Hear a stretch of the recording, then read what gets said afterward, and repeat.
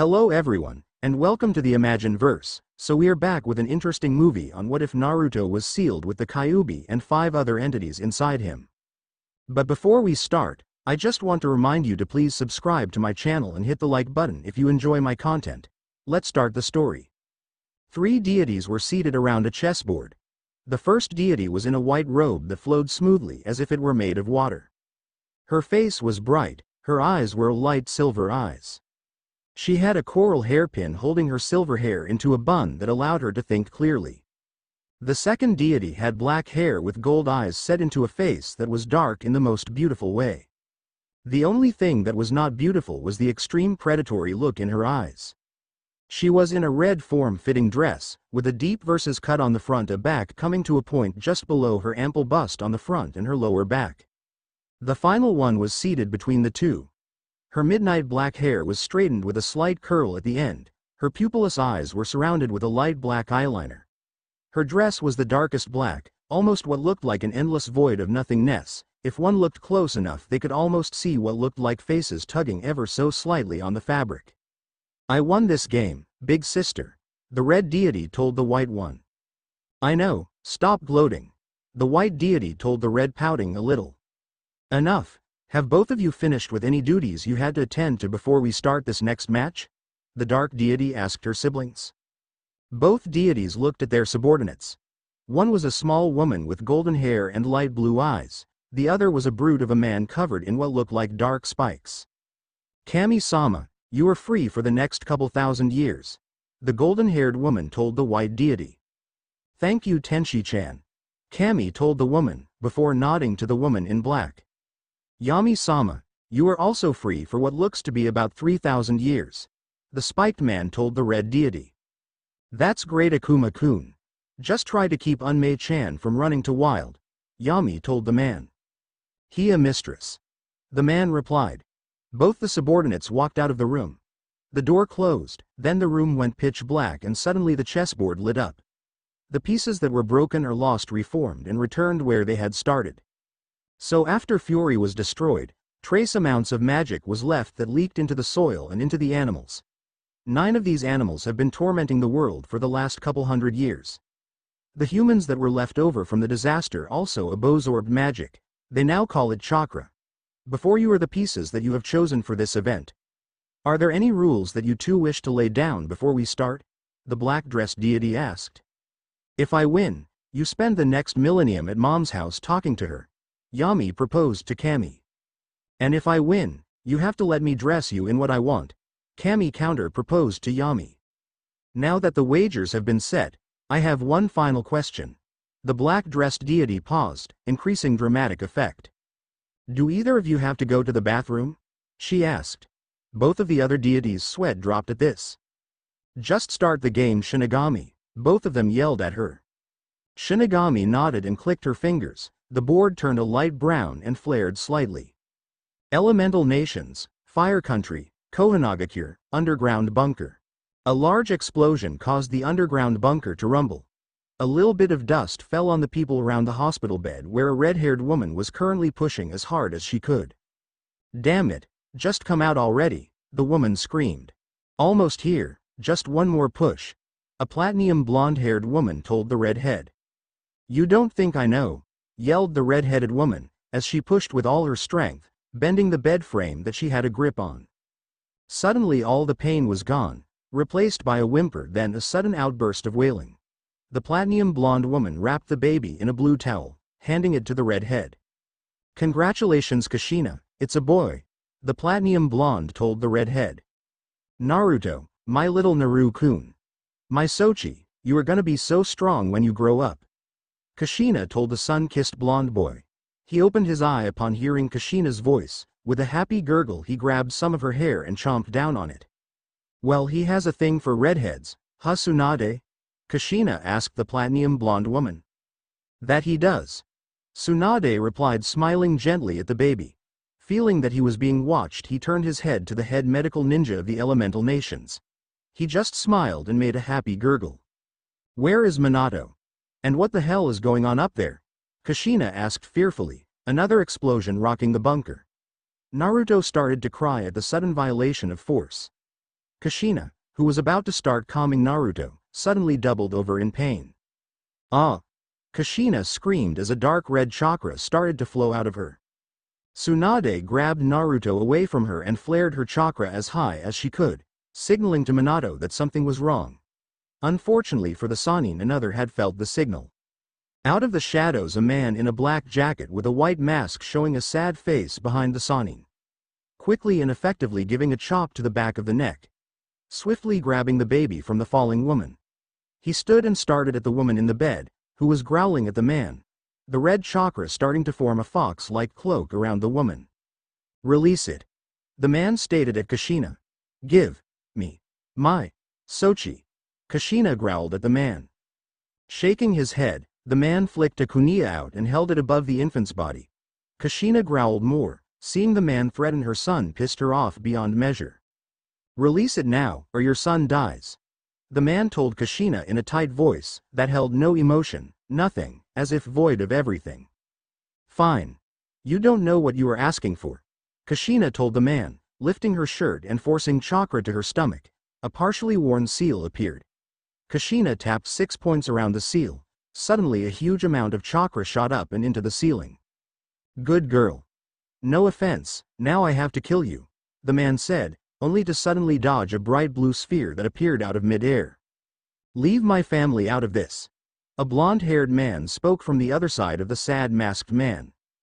The masked man whirled around looking for the man. Suddenly the object in his arms felt heavier. He looked down to see a log in his arms. He looked up towards the bed to see that the man had his son and was standing between the masked man and his wife. Kushina, are you okay? The man asked with concern in his voice. Minato, I'm sorry. He made me release the Kyuubi, Kushina told Minato. Minato nodded, he knew what he had to do. He watched the man, who just sunk into the shadow.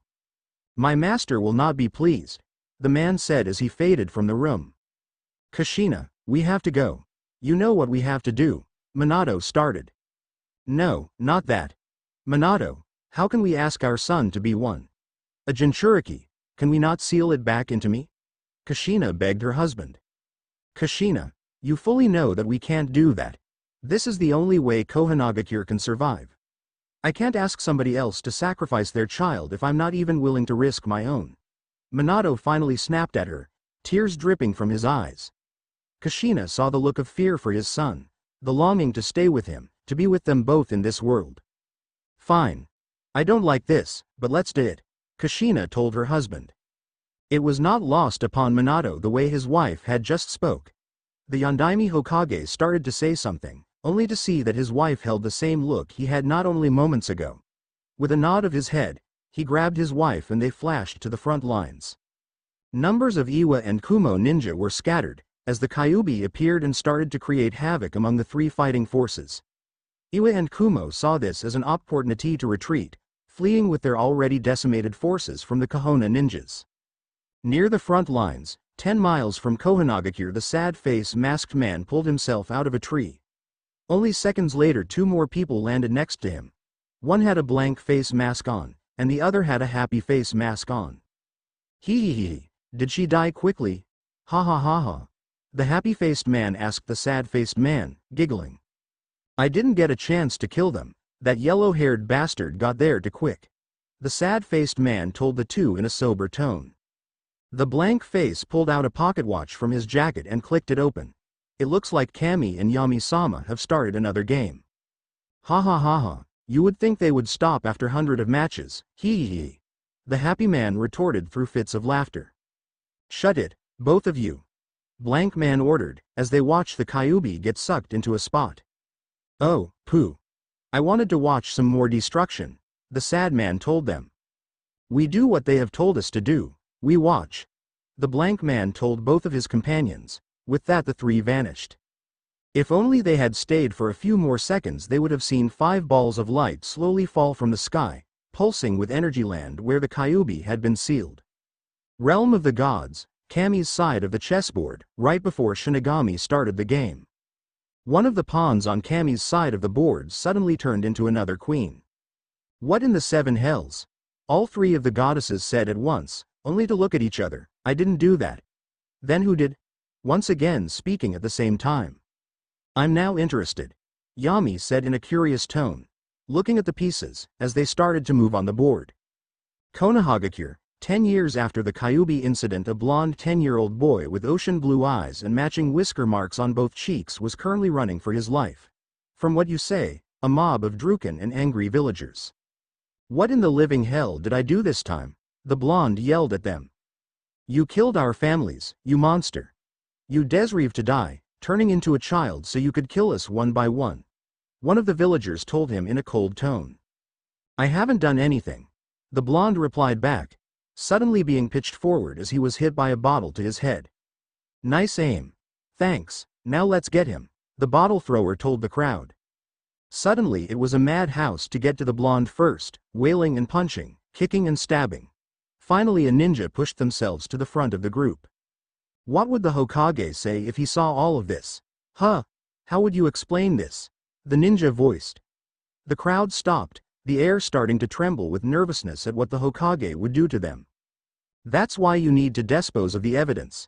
The ninja told them, finishing the hand seals for a jutsu. Katon. Grand Fireball Jutsu. The ninja said before sucking up a huge amount of air and blowing out a giant fireball that hit the blonde. Engulfing the poor boy, or so they thought. Seeing a burnt body, the villagers shouted in celebration at finally killing the demon, scum, monster. Soon the mob had dispersed and Anbu arrived to take the body to the hospital, again. A few minutes after the Anbu left a mop of blonde hair slowly pulled himself out of the shadows. Looking around he started to head home, it was getting rather late. Geez you would think they would have stopped using cadence on me after the first time. Naruto told nobody in particular. Well, we just can't have them destroy our host. That would be bad for all of us. A gruff masculine voice replied. I know that they are gonna feel funny when they find out they destroyed a cadaver from the morgue. Again. Naruto told the voice. That is a riot, but it is starting to get old, a metallic sounding voice replied this time. I know, I know. So what am I going to be learning tomorrow? Naruto wondered. We were thinking on how to combine Dragon Slayer arts with chakra control. Even though they're slightly different. Chakra and what we had called magical arts. One of two feminine voices spoke up. Well are we gonna have a roulette or a drawing or what? Naruto asked. We think we'll start with either metal or sky dragon slayer forms, then start from there. A husky voice confirmed with force. The other voices agreed, well almost all of them, one wanted to teach him the Fire Dragon Slayer form first, but he had been outvoted by the other five. Anyways Kit, hatchling. You need to get some rest. Tomorrow is gonna be a long day. All the voices said at once, more like conjoined rather than one. As the boy started to slumber, his mind wandered back to when he first met his tenants. At first it was a huge hassle to keep them all happy. Flashback. Five years ago. Konohagakure Hospital. Geez. They dumped me in a damn sewer this time. This is disgusting. Do they know what is in this fucking stuff? Welp. I better get out of here. Naruto stated matter of factly. Naruto got up and started to walk, and walk, and walk. Damn it, when the hell is this gonna end? Naruto shouted to no one in general, he didn't expect to hear a reply from behind him. What did you say monkey? A creepy voice asked from behind, sending shivers up Naruto's spine. Slowly turning around, he came face to face with a large door made up of bars. There was a slip of paper on it that said, Seal 1/6. Naruto walked up to it. Hello. Who's in there? Suddenly an alarm went off in his head. Naruto jumped back as a set of claws shot forward scratching the ground where he had been standing. This monkey has good reflexes, I've seen what those worthless villagers have treated you. I can give you the power to destroy this village, to kill, maim, Tear everything from the heart of this destitute of a village. Do you wish that, well little monkey? The voice asked. Naruto took a thinking pose, then looked at the cage with a smirk. You want my answer? Well my answer is to go fuck yourself. Even if they destroy me, I will protect them with my life. I'll never take power to destroy my home. I would rather die than hurt this village. Naruto told the cage, flipping the cage off. Bawahahaha. It's been about 30 years since a monkey had the balls to do that to me. So you pass. The voice to him with a pleased tone. What the seven fucks was that? Naruto asked, basically yelling at the caged doors. A test. The voice replied. A test. Naruto repeated, sweat dropping a little. I needed to test you before I allowed you to meet the others. Guys he's okay. You can come out now. The creepy voice called out, the claws withdrew and was replaced with a hand as the landscape changed from a sewer into a large plateau. With mountains running around the edges. Okay. What in the hell is going on? First we were in a sewer, now we are in the mountains. And who the hell is, everyone, MHMMMHMHM? Naruto was cut off of his ranting by a feminine hand. We'll tell you. If you shut up. A woman replied. Naruto looked at the arm that was attached to a beautiful woman with cream-colored skin and slivery gray hair. Her eyes were a deep crimson red with a slit down the middle. She also had two red ears on the top of her head and nine red tails with silver tips. The woman wore a snug-fitting red camineo with silver foxes running on them. MHMHMM. Okay. Naruto replied as she let go, taking a deep breath. The glare from this lady made him stop his rant. Now back to your first question. You are in your mindscape. Those idiotic villagers beat you into a coma again. The second question is since it is your mindscape you can change it how you see fit, but everyone has agreed that it would be better if it looked like this. Finally, the last answer is right behind you. The woman told him. Naruto turned around to see five other people standing to form a circle around him. Going on his instincts, Naruto sunk to the ground and put his hands over his head. Please don't kill me, I didn't mean to do it, I promise. Naruto started to crying, not being able to help himself. Have the villagers beaten him down this far? All the people there thought at the same time with sadness. Hey, Brett. Get your ass up, we ain't gonna hurt you, a red-haired man with a red beard growled at Naruto, only to make him shrink further into himself. Igneel, you are stupid. Growling at the hatchling. A man with dark gray hair and piercing all over his face berated the now named Igneel. It's not my fault we got stuck here. Who was the one that said we should jump into the giant vortex in the sky? Huh, Metallicana. Igneel retorted. How were we supposed to know it would just send us into the future? A man with white hair replied in a calm demeanor. The white hair covered the left side of his face. Enough fighting, we are scaring the hatchling and we haven't even introduced ourselves. A man told Naruto, he looked exactly like the man with white hair except it was black colored and on the right. It's okay now Naruto, you have a family here. I'm Grandine.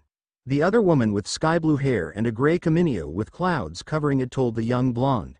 She knelt down and held open her arms, like a mother waiting for their child. Naruto rushed into her arms, crying loudly. Both Grandine and the other woman gently stroked Naruto's hair, calming him down until he could sit and understand what was going on. Now, proper introductions. The firehead is Igneel, the metal face is Metallicana, the yin-yang twins are Skiadrum and Weisslogia. Grandine is the nicest one here. Finally, I'm the Kyuubi no Kitsune. Stated the Kyuubi.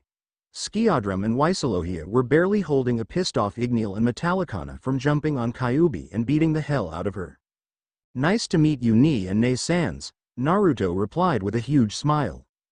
It's nice to meet you to Hatchling. Now we need to talk to you about how you are gonna get by for the next few years. At least till you become a ninja. Igneel stated. The rest of the people nodded. What do you mean, get by, Naruto asked them. Well we can't have you be in the hospital every other day, now can we? Metallicana answered, with a slightly cocky smile. Okay, so how do we do that? Naruto wondered, taking a thinking pose. Did we get stuck in a moron? All the tenants thought at the same time. Wait.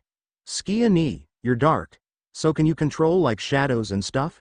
Naruto asked the dark-haired individual. Contoral, my dear little hatchling. I am. Shadows. The dark-haired individual stated before sinking into his own shadow and coming up behind Igneel. Igneel grabs Skiadrum and throws him into the side of a mountain. You know I hate it when you do stuff like that, Igneel states to Skiadrum. Skiadrum smiled mischievously.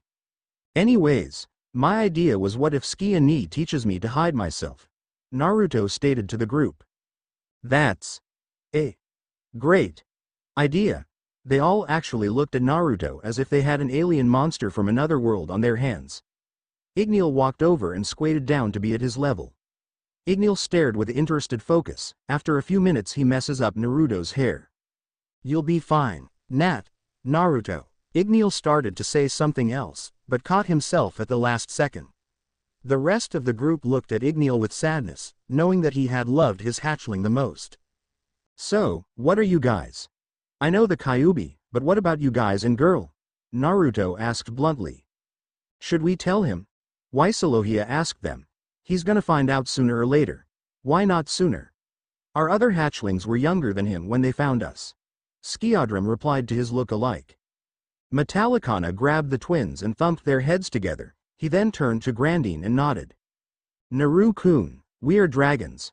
Grandine told him in a gentle voice. Okay. Naruto stated, now how do I get out of here? Are you not surprised at all? Don't you have any questions regarding us? Metallicana? Nope.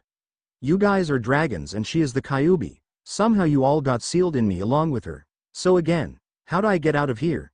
Naruto explained as he pointed at the Kyuubi. It's your mind, shouldn't you know how? Igneel asked him in a teaching tone. Um. Yes, no, maybe? Naruto asked. Before you go, we want you to do something for us. If we are to be able to teach you we need you to be able to communicate with you. To do that, you need to pull a small part of the seal off, just like a corner. We promise not to try and force any more. Weisslogia, Skiadrum hands up now. Grandine snapped at the two troublemakers. Both of them snapped to attention and held their hands up. Okay. Where are your seals at? Naruto asked, knowing that he needed to do this to become stronger. Igneel held out a ring. Metallicana pointed to his piercings, both Weisslogia and Skiadrum held out a wristband, and both Grandine and the Kyuubi pointed at their collars. Naruto went around to each of their items and removed a little bit off each thing. The pieces of the seals turned into a black wristband that looked like a dragon wrapping around his wrist. This is cool. Naruto said out loud. Everyone started to laugh, even though he showed increased thought process they had to remember that he was still just a child. Even if he was a little mature. Now, you need to wake up. You need to tell the old monkey everything. The Kyuubi told Naruto, then flicked his forehead. Konohagakure Hospital, room 205. Ow, stupid vixen. Naruto yelled as he popped up, rubbing his forehead.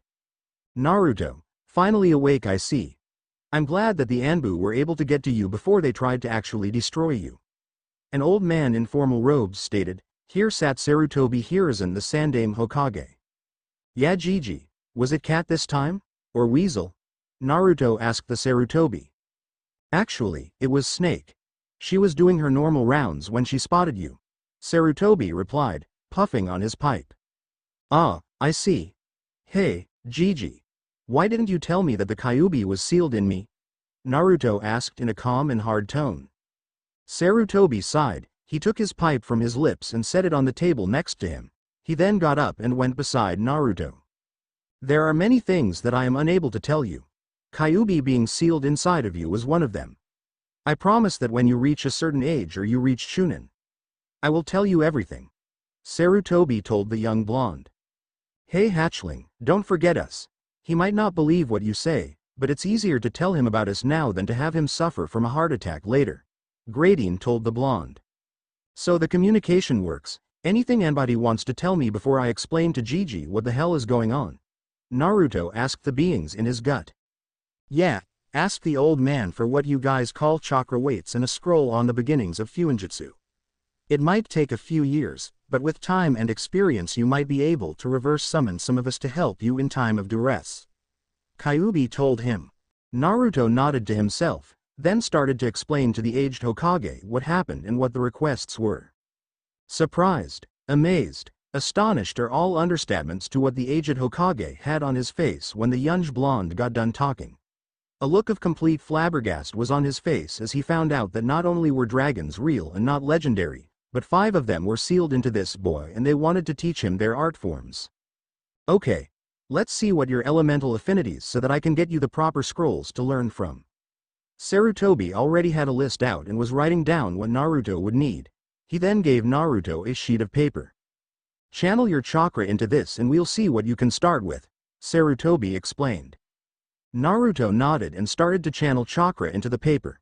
The paper was sliced twice to make four pieces. One piece burnt up rather quickly, the second piece turned gray and crumbled, the third piece grew lighter until it was almost too bright to see, the final piece turned oily black and seemed almost weightless. So as we can see, you have wind, fire, what looks like earth and two elements that I haven't seen before. I'll have to see what these are, I'll see what I can get you. Sarutobi explained to the young blonde. Those are probably shadow and light. Naruto told the aged man. If I think correctly, I should be able to bend shadows and lights to hide my appearance or others. That should be the basics anyways. Oh, well then I'll have to see if one of the more energetic Naras could help you with the shadow. The light on the other hand, that's going to be more complicated. I mean no one has had a chakra like this in over thousands of years. Sarutobi told the young boy, thinking. I'll have everything sent to your apartment and we'll talk to Inara in a few days. Sarutobi told the boy. But for now, let's get you some food. Ramen sound good. Hell yeah. Naruto exclaimed as he jumped out of the hospital bed and got dressed. Present, Naruto's apartment Naruto yawned loudly, while he pulled his nightclothes on. They consisted of a pair of black bottoms, and dark blue top with a fox on it, and to finish it off a dragon knight hat. Night Ni and Ne Sans. I'll see you tomorrow. Naruto told his family as he fell asleep, dreaming of ramen and training. Good night, Kit, hatchling. The group replied, knowing that they needed to prepare him for the future. An 11-year-old Naruto stood in front of the Ninja Academy gates, looking at all the smiling children and wondering if he should even go in. He had never been really good at making friends, of course it never helped that the families would keep their children away or encourage them to bully him. Naruto, are you going in? An aged voice asked him. Naruto looked up next to him and saw the aged Hokage was next to him. Naruto sighed and stared back onto the schoolyard. I don't know if I should. I mean, what if no one likes me? Naruto wondered in a worried tone. One that the Hokage had heard many times before. If it helps, Shikamaru is joined the academy this year also.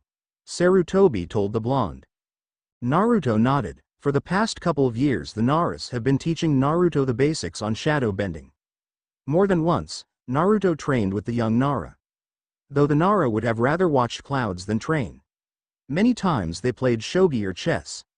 Unfortunately for the preteen, he had not been able to beat the Nara yet. Naruto saw the young Shadow Wilder with his friend Choji Akimichi, a larger boy with two red swirls on his cheeks that was almost always eating on a bag of chips. He was fiercely loyal to Shikamaru. Both him and Naruto had an eating competition every Thursday, switching between Ichiraku Ramen and one of the barbecue joints the Akimichi clan owns. So far it was 56 to 55 in Naruto's favor. Naruto waved at the two clan heirs as he walked into the schoolyard. They waved back, before they went back to watching the clouds and eating. Naruto took in the other children, most of them from the civilian clans, with some ninja clan heirs thrown in. As he sat beside the Nara, he observed the children that were running around. Who do you think we have for a sensei? Naruto asked the pineapple-haired preteen. I'm guessing Iruka-sensei. He was just recently placed here, so we might be his first class, Shikamaru commented. I think you are right, Wanna see how good he is? Naruto inquired. Huh, sure. Why not? Might be interesting. Shikamaru answered in a bored tone. How should we do it? Plan Alpha Zeta or Beta Gamma? Naruto asked. Hmm, both of those have too many harmful possibilities. How about Charlie Echo? Shikamaru replied after a moment of thinking. That takes too long to set up. Naruto whined, we got about 10 minutes before class starts. I've seen you said Charlie Echo in less than four. Shikamaru told him. True. Welp, let me get to work. Naruto stated before he got up and walked to the classroom 1A. A few minutes later the class wandered into the classroom, which looked perfectly normal, to the untrained eye. Many of the children sat down and started talking amongst themselves, not knowing the wonder that was going to enter their days in just a few minutes. Good morning class, my name is Iruka Umino. I'll be your Chunin teacher for the next four years. I'll start by doing roll call, then we'll start on the history of the shinobi world. Iruka stated as he walked in and introduced himself. Suddenly there was a large poof of smoke as soon as he reached the podium, After the smoke cleared you can find an upside-down Iruka hanging from the ceiling with orange and black paint on his uniform. A note was placed on him, for all to read. You have just been pranked by Naruto Uzumaki, the note read. Which one of you is Naruto? Iruka asked, very calmly. A blond boy stood up and waved his hand from the back. I am, it's good to see that you fell for it sensei. Naruto told him smiling broadly. Well, it's very good. Now, let me down from here, Iruka yelled as his head grew. Iruka went cut the ninja wire with a kunai. No no no no no no, don't do that Iruka sensei. I've combined Charlie Echo with Bravo Zeta. Naruto told the Chunin in a worried tone. Iruka looked at him with a, what are you talking about look, before he cut the ninja wire. As Iruka dropped, some kunai and shuriken shot from the back of the room aiming at the now crouched Iruka. Seeing the deadly ninja tools flying towards him, he used a Kawarimi jutsu to switch himself with one of the books in the back. Panting slightly, Iruka got up and walked over to Naruto. Holding a rather thick book, he looked down at Naruto. Charlie Echo with Bravo Zeta. Interesting combo. Just how did you pull this off? Iruka asked the preteen. The teachers need to get here earlier. That's all I'm gonna say. Naruto told him, suddenly found himself with his head on the desk. A large knot forming on his head from where Iruka hit Naruto with the book. Now that this is over, I'll start again, Iruka stated, starting with roll call then the lesson.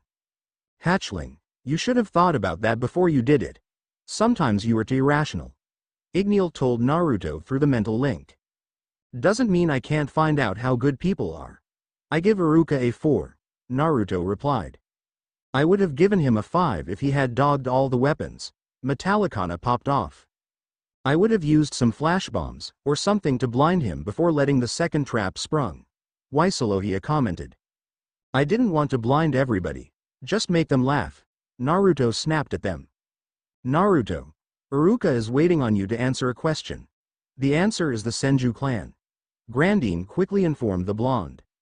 Naruto, who was one of the nomadic ninja clans that helped form and set the rules of Konohagakure. Iruka asked the blonde as he was pulled out of his mental conversation with his knee and Ne Sans. One of the nomadic ninja clans that helped form and set the rules for Konohagakure would be the Senju clan. Naruto informed the Chunin. Good job, I would seem you actually do pay attention. Iruka told him with a smile. Doesn't help when you have one 5,000 year old demon and five 25,000-year-old dragons. Skiadrum commented with a smirk. What in the world are we learning anyways? Is this a new form of torture? Igneel asked, noticing that half the class was already asleep. Finally after what seemed like a lifetime, the tort the teaching was finished and all the kids braked for lunch. Naruto went over to a tree and sat down, pulling out a scroll he unsealed a bowl of fresh spinach with walnuts and raisins. With this spring salad was a strawberry vinaigrette. Salad for lunch, yuck. We need meat, Igneel shouted. You guys get meat the rest of the meals other than the twice-a-month ramen eating competition that Naruto has with Choji. So stuff it, before I take that salad and shove it where the sun don't shine. Kyuubi explained to the meat-craving dragon. No, IG Nissan. Q Nissan is right. I need to start eating more than meat and ramen. It's better if I start now. Naruto told Igneel. Fine. By the way, did you notice that little girl being picked on? Grandine mentioned. Naruto set his salad off to the side and looked up seeing a blue-haired girl being picked on by three kids, two girls and a boy. One of them being almost double the poor girl's size. This girl had pushed the girl down and was kicking dirt on her.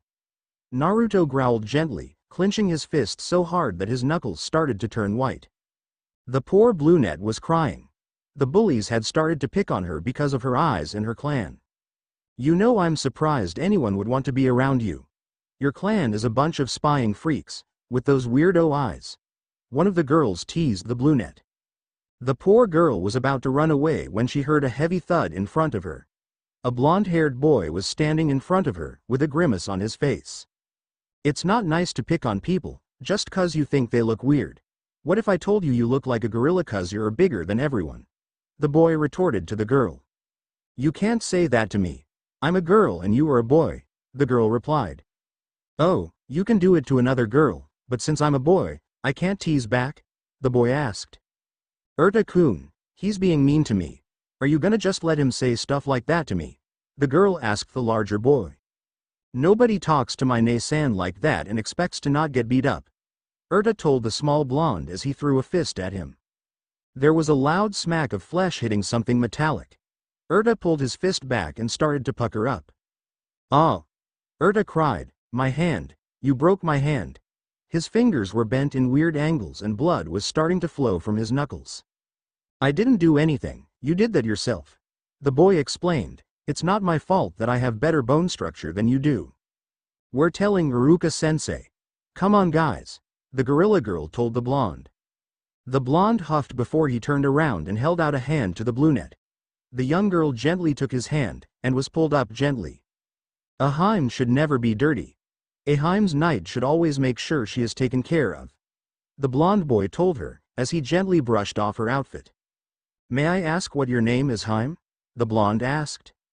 H. H. Hinata H. H. Hyuga. The young heiress stuttered out. Hinaheim, a beautiful name. The blonde replied, I'm. Naruto Uzumaki, come here right now. Iruka yelled out. Naruto sighed as he saw that two out of the trio of bullies were behind Iruka, making faces at Naruto.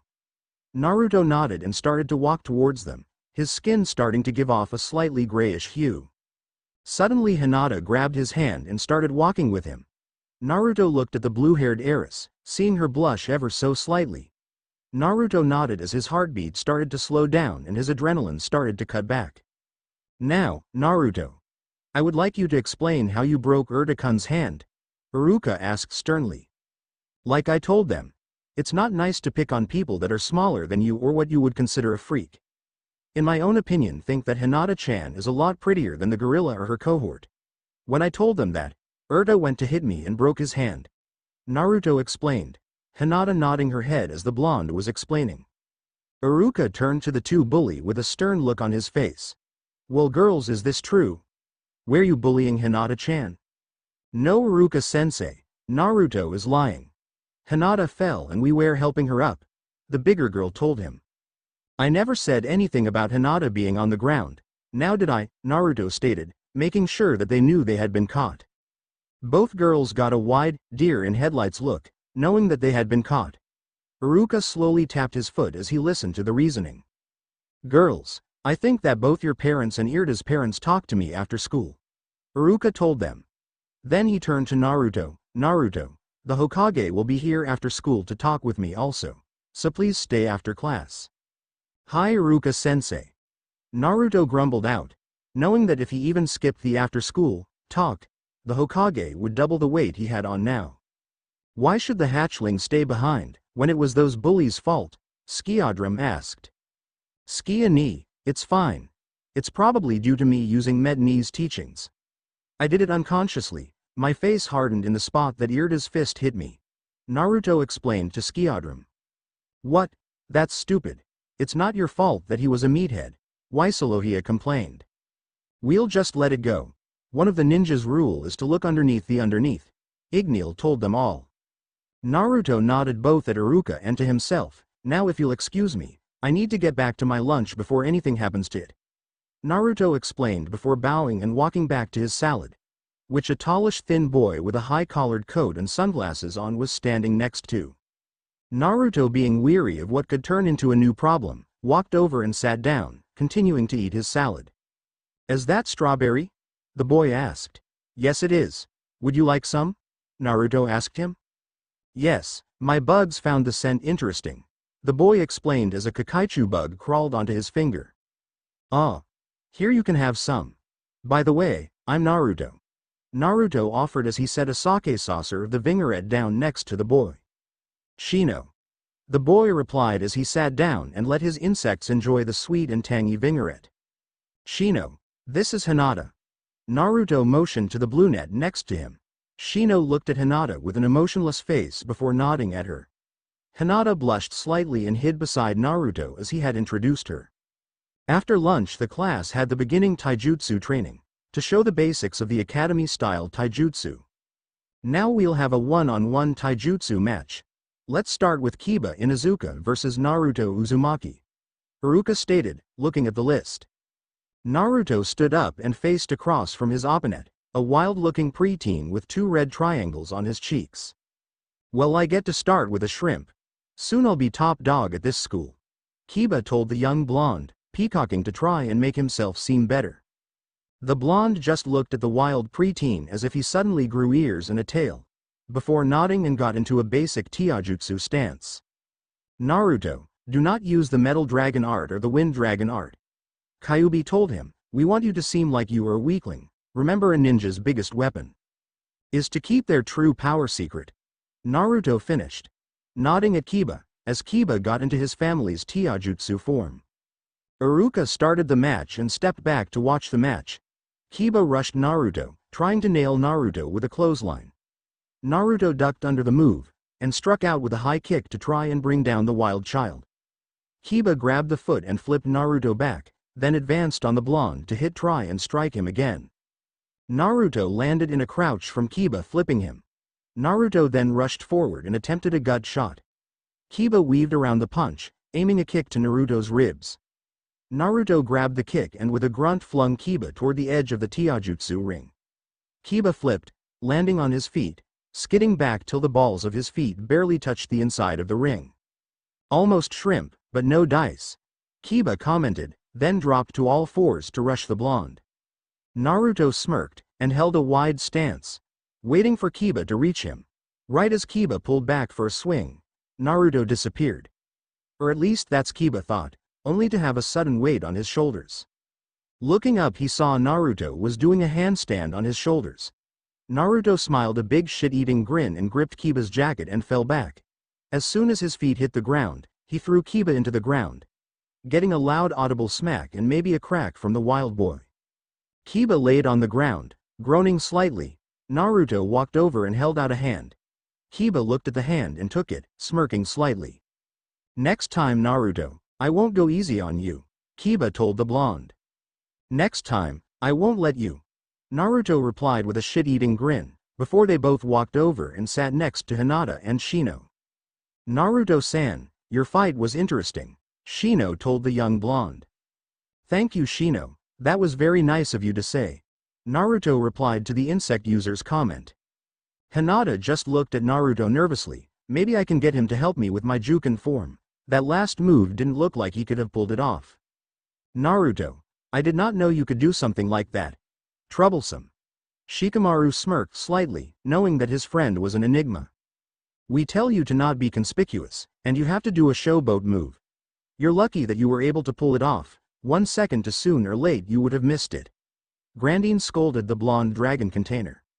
Sorry Grand Nay, I was still a little pissed off from before, Naruto replied. We know Naruto, but now we need to be careful, we don't want any more attention than what we already have. Igneel warned Naruto. Naruto nodded before going back and watching the matches. None really interesting till a black-haired with what looked like a ducktail in the back got up to fight Hinata. The boy just huffed and got into a stance that Naruto had seen a few times before. He was an Uchiha, a clan of the Ives. Full of arrogant shitheads, that thought of themselves on a high platform than the rest of Konohagakure. The close second was the Hyuga. At least they did their own work on jutsus. The sticks up their asses were almost the same length. Naruto focused on the fight, seeing Hinata struggle with the Juken form. He noticed that Hinata could do better with a more fluid system rather than the static version of the main form. Yes, she could use some training. That form she has is utterly useless on her. Hatchling you were right, she could be more fluid with her motions. Igneel commented. Let's talk to her after school today. Naruto replied to the fire dragon. All of the beings nodded, some while smirking ever so slightly. Hey Igneel, are we gonna have another L and N thing going on? Or are we actually going to push them to get together? Metallicana asked. Igneel growled gently, before he turned and punched Metallicana into one of the mountains. Shut it. Igneel told the metal dragon. Soon it came to the end of the day. As the rest of the children ran to meet their parents, five children stayed behind to await their punishment. Naruto, Hinata, and the three bullies. The Hokage and the bullies' parents went in and talked to Iruka first, then the students were called in after a few minutes. The parents looked furious and were muttering things about demons playing angels. The Hokage and Iruka stopped the muttering with a few glares. Iruka asked Naruto and Hinata to explain what happened. Hinata started, explaining that she had been looking for a place to eat her lunch when the bullies came up and started to pick on her. They had pushed her onto the ground and started to tease her because of her eyes. Naruto then picked up as he saw Hinata was getting nervous and started to hide behind him. Naruto explained that he went and defended Hinata and was struck by Urta, who then had a broken hand. Iruka looked at the parents as they listened to the story. They seemed unconcerned about Hinata, it wasn't until Naruto got the point in the story that Urta hit him that an expression was shown on their faces. One of anger and rage, directed at the young blonde for hurting Urta. They were about to say something, but were denied as the Hokage stood. I'm sorry, I should have warned Iruka-san of Naruto's condition. You see, Naruto not only has heightened healing, but also has denser bones. So it is only natural that when Urta hit Naruto his hand broke, I will pay for all medical and Naruto is going to apologize for forcing Urta-san into striking him. Sarutobi told the parents, motioning for Naruto to step forward. Naruto started to step forward, only to be held back by Hinata. No, it wasn't Naruto's fault. They started it, they need to be punished. Hinata forcefully told the Hokage. My dear Hinata, how would we do that? Knowing that this cycle will continue if we punish them. Naruto, Sarutobi looked at the boy. Naruto nodded, turning to the parents of the bullies he bowed. I'm sorry for pushing Urta to hit me. I will not do it again. The parents looked amazed at this 11-year-old apologizing for nothing. Suddenly Urta's father smacked the back of Urta's head. OWWW, what the? Urta started. You will apologize to Miss Hyuga and Mr. Uzumaki, now. Urta's father told the boy. I'm so. Urta mumbled, Louder, or you will get a worse punishment, his father ordered. Geez, I'm sorry. Urta told Naruto and Hinata. Now, this will not happen again. Understood. Urta's father told him. Yes sir. Urta responded. Urta's father nodded and went to the door. He motioned for Urta to follow him, the others followed. Sarutobi smiled as he watched them leave, before he turned to Naruto, frowning. Naruto, did you use that unintentionally? Sarutobi asked. Naruto nodded looking down, gripping his fist tightly. Sarutobi knelt down and placed his hand on the boy's shoulder. He then placed his other hand on the boy's head. Naruto looked up and saw a serious look on Sarutobi's face. It's alright this time, but you need to learn to control your emotions. You cannot wear your heart on your sleeve. Sarutobi explained. Hia. Naruto replied, Sarutobi smiled, getting up he looked over to the young Hyuga. Now I believe that Miss Hyuga needs to be escorted home, Sarutobi told the young blonde. Yes sir. Naruto replied happily, come on Hinata-chan. Naruto grabbed Hinata's hand and started walking out of the academy and towards the Hyuga compound. With Iruka and Sarutobi, how did you know Naruto would apologize to them? Iruka asked the aged Hokage. Because he knows the hurt of being acknowledged in being a demon, do demons apologize? Hokage answered Iruka's question with another. I guess you're right Hokage-sama. A demon would not have apologized, Iruka answered. The Hokage chuckled gently as he watched the two preteens walk out the academy gates. With Naruto and Hinata, ten minutes later, outside the Hyuga compound. Well Hinata, we got you home safe and sound, if you need to be protected anymore just yell for me. I'll always come running. Naruto smiled gently at the young heiress. HH Hia. Hinata stuttered out. Two Hyuga guards, just stood there watching the touching moment, until they heard a coughing sound come from behind them. Hiashi Hyuga stood in the gateway leading to the compound, with a stern look on his face and his arms crossed. Hinata seemed to freeze at the shadowing of her father, she lowered her head before she started to go into the compound. Unknown to her, Naruto was walking with her. Hiashi-sama, I apologize for Miss Hinata's tardiness. It was my fault that she is late, something happened at school which could not be avoided. Naruto apologized to the head of the Hyuga family. Hmm, this is fine. I hope that this does not happen again, Hiashi replied, nodding in an understanding tone. Um, father. Can Naruto stay for dinner? Hinata asked quietly, but without a stutter. I see no problem in this. Naruto, would you like to train and stay for dinner? Hiashi asked in an authoritative tone. Thank you for the offer, unfortunately I must decline as I have no other clothes with me. Naruto spoke in a respectful tone. Nonsense, I'm sure some of Neji's old clothing will fit just fine. Hiashi insisted, it wasn't every day that he saw a person that got his daughter over her meekness. Turning to Hinata, he stood straight and slightly over her. Hinata, show him to the training area and change into your training outfit, Hiashi told his daughter. Hia. Hinata replied, her head down ever so slightly, she lead Naruto to the main family's training area where an already panting six-year-old girl was. The poor girl was out of breath and gasping hard. Hanabi. You have a five-minute break, then it's back to training. A voice behind Naruto told the young girl. Hia, Tu-san. Hanabi replied, she then sat down and started to sip on the water that was next to her. Hiashi stepped down into the training area, turning to Naruto he motioned for him to enter the area. Naruto removed his sandals and stepped onto the ground. A few moments later, the young blonde and the head of the Hyuga were standing across from one another. Naruto Uzumaki, I Hiashi Hyuga would like to have a friendly spar. You may use what you wish to attack me, I will use the Juken style that we Hyuga use. Hiashi explained to the blonde.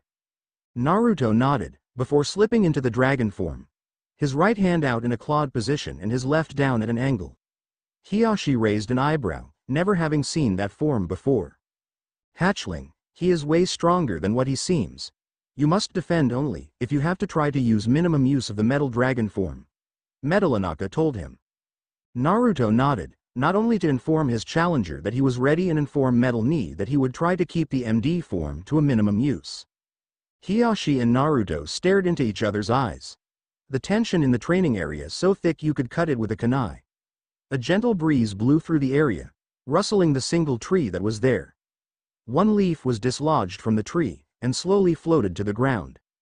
Both the fighters closed their eyes as the leaf became dislodged, when the leaf hit the ground both sets of eyes snapped open and the fight began. Hiashi rushed forward and snapped some quick hits to Naruto's arms. Even with his Byakugan shut off, Hiashi knew he hit the Tenketsu in his arms. Naruto slowly rubs his arms after picking himself up from the hit. Mema, Hiashi-sama. You didn't have to go that far. Naruto ribbed the elder Hyuga. Naruto then started to channel chakra into his arms, slowly cloaking his hands in his wind element. Hiashi was shocked nonetheless to see not only was Naruto still able to use chakra, he was pushing wind chakra out. The boy looked at the Hyuga's face and nodded. Hiashi smirked and activated his Byakugan, seeing that it was pure wind chakra being pushed out of his hands and some on his feet. To give himself more agility, Hiashi wondered. Again Hiashi rushed forward, snapping at Naruto's tenketsus in his arms only to see that they once again did not close. Frowning slightly, he hit them again. Yet again, they did not close. Though he did see that when he went to hit the tenketsus there seemed to be a small amount of chakra that covered them, almost like an invisible plating. After about 10 minutes of sparing, Hiashi stopped and nodded to Naruto, who at this point was starting to perspire across the top of his forehead. I see that you have a unique ability, Naruto, Hiashi commented as he went to the edge of the training area. I have no idea what you mean, Hyuga-sama. Naruto defended himself. Oh, so you didn't have chakra covering your tenketsu when I struck your arms. May I see them? Hiashi asked, more curious by the second. For Naruto, alarm bells were going off in his head. The same alarm bells that had saved him many times before. Naruto looked towards the way Hinata went after he was shown the training area. Hiashi-sama, you must excuse me. I must check on Miss Hinata, I have a feeling that she is taking too long. Naruto excused himself, walking towards the back room. Noticing that one of the branch members was moving a bit too swiftly, almost as if they did not want to get caught. Hold it, where is Hinata? Naruto asked. The branch member rushed away. Naruto pushed wind chakra into his feet and pursues the branch member. The branch member rushed out of the compound and headed toward the western gate, with Naruto swiftly on his heels. Naruto caught up to the branch member right before they got to the gate. He pushed wind chakra into his hand and brushed the Achilles tendon on the left leg. The branch member tumbled as if they had suddenly fell over a log. More of the branch members landed next to their downed Hyuga. I'll ask again, what happened to Hinata? Naruto asked in a slightly rough voice. Unbeknownst to Naruto his eyes had started to turn into slits. The Hyuga Council. The branch member started. What about them? Naruto demanded, giving a look of complete seriousness. They forced me to attack Mistress Hinata. They wanted it to look like she had an accident. The branch member spilt, seeing that this child had not just kept up with them, but also inflicted damage that had crippled them, all without losing his breath. Where is she? Naruto asked, grabbing the Hyuga and lifting them up. Ga, her bedroom, main complex. The branch member gasped out, the killing intent suffocating them. Just like that Naruto was off again, this time returning back to the Hyuga complex. The guards positioned at the front of the complex saw a blonde dot one second, then the next it felt as if someone had used an A-ranked Fuden on them. Naruto threw open the door that was marked as Hinata's to see the young heiress on the ground. Naruto rushed to her side, to see that she was barely breathing. Naruto, use the healing jutsu that I taught you. It might be the only chance she has, Grandine told him. Naruto nodded and went through the hand seals for the jutsu. While he was going through the seals Hiashi and Hanabi rushed into the room. Oni-san, what happened? What did you do? Hanabi tried to force the young blonde from her sister. Stop, I can save her. You have to trust me, it'll take a lot of my chakra, but it will heal all of her injuries. Naruto told them both as his eyes started to turn into slits and chakra started to flow around him. Grand Dragon Pulse. Naruto called out, slamming his hands onto Hinata. A giant pulse shot out from his hands and Hinata almost to the edge of the compound. The pulse then receded back to the point of origin and settled over Hinata. The pair stayed like that for about 10 seconds before Naruto slumped over. As he slumped over, Hinata sat up gasping for air. Hinata Onisan. You're okay, it worked. Naruto Onisan's jutsu worked. Hanabi excitedly proclaimed. Jutsu, what jutsu? What happened? Hinata asked, thoroughly confused. All I remember coming into my bedroom and starting to get change. Then pain, and I couldn't hardly breath. The branch member I chased hit your lungs, but not as bad as it could have been, Naruto explained. Naruto-kun. You saved me, Hinata asked, blushing slightly. I was just protecting Ahime. Naruto confirmed, before slipping into unconsciousness. Well, I guess dinner with Naruto is postponed. Hiashi said in a slightly happy tone, seeing that his eldest daughter who reminded him so much of his late wife was safe due to a yellow-haired knight. Minato, your son is going to do amazing things. Hiashi thought to himself, he then steeled himself to face the Hyuga Council. Knowing that before the night was out, he would have at least an inkling of wanting to massacre the council. It had been a few months after the attack on Hinata. The rumors had spread and the Hyuga clan had been humbled by the backroom whispering. Hiashi saw that even in the upset of the clan that Hinata was becoming stronger and more confident in herself thanks to a certain blonde whiskered boy. The Hyuga incident was soon covered by the Uchiha massacre. Only three of the Uchihas left were Sasuke and Itachi, also their mother Mikoto. Uchiha District, 8 p.m., 12 years after the Kyuubi attack. Itachi was out of the village, on an A-ranked mission. Sasuke and Mikoto were out shopping and had noticed that it was getting late as they went home to start dinner. As they entered the Uchiha district, Mikoto got a sense of dread. The district was quiet, to quiet especially around that time of the day. Normally children would be running around playing or you could hear people making dinner, doing laundry, or honing their ninja skills. It was as if all the noise had been sucked into a void and nothing was left, an unusual silence remained. Mikoto pulled Sasuke next to her as they advanced into the district, her senses alert to the danger that was around them. As she turned a corner her eyes caught the image of a person or people cutting down one of the final clansmen, before they started to stalk up to the clan head's house.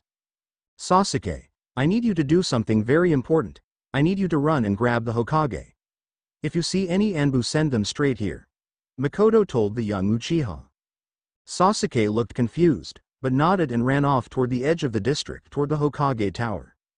A blond boy was yawning, coming back from one of the training grounds.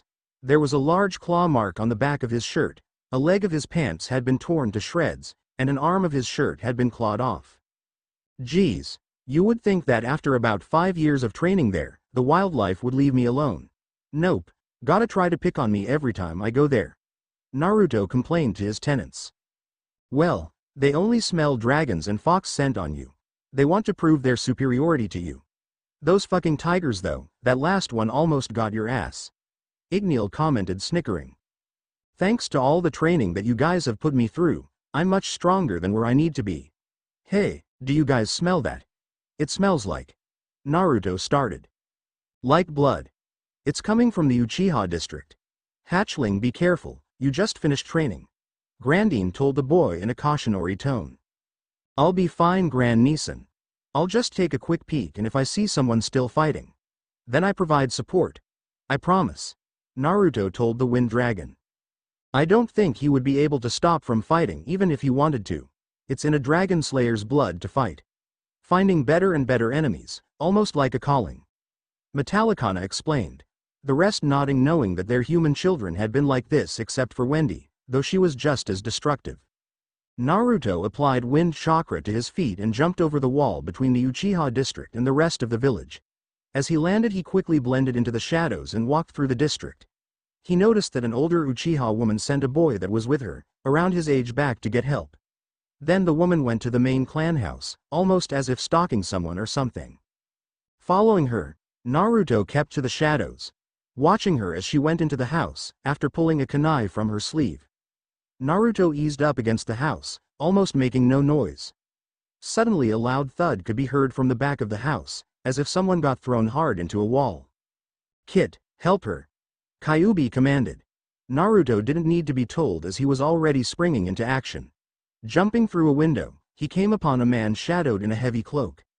The man was slicing down at the now wounded Mikoto. Only to be stopped mid-swing as his sword clanged against a metal arm. The man followed the arm up to a blonde child, whose eyes were slitted with the edges starting to turn gold. Jumping back, the man got into a defensive stance. Not wanting to be caught he charged forward only to have the boy disappear and then reappear right next to where his sword slashed into the wall. Him, you have some skill boy. I wonder how long you can keep up, the man enticed. Well fucker, let's see. Naruto probed back at the man. Suddenly a flash illuminated from Naruto's left hand, blinding the man for a split second. Gah, little bastard. Where did you go? You can't hide for long, I'll find you. The man stated, sniffing the air. It took a few moments to find the scent, yet he was confused when he smelled the fox scent mixed with something he had been told of by his ancestors. The hunt begins. The man stated in eager predatory voice. He started stalking the blond boy. The man only had a few minutes until the Speckale forces of Konohagakure showed up. That time frame would be more than enough for him to hunt and collect his kill from this prey. Naruto panted slightly, the strain from not only carrying Mikoto but also using the new jutsu he had been working on. The toll was starting to work on him. Setting the black-haired female down, he started to move back the way he came then split off to one of the Uchiha's private training grounds. He knelt and waited. His wait didn't last long as the man appeared on the other side of the training ground. I've found you my prey. The man told the young blonde, his prey. The man had never felt this effect before, he wanted to keep this hunt going. He wanted to make the hunt last longer, to feel the fear of his prey as it knew that its last moments were to be stalked like an animal. Yep, now that we are in the open. Let's play. Naruto told him in a cold tone. He then leapt at the man with speed that surprised the man for a moment. It was only due to the instinct that the man had built up over the years that he was able to dodge. The man's cloak on the other hand was now missing, the blonde had it in a clawed grip a few feet away. Tossing the cloak away, Naruto turned back to the man. Blocking a knife that had been aimed at his eye, a large knife with about 7 inches long and about 3 inches wide from the guard tapering to a point. Asterisk the blonde was taken back by the weapon. Jumping back as the man brought up another one in a reverse hold. Any help would be nice guys, Naruto exclaimed to his family. Use metal dragon form. It'll help protect you from the blade, the only problem would be your eyes, inner ears, and around your groin area will not be protected as much. Metallicana told him, pushing his power into the blonde. Where did this man come from? He had to be hired by someone. The rest of them thought, making note of how this man was wielding his knives. The man started to rush in again, only for his mental warning bell to go off as a metal fist flew into his face. Dodging the fist, the man slashed up with his knife. The knife sliced through fabric and hit a resistance. Sparks flew off as the knife ground against something. Jumping back he took a new look at his prey, or what had been the blond boy. Now standing before him was a figure completely covered in a gray flesh, looking more like a monster than a human. The figure covered in what could be described as a thin metal casing. Even his hair was glistening in the moonlight, throwing off a silvery hue. The figure's eyes were fully slitted and encompassed in gold with red mixed in. Interesting, let's try you out now. The man stated, his knives becoming red. Steam started to rise from the knives as the blades heated. Metal knee. How long can I use this form? And how much heat can it take? Naruto asked the metal dragon. At the state you are right now, maybe a few minutes. Temperature-wise, maybe 1500 degrees. Metallicana informed the blonde. Judging by the color of his blades, it's around 1300 degrees. You'll be able to take the hit, but it'll hurt. Igneel chipped in. Naruto smiled, his blood started to boil. A voice other than his family sounded in his head, almost as if urging him. The calling flowed into him almost like a tidal wave was slamming into a shoreside cliff. Naruto launched himself at the man, dodging the heated metal, clawing the man up the chest heading to his face. The man slid back, the clawed hand missing the majority of his face by a few centimeters. His nose was not as lucky as a small chunk was taken out of the tip. The man slashed up, craving a smoking cut on the arm. The wound sealed as it was cut from the heat. Ignoring the pain Naruto jumped back, doing a few hand signs then taking a deep breath. Hatchling, don't. You don't know if your lungs can take the force, Grandine yelled, feeling her power being pulled to the child. Naruto suddenly blew a large gust out, Dragon Slayer art, wind dragon breath. Naruto yelled as he blew, the force of the gust blew sticks and leaves into the trees behind the man, making them embed themselves into the trees. A few of the trees were uprooted and thrown back. The man was sent back a few feet due to the force of the wind. My prey is becoming more and more interesting. For giving me this entertaining show I'll tell you my name, seeing we are short on time. Just remember it is the person that will kill you one day. My name is Naito Hanta. I will leave you with that memento on your arm. Become stronger so that we can have a more interesting battle. Naito informed the blonde, turned and walked away as the blonde fell forward. Naruto tried to force himself to his knees, only to fail. His lungs felt like they were on fire, an intense burning running through them. Gasping for breath, he finally passed out, from the strain of the MDF and the use of the DSA. Wind Dragon Breath. Three minutes later, Uchiha training grounds several Anbu appeared with the Hokage, the carnage that laid before them was in short crazy. It looked as if a F-3-sized tornado had went through and destroyed part of the training grounds. The point of origin was stemmed from a young boy who was unconscious on the ground, the blonde hair now having light gray and white mixing into his hair. Hokage, what? A hawk-masked Anbu started. Bear, tiger. Go see if any of the Uchiha are still alive. Snake take Naruto to the hospital. Sarutobi commanded. Two of the Anbu disappeared. The third grabbed the young blonde and disappeared, heading towards the hospital. We need to find out who attacked us and how they got in. I want Inuzuka here now. The cloak will have the person's scent. The Hokage told Hawk. Hawk nodded and disappeared, going to fetch the trackers. Naruto, just how strong will you become? Sarutobi thought to himself as he viewed the aftermath of the short skirmish that had happened here. Konohagakure Hospital, ICU, room 205. Naruto was laying in the hospital bed, replaying the fight in his head again and again. It was a day after the incident. The Hokage had come in and informed him that the man named Naito had escaped. After about 10 miles, the scent just disappeared as if there never was a man. Naruto knew better, the feeling of him being hunted still fresh in his mind. He knew that feeling all too well, due to him training in the Forest of Death and being hunted by its residents. Naruto looked at his arm a bright red scar could be seen where Naito's knife had carved into his flesh. He would have to spend a few weeks getting used to the addition to his body, it wasn't anything new. There was a knock at the door, then the door opened to show a group of people that had come to visit. Kiba was the first complaining how his friend, rival had been beat before he could do it. Shikamaru and Choji came in after Kiba, making a beeline to the other bed to sit on making sure that their friend was comfortable and set food on the bedside table. Shino appeared next, nodding to Naruto, who returned the nod. Finally a nervous Hinata entered, trying to stay next to the wall, as she was still not used to large groups. Guys, I'm fine. I'll be outta here in a few days. Naruto informed them, laughing and using the mask he had been forced to wear every day to hide his true emotions. Naruto had slid his scarred arm under the sheets before they had entered. Naruto, IBB brought some healing salve. It SS should help with your recovery. Hinata told the blonde, handing him a jar of green salve. Thanks Haim, but you didn't have to do that. I was just in the wrong place and time. Naruto told the brunette, smiling softly and squeezed her hand. Which caused the Hyuga to blush lightly. So what happened Naruto? Kiba asked, wanting all the details. I can't tell you. Even if I wanted to, it's an A-ranked secret. Naruto told the dog boy. We saw Sasuke at school. He was completely destroyed by the fact only his mother, elder brother and him are the only Uchihas left. Shikamaru told the blonde. Naruto nodded, knowing that the brain of Shikamaru was working overtime, trying to find out what the blonde was hiding. The friend's visitation was cut short as there was another knock at the door and two people entered into the room.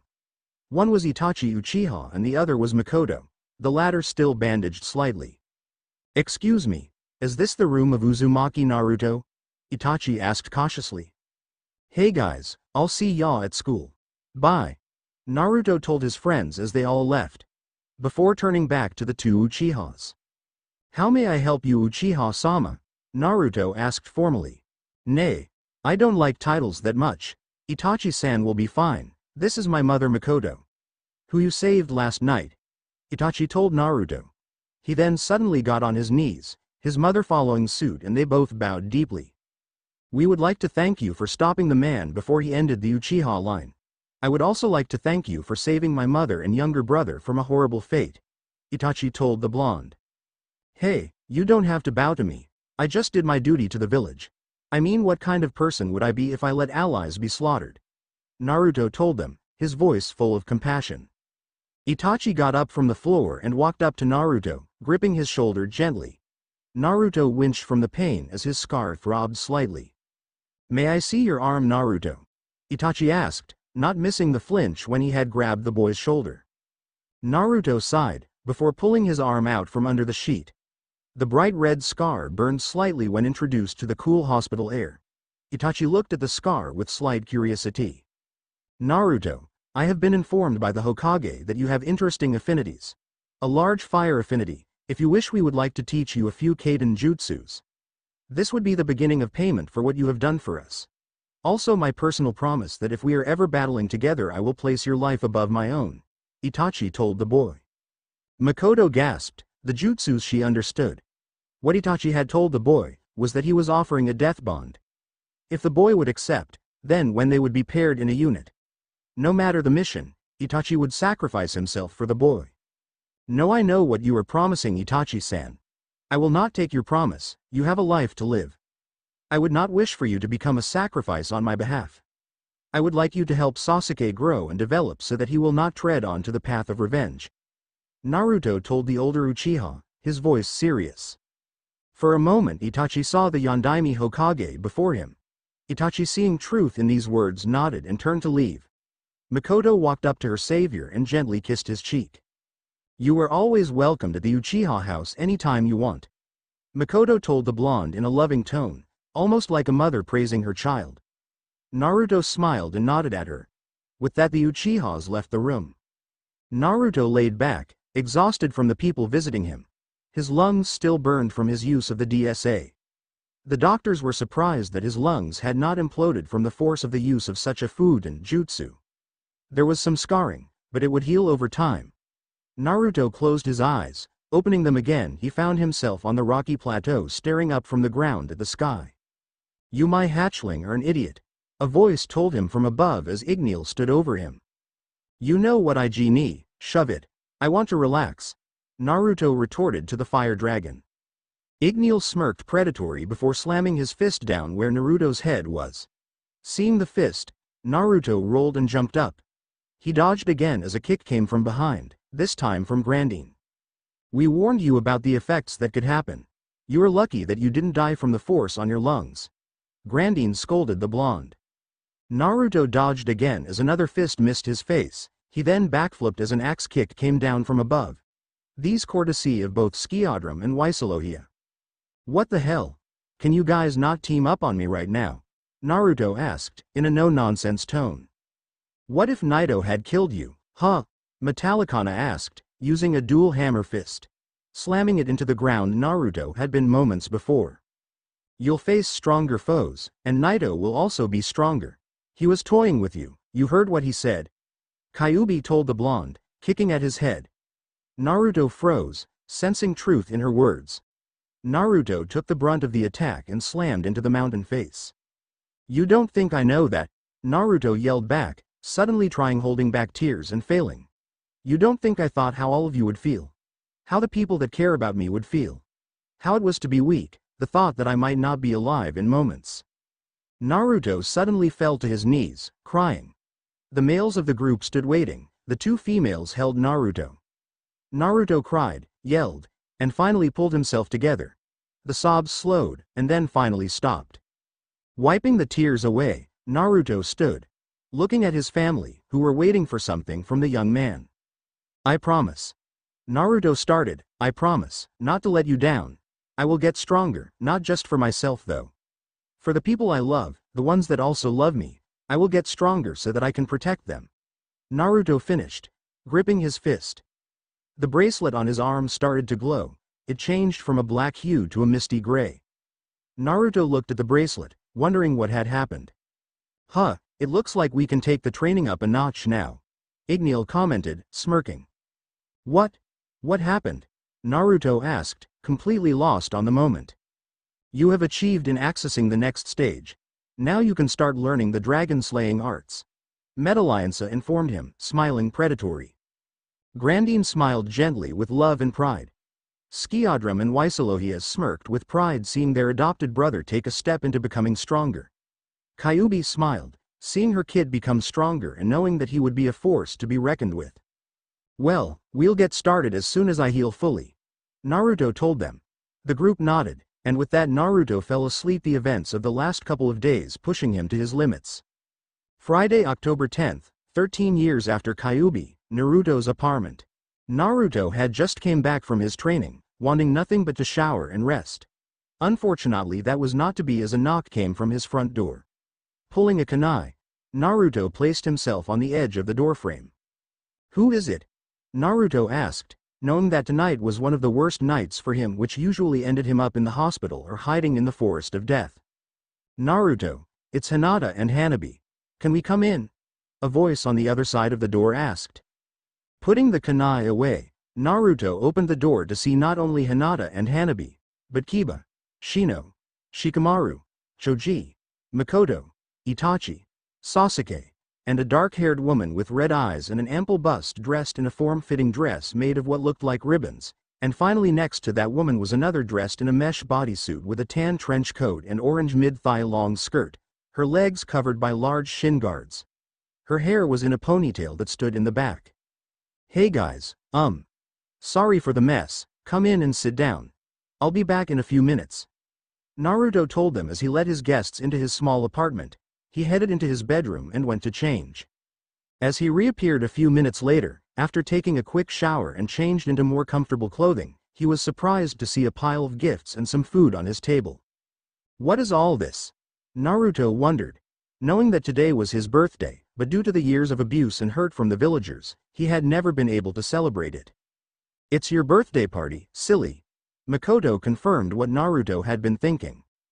You mean? Naruto started to ask. Yes, Naruto. This is for you. Itachi told him, guiding him to the living room where his friends were eating and talking. But what about? Naruto started again as he was forced to sit on the lumpy couch. If the villagers are stupid enough to come tonight with two Jonin level and two Anbu leveled ninjas here, then they deserve the effects of trying anything while we are here. Itachi consoled the young blonde, smiling. So enjoy the festivites, and have fun. It's not every day you turn 13. Hey Nai-chan, you said there would be sake and dango here. Such a party pooper. The meshed covered woman complained. Anko, Hanada asked me to come. Not only as a family friend, but as a person. Seeing as you helped Naruto out so much when he was younger, I thought you might want to meet him without being in Anbu mode. Kurenai told Anko. Plus if you behave, we'll go hit the bars after. Okay. Anko nodded, more than content to watch her ward have at least one happy birthday in his life. It still made her angry remembering all the scenes that she had witnessed due to this innocent boy, all of them ending with her taking the boy to the hospital. An exception for the last few years, she had started to notice that no matter what happened to the boy he would not fight back. He showed compassion and love to the people of the village, even after a night of being beat. She started to feel something after years of watching after him, something that she was not able to pin down. Naruto watched as presents were set before him, and then the lights went off. Panicking, Thinking that the villagers had shut off his power, he went to draw a kunai. Suddenly, everyone started to sing, Happy Birthday. Mikoto and Hinata came from the kitchen holding a cake with 13 candles on it. Placing the cake in front of Naruto, they all waited for the boy to blow out his candles. Moments went by, and they watched as tears started to form in the teenager's eyes. Silently the tears started to pour from his eyes and land on the table. Naruto? Are you okay? Mikoto asked worriedly, over the last couple of months she had started to see this young man as one of her own sons. Even Sasuke had started to accept him as a brother, training with him when the blonde came around. The boy just cried as he looked at the group of people were there, not to harm him, but to celebrate his birthday with him. Hinata went around coffee table and sat down next to him, she then hugged the teenager. Naruto felt this and enjoyed the embrace from his friend. After a few more moments the tears slowed and finally stopped. Naruto looked at the cake, it had a comical-looking fox on it and in cursive writing. Happy 13th, Naruto, was written on it. Thank you. You don't know how much this means to me. I'm sorry for crying. Let's eat. Naruto explained, blowing out the candles. The lights turned on as Mikoto started to cut the cake for everyone. Kurenai and Anko grabbed the presents and started to hand them to Naruto. Naruto opened the gifts. The gifts consisted of a new set of kunai and shuriken, a scroll of AC-ranked jutsu, a new shogi set, all-natural bug repellent, a waiver for Ichiraku ramen. After Naruto had opened his last present, Hinata stepped forward. Looking at Hinata, he waited. Hinata and Hanabi handed the last gift to him, he opened the gift to see that it contained clothes. Ah, Haim. I thought I meant more to you than that, Naruto teased the Bluenet. Naruto Nissan, these are chakra-enhanced clothes with sealed pockets. Hanabi scolded the blonde for teasing her sister. AA actually Naruto there is one more gift. Hinata told the boy, nervously poking her index fingers together. Okay. Naruto asked, looking around looking for a box they missed. Suddenly his face was whipped to the front. Hinata stared at him with all seriousness. Then what happened next surprised everyone, Naruto the most. Hinata went forward and kissed him hard in a step of courage for her. The room was deathly quiet as the kiss went for a few seconds, finally Hinata released Naruto. Hinata, eeped, at what she had just done, turned a bright red and promptly fainted onto him. Naruto just sat there with a surprised look on his face, a light blush forming. Wow, I didn't like Hinata would give you a gift like that. Lucky little shit. Anko said, laughing at the scene. Anko-chan, that's not funny. Do you know how hard it was for Hinata to do that? But Itachi you owe me my bet. Kurenai told the older Uchiha male. Hi, hi. Itachi said as he gave her the money. Suddenly there was a knock at the door, Itachi got up and opened it. A group of villagers were there, the one that had knocked was red from liquor and slashed down with a knife as the door opened. The knife suddenly disappeared only to be found against its owner's throat. May I help you? Itachi asked, his Sharingan flashing and starting to spin lazily. The question had attracted the attention of the other three ninja in the room along with everybody else other than the dazed teenagers on the couch. We've come for the duh. One of the more drunk villagers started to say, only to be found pinned to the wall opposite the door by a hand full of snakes. What you have come for is a one-way trip to the Konohagakure Torture and Interrogation Center. And trying to ruin a 13-year-old's birthday party, for shame. Anko stated next to the pinned villager, as she shook her head. We'll gladly show you the way. Kurenai told them, as she appeared to the left of the group. If not, well you don't have a choice. Mikoto finished, as she finished the boxing formation. Itachi had closed the door by this time. So the teenagers would not see the group of angry drunks. Naruto and Hinata had come around when they heard the door close. Aw shit. One day, is it too much to ask? Naruto asked out loud. What are you talking about Naruto? The adults went out to get some air. Kiba stated, not reading the vibes in the room. It's nothing Kiba. Let's just clean up so you guys can head home. Naruto informed his friends. Shikamaru studied his blonde friend, seeing the nervousness from when they came in to the subtle hints that he had seen over the night. It was something about today that had set the teen off. He would have to investigate this later. A few minutes later the rest of the teens had left, the adults appearing as the group finished cleaning up. Hinata was the last out the door. Hanabi and Kurenai waiting at the end of the outside hallway. Naruto grabbed her hand, turning her back to him. Hinata Haim, I would like to thank you for the last gift. May I take you out on a date sometime? Naruto asked the Hyuga. Hinata, eeped, again, and blushed a little. Hi, I would like that. Hinata replied forcing herself not to faint again in front of her crush. Naruto smiled, releasing her hand bid her good night and closed the door after Hinata had left. Sighing he placed his head on the door. Turning around he went to his window and climbed onto the roof. He laid down and watched as the clouds drifted across the moon and stars. Well that was an interesting party. A voice called out from the dark. Hubby, took you long enough to come say hi. I'm surprised you didn't say anything earlier. Naruto told the woman. I didn't want to spoil the moment with your little girlfriend. Anko explained to Naruto, sitting down beside him with a sake bottle. You did promise me that we would go have some fun later. Anko slid up against the blonde, rubbing against him. Naruto blushed gently, the feeling of Anko's breast rubbing against his arm. I've told you Anko, I'm too young to do stuff like that. Naruto told her, standing up. Naruto. Earlier when you were throwing those tigers around in the forest, like they were naughty kittens was a real turn on. Even I have trouble with them, and I live in that forest. Anko commented, pushing buttons to get something out of the blonde. Anko, I know you like to be subjugated. I know it's a big turn on for you to be forced. Just not yet, you know how my life is. How the villagers treat me, even tonight. When I was surrounded by the ones I care about.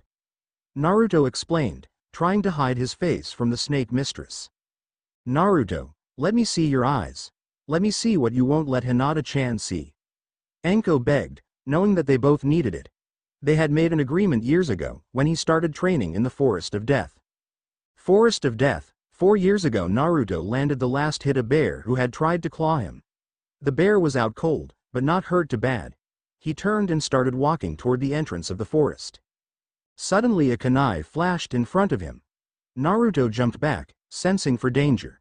Another kunai flew past, nicking his cheek. Suddenly he tensed up as a pair of arms wrapped around him. So Gaki, why are you in my forest? Playing with my toys? The voice asked behind him. A Tonuge licked his cheek where the kunai had nicked him. I didn't know that this forest belonged to anyone. As for your toys, the bear started it. Naruto explained, tense from the sudden intrusion of space. Ah, well Gaki, why would you hurt him if he wanted to play? The voice asked. I don't know hubby, why do you watch me every time I come here? Naruto questioned back. The arms suddenly let go. The woman suddenly appeared in front of Naruto. Smirking she retrieved her kunai. Sue, why do you hide behind your mask? Can I see what you are trying to hide? Anko asked, curiosity getting to her. Naruto was surprised, only Sarutobi had seen him without his mask on once. The pain and suffering that had built up over the years, even after he found a family that loved him for himself. I will, only if you remove yours also. Naruto stated, he had noticed this also when he had sensed the woman watching him. The pain and suffering, not to the degree his was, though close enough. Let's make a deal then. We'll both remove our masks and show the true self to each other. Anko told him. Naruto thought about this for a moment then nodded. They stared into each other's eyes, both flooded with pain and suffering and anguish. Both also with want and the fear of being alone. Let's do this again, it's nice to be around someone who knows what you feel. Anko told him. Even my best friend, can barely see through my mask. It was nice to find someone that's on the same level as I am. I'll be back next weekend, try not to let our toys get to ahead? Naruto asked the snake woman. Oh, that's on them. Anko replied, I train with them all the time. It's much more fun than with other people. People are so boring. With that the two outcasts went their separate ways, meeting up every few weeks to remove their masks or just to hang out. Naruto's apartment, present-day Naruto sighed, even though it helped. It hurt every time he removed his mask, he also felt relief.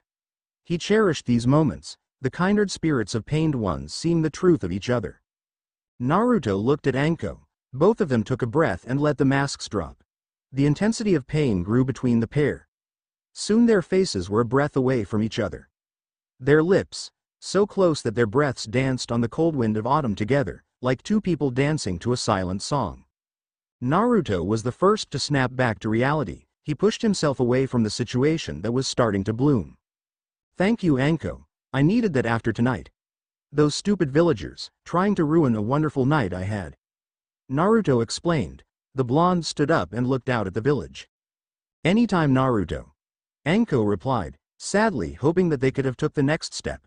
Naruto wouldn't until he was ready both emotionally and mentally. She knew that he needed to grow a little more before that could happen. The kiss from Hinata had shaken him more than they all realized. Good night Hebi-hime, I'll see ya tomorrow. Naruto told Anko in a melancholy tone, his mask still slightly off. With that the blonde headed inside. Sighing, Anko pushed herself up and jumped off the roof, knowing that she had new playthings in the IT department waiting for her. Inside Naruto laid in his bed, drifting into the sweet abyss of sleep. His mind flashed back to the kiss with Hinata, the softness of her lips, the love emanating from her. Naruto also felt the same feeling from Anko just moments ago. He had always was able been to sense the emotions of people, on times it had saved his life Mudipule times. Can I actually be loved? Naruto asked himself, before he was embraced by the abyss of nothingness. In Naruto's mindscape, his family had watched and felt his emotions turn into a roller coaster.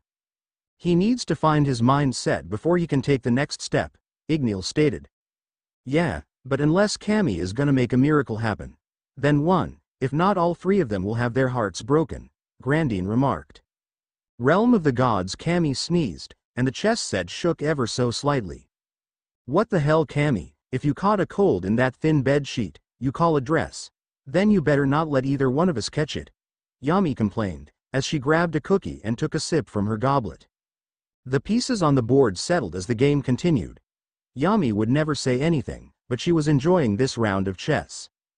Council room, midnight, Konohagakure. So from the reports that were written on the Uchiha massacre, we now see that young Uzumaki has a unique skill set, Almost bloodline-like.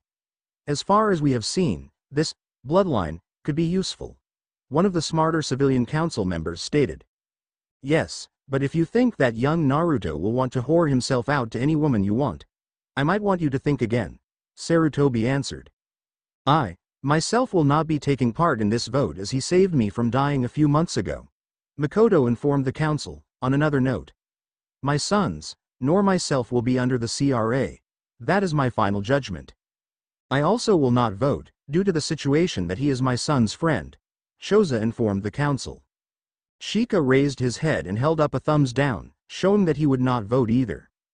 My daughter is also infatuated with Uzumaki-san. I will also have to decline my vote, Hiashi voiced. With that we'll take a vote to see if Naruto Uzumaki will be placed under the CRA, Sarutobi stated. With a show of hands, Sarutobi sighed and rubbed his forehead, sensing that this would be the longest years of his life in the near future. Naruto might either hug me, chew me out, or kill me for this. Sarutobi thought to himself as he dismissed the council. Land of Lightning, October 11th, unknown location The cave was nothing of importance, no one entered it, it was just another hole. It was this cave that Naito watched. Sensing power that was sealed, his ancestors had been tasked with keeping this place safe until the time was right. Naito sensed that something was happening in the back of the cave, a shift of power. At the back of the cave the wall suddenly cracked and crumbled showing a door. If one would open this door they would find a room lined with coffins in them. The markings show on the coffins would be nothing one of the present people could read. Several of the coffins were marked, the symbols worn away due to time. One of the coffins opened up with a hiss. A large man with bright yellow hair stepped out, cracking his neck. OWWWW. Being stuck in that thing put a creak in my neck. I wish someone else was awake. I need a warm up, the man stated to himself. He watched the coffins, out of all of them only one interested him. One that had no markings on it, this one was colored in a midnight black stone. Looking at the other coffins the man sighed. I guess I'll have to sit and wait for the rest to wake up. So boring. Academy Years PRT3 Konohagakure, 15 year after Kyuubi incident, Shinobi Academy. Finally it was here, the day before graduation day. The next day they could be called a shinobi. Several of these children were bored, waiting for the day to end. No more than a white and silvered blonde-haired teen. For what seemed like the umpteenth time Naruto sighed, he was never one for really sitting and waiting. Iruka's final lesson was boring him to death. Naruto looked and saw that Iruka was not really paying attention to his class, focusing more on the chalkboard. Hey, which do you guys think I should try in the class's time frame? Delta Indigo, or Alpha Alpha? Naruto asked his family. If we put it to a vote, then it would have to be Zeta Zulu. Kyuubi replied, being the one that had produced the idea for Zeta Zulu. Zeta Zulu would have a nice effect on the rest of the village. The problem is that, Zeta Zulu is a double-edged prank. We have no idea how the villagers or shinobi would take it, Skiadrum commented. I think Kyuubi is right, if this is our last day before we become shinobi, then we need to go out with a bang. Naruto told the group. With that, Naruto simply vanished from the classroom. Hinata saw Naruto walk past, knowing what her boyfriend would be going to do. She smiled as she focused on Iruka's lecture. Really Naru-kun, are you really going to try Zeta Zulu? Just be careful. The Hyuga heir thought to herself, waiting for the surprise that was to happen. Sure enough about 10 minutes later a Jonin rushed in. Iruka, where is Naruto Uzumaki? The Jonin asked, voiced in agitation. Well he's right. Iruka started as he pointed to Naruto's desk, finally noticing he was missing and that three-fourths of his class were promptly passed out. Hinata, when did he leave? Iruka asked the questioned blonde's girlfriend. About Elev, no 12 minutes ago. Hinata replied with a slight smile, after years of being around Naruto her stutter was almost fully gone. It returned if she was extremely nervous or embarrassed.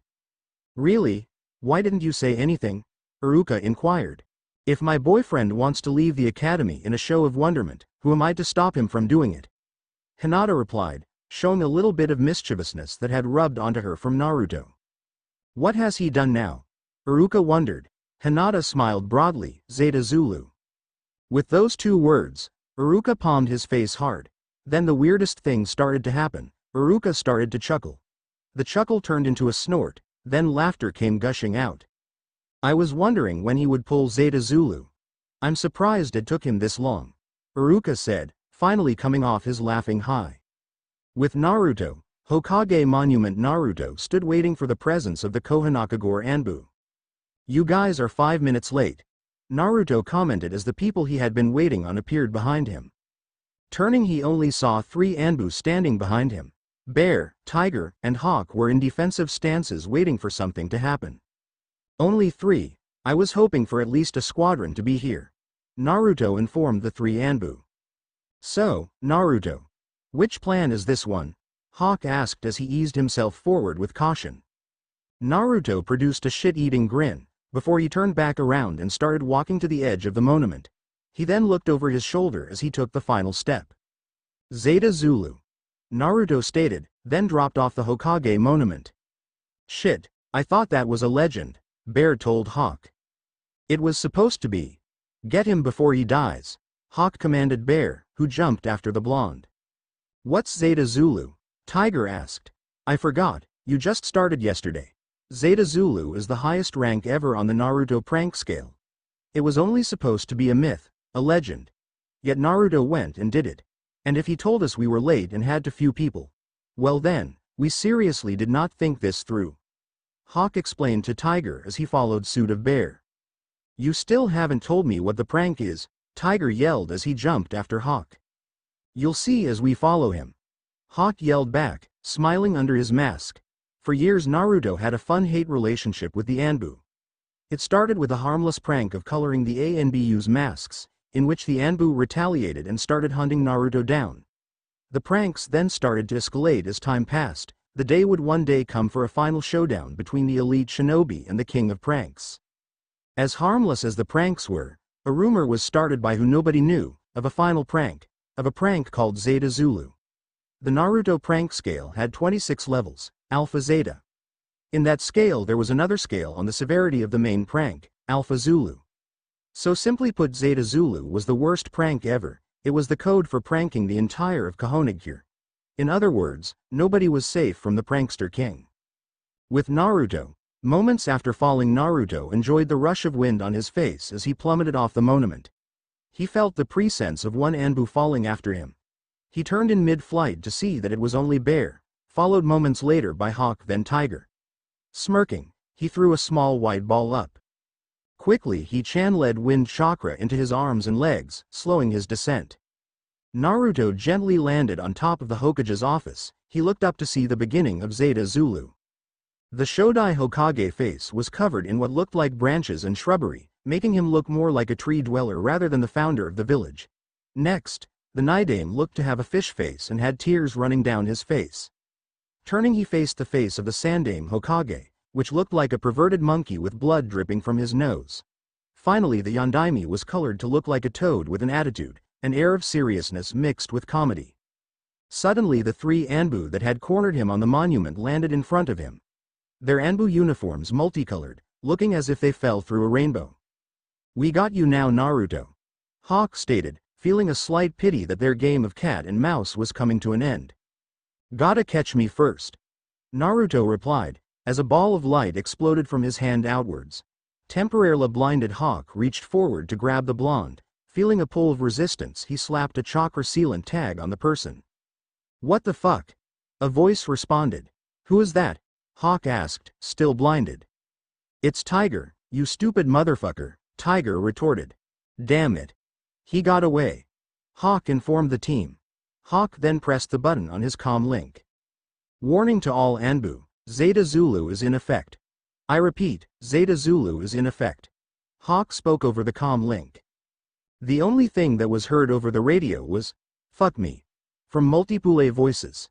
Then suddenly another voice could be heard over the com link. This one was from a pre-recording that had been set up beforehand.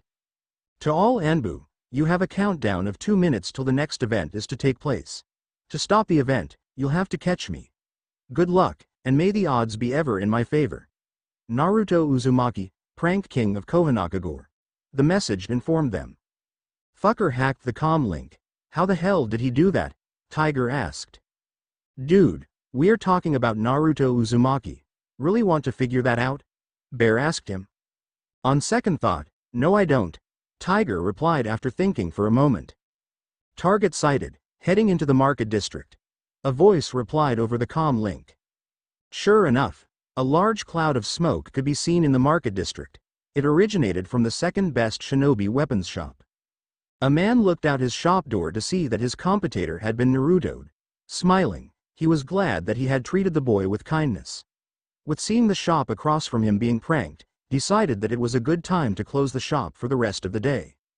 Uchiha compound Itachi Uchiha was pulling on his Anbu gear, readying himself for work. He turned on his com link to hear, Zeta Zulu is in effect. Upon hearing that, Itachi promptly took off his Anbu gear placing it back in the dresser. He then went to lock and bolt all the openings into the house.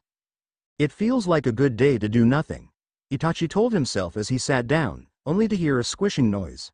Looking down he saw that he had sat down in quick-setting rubber cement. Well fuck, Itachi said as he realized he had just been Naruto'd. Akimichi Barbecue Restaurant. What do you mean all the barbecue sauce was switched with quadruple flame hot sauce? Choza asked his sous chef. When the second shift came in, all the barbecue had been switched out. The sous chef explained. Not only that, all the sinks have been clogged and or removed. Dear Kami, it's Zeta Zulu. Choza explained, a sense of dread coming over the plump shinobi. What do we do? The sous chef asked worried for his own safety, let alone anyone else. We close the shop. What else can we do until this maelstrom has passed? Choza calmly told his second. I would also like you to inform anyone that had been mean or disrespectful to Naruto to pray, really hard. Nara resident, Nara Deer Farm It was a disaster at the deer farm. Not only had the deer got outside the pens and started to stampede, but all the stags were dressed up like a red-nosed reindeer. Eight of the deer had been set to his sleigh and a figurine wearing a red outfit lined with white fluff could be seen sitting in the back. A speaker set was in the sleigh playing numerous songs relating to snow, chestnuts, and a thing called Christmas. Needless to say it was going to be an entertaining day for the Nara. As they scrambled to catch and place the deer back into the pens. Years after Zeta Zulu, the Nara clan could still be heard whistling a tune that sounded like a song that had been played that day. Konohagakure Hot Springs dog had been following Naruto at a quick pace, almost catching him several times.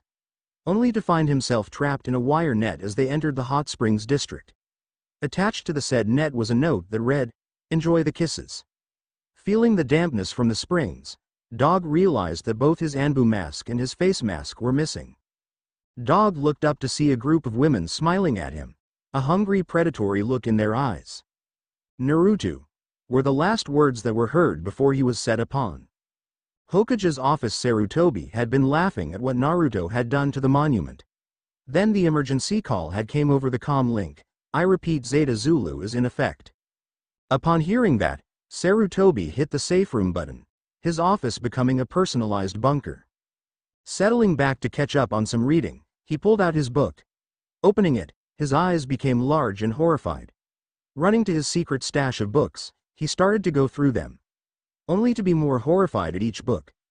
The book that had been left on the desk showed only yaoi-themed scenes. Each book had been replaced with its yaoi counterpart. The Hokage was found a few hours later, sitting in a shivering pile with a white wisp floating out of his mouth.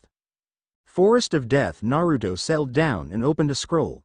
His back against a large chuffing tiger, who was calmly sunning itself. He figured that he had at least a couple of hours before they tried the forest, and he had decided to work out a seal for the reverse summoning of his family. A large crashing noise could be heard from the other side of the forest, and it was fast approaching the blonde. Suddenly a large gray-colored snake appeared, its head easily the size of an academy classroom. Sitting on top of the snake's head was a very pissed-off Anko. Why? The only question that was asked as the snake poised to strike. Zeta Zulu, all bets were off. Naruto replied calmly as he read through his scroll. The tiger looked up and at that moment decided that a clearing on the other side of the forest was better or a cave would be an even wiser idea. As the aura that was imitating from the snake mistress was anything to go on. Sweetheart. I think that the Gaki needs to have a lesson taught to him. Sic him. Anko told the snake. With that the snake struck. Naruto abandoned his sitting spot, narrowly dodging the attack. Geez Anko, it was a harmless prank. Don't get your panties in a twist. What's wrong? You don't have any prisoners to get off on? Naruto asked in a mocking tone. No, Anko replied in a serious tone. I can deal with a lot of things. Hell I'll even help you set some pranks up. But when you take my dango stash and replace it with instant ramen. Like you said not moments ago, all bets are off. Well it was funny while it lasted. Naruto stated, laughing at the snake mistress. Dodging another strike from the snake, the blonde thought it might be a good idea to leave while the leaving was good. Get back here, I ain't done with you yet, Anko yelled after the fleeing teenager. Oh, bite me Hebi-hime. Naruto yelled back. Hold still and I will. Anko replied as the snake went in again. I didn't mean literally, you crazy sadistic bitch, Naruto exclaimed, fleeing from the serpent's onslaught. Sounds of crashing, explosions, and a several strings of cursing could be heard for hours later. Naruto's apartment, night time after the light exorcist from Anko, Naruto was tired. After a quick shower and a change of clothes, he ventured into his kitchen. Hungry from the day's activities. Opening his cabinet where his after pranking ramen was stored, Naruto froze. He rushed to his emergency ramen cabinet, he turned horrified to the fridge. Hoping, no praying that there was something in it other than the monstrosities that were offered in his sacred places. Gulping loudly, he slowly opened the refrigerator. After staring at the horror that was before his sight, Naruto fainted, foam forming around his mouth. If one was to enter Naruto's apartment, they would find the blonde passed out in the middle of the kitchen. The cabinets opened to show only cans of nothing but turnip greens. The fridge only contained fresh turnip greens. A small note could be found on the first shelf in the fridge, saying, You've been Hinataed, with a chibi Hinata blowing a kiss. After that day, it was known that even though Naruto was labeled as the king of pranks, a rumor had started of another person that had even pranked the king. They were labeled as the kami of pranks. Nobody knew who had pranked the king as all evidence had been removed. The only person that knew of the identity of the person was the king of pranks, and his lips were sealed. Shinobi Academy, a few days after Zeta Zulu due to what was now to be named, Double Z Day, aftermath, the graduation exam had been set back a few days.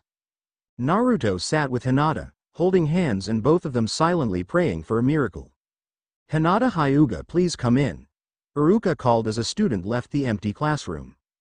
Good luck, Hina Naruto wished, kissing her cheek. Hinata blushed gently from the catcalls she got from the girls in the class. Thank you Naru-kun. Promise me even if either of us fail that we'll still have our anniversary date. Hinata looked at him. I promise. It'll be a night for you to remember, Naruto told the brunette. Watching Hinata go into the unknown was frightening for Naruto.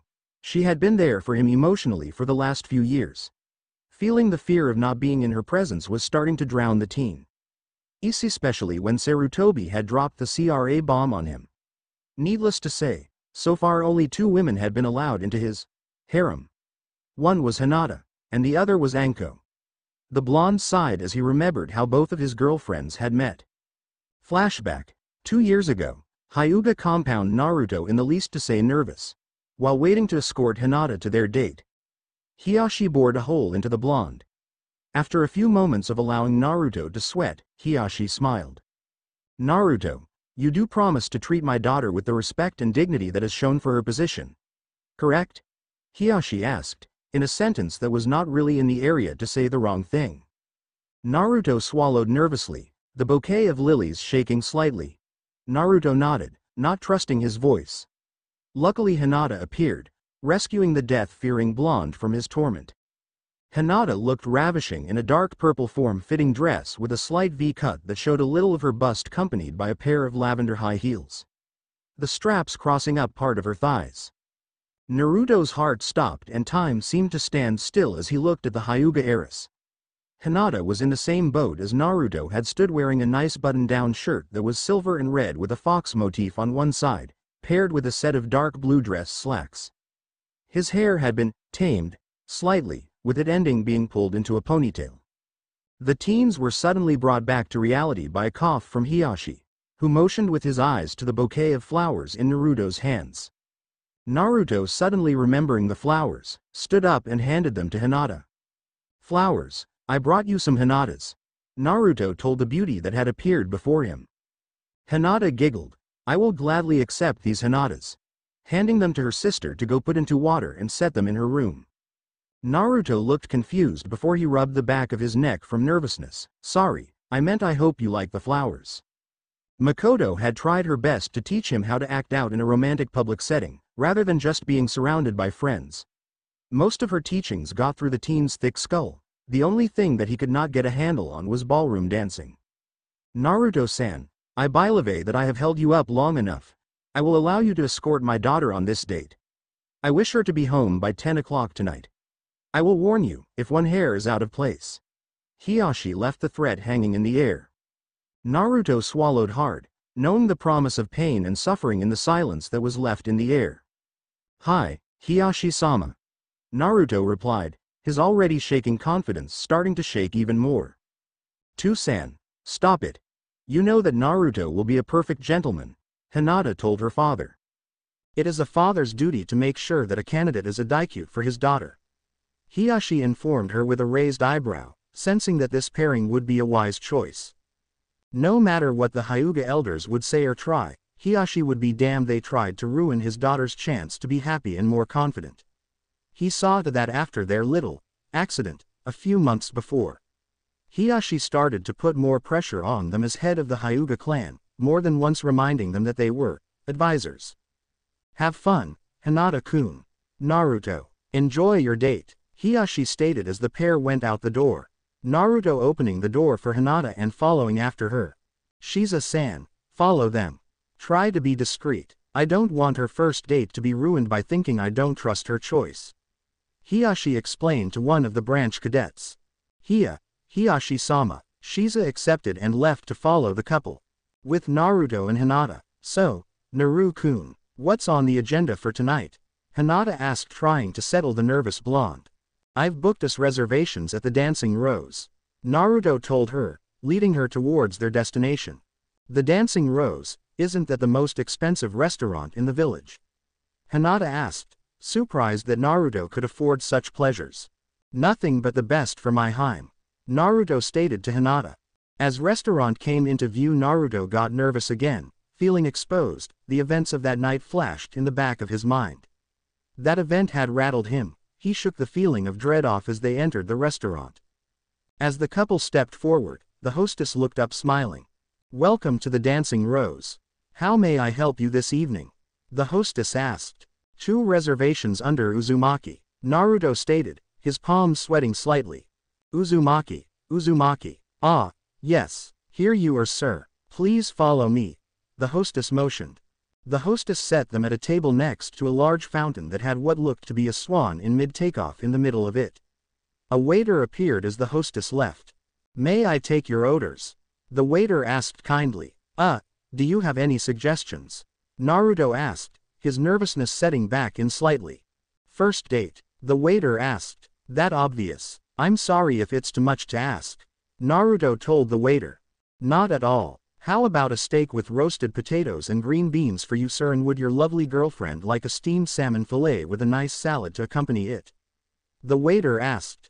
Yes, that sounds lovely. Hinata told the waiter, smiling. Naruto nodded as the waiter looked towards the blonde to confirm the order. As they waited on their order Hinata told Naruto of her mother and how she was the one to teach Hinata about gardening and baking in which turned into her love for them. Naruto sat there and gazing at her beauty, saying the right things at the right moment. Even telling her of some pranks that he had pulled off successfully. Soon Hinata's order arrived, the salmon fillet was mouth-watering. As she took the first bite, the flavor exploded in her mouth. Her body shook from the deliciousness of her food, about halfway through her plate she noticed that Naruto's food had yet to appear.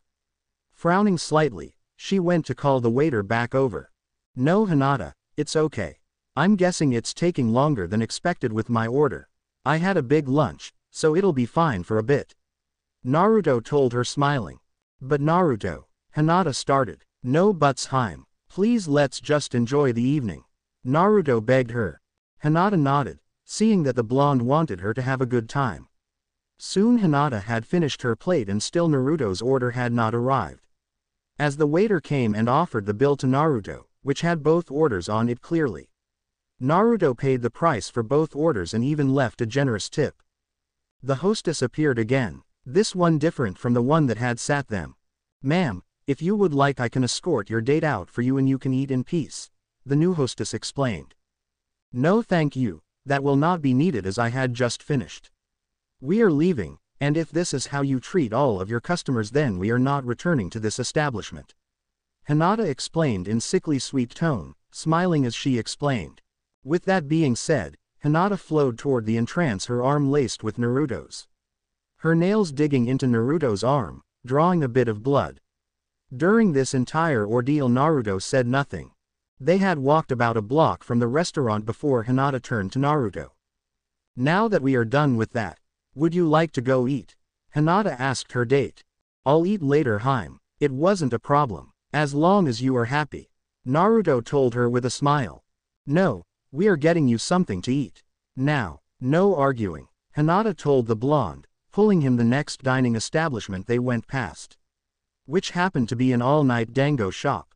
Hi, we would like some dango with red bean paste. Hinata told the owner.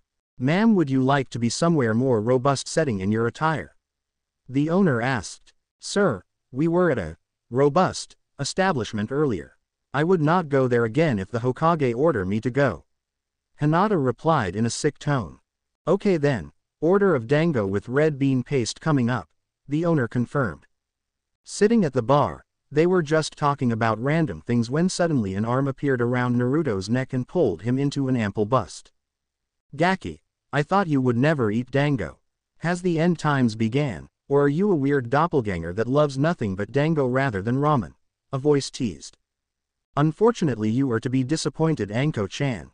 I'm the same ramen-loving Naruto as ever. Hinata Haim forced me to get food. Naruto commented. NN Naruto, who is this? I know she's Kurenai Nissan's friend but how do you know her? Hinata stuttered at the blonde who was pulling himself from the embrace of the snake mistress. Anko lives in the training ground I use for practice. Naruto explained, seeing the dango that was set in front of him. He grabbed a stick and started to eat the food. Hum, Anko-san, who are you to Naruto? Hinata asked boldly, her eyes holding a small flame in them. Huh, Omi and Naru-kun go back a few years. I meet him when he decided to throw a tiger into the wall of my tower. Anko explained, she had noticed the look in the young Hyuga's eyes and was slightly impressed by the gall that she took. Okay, Naruto did you want to do something else tonight?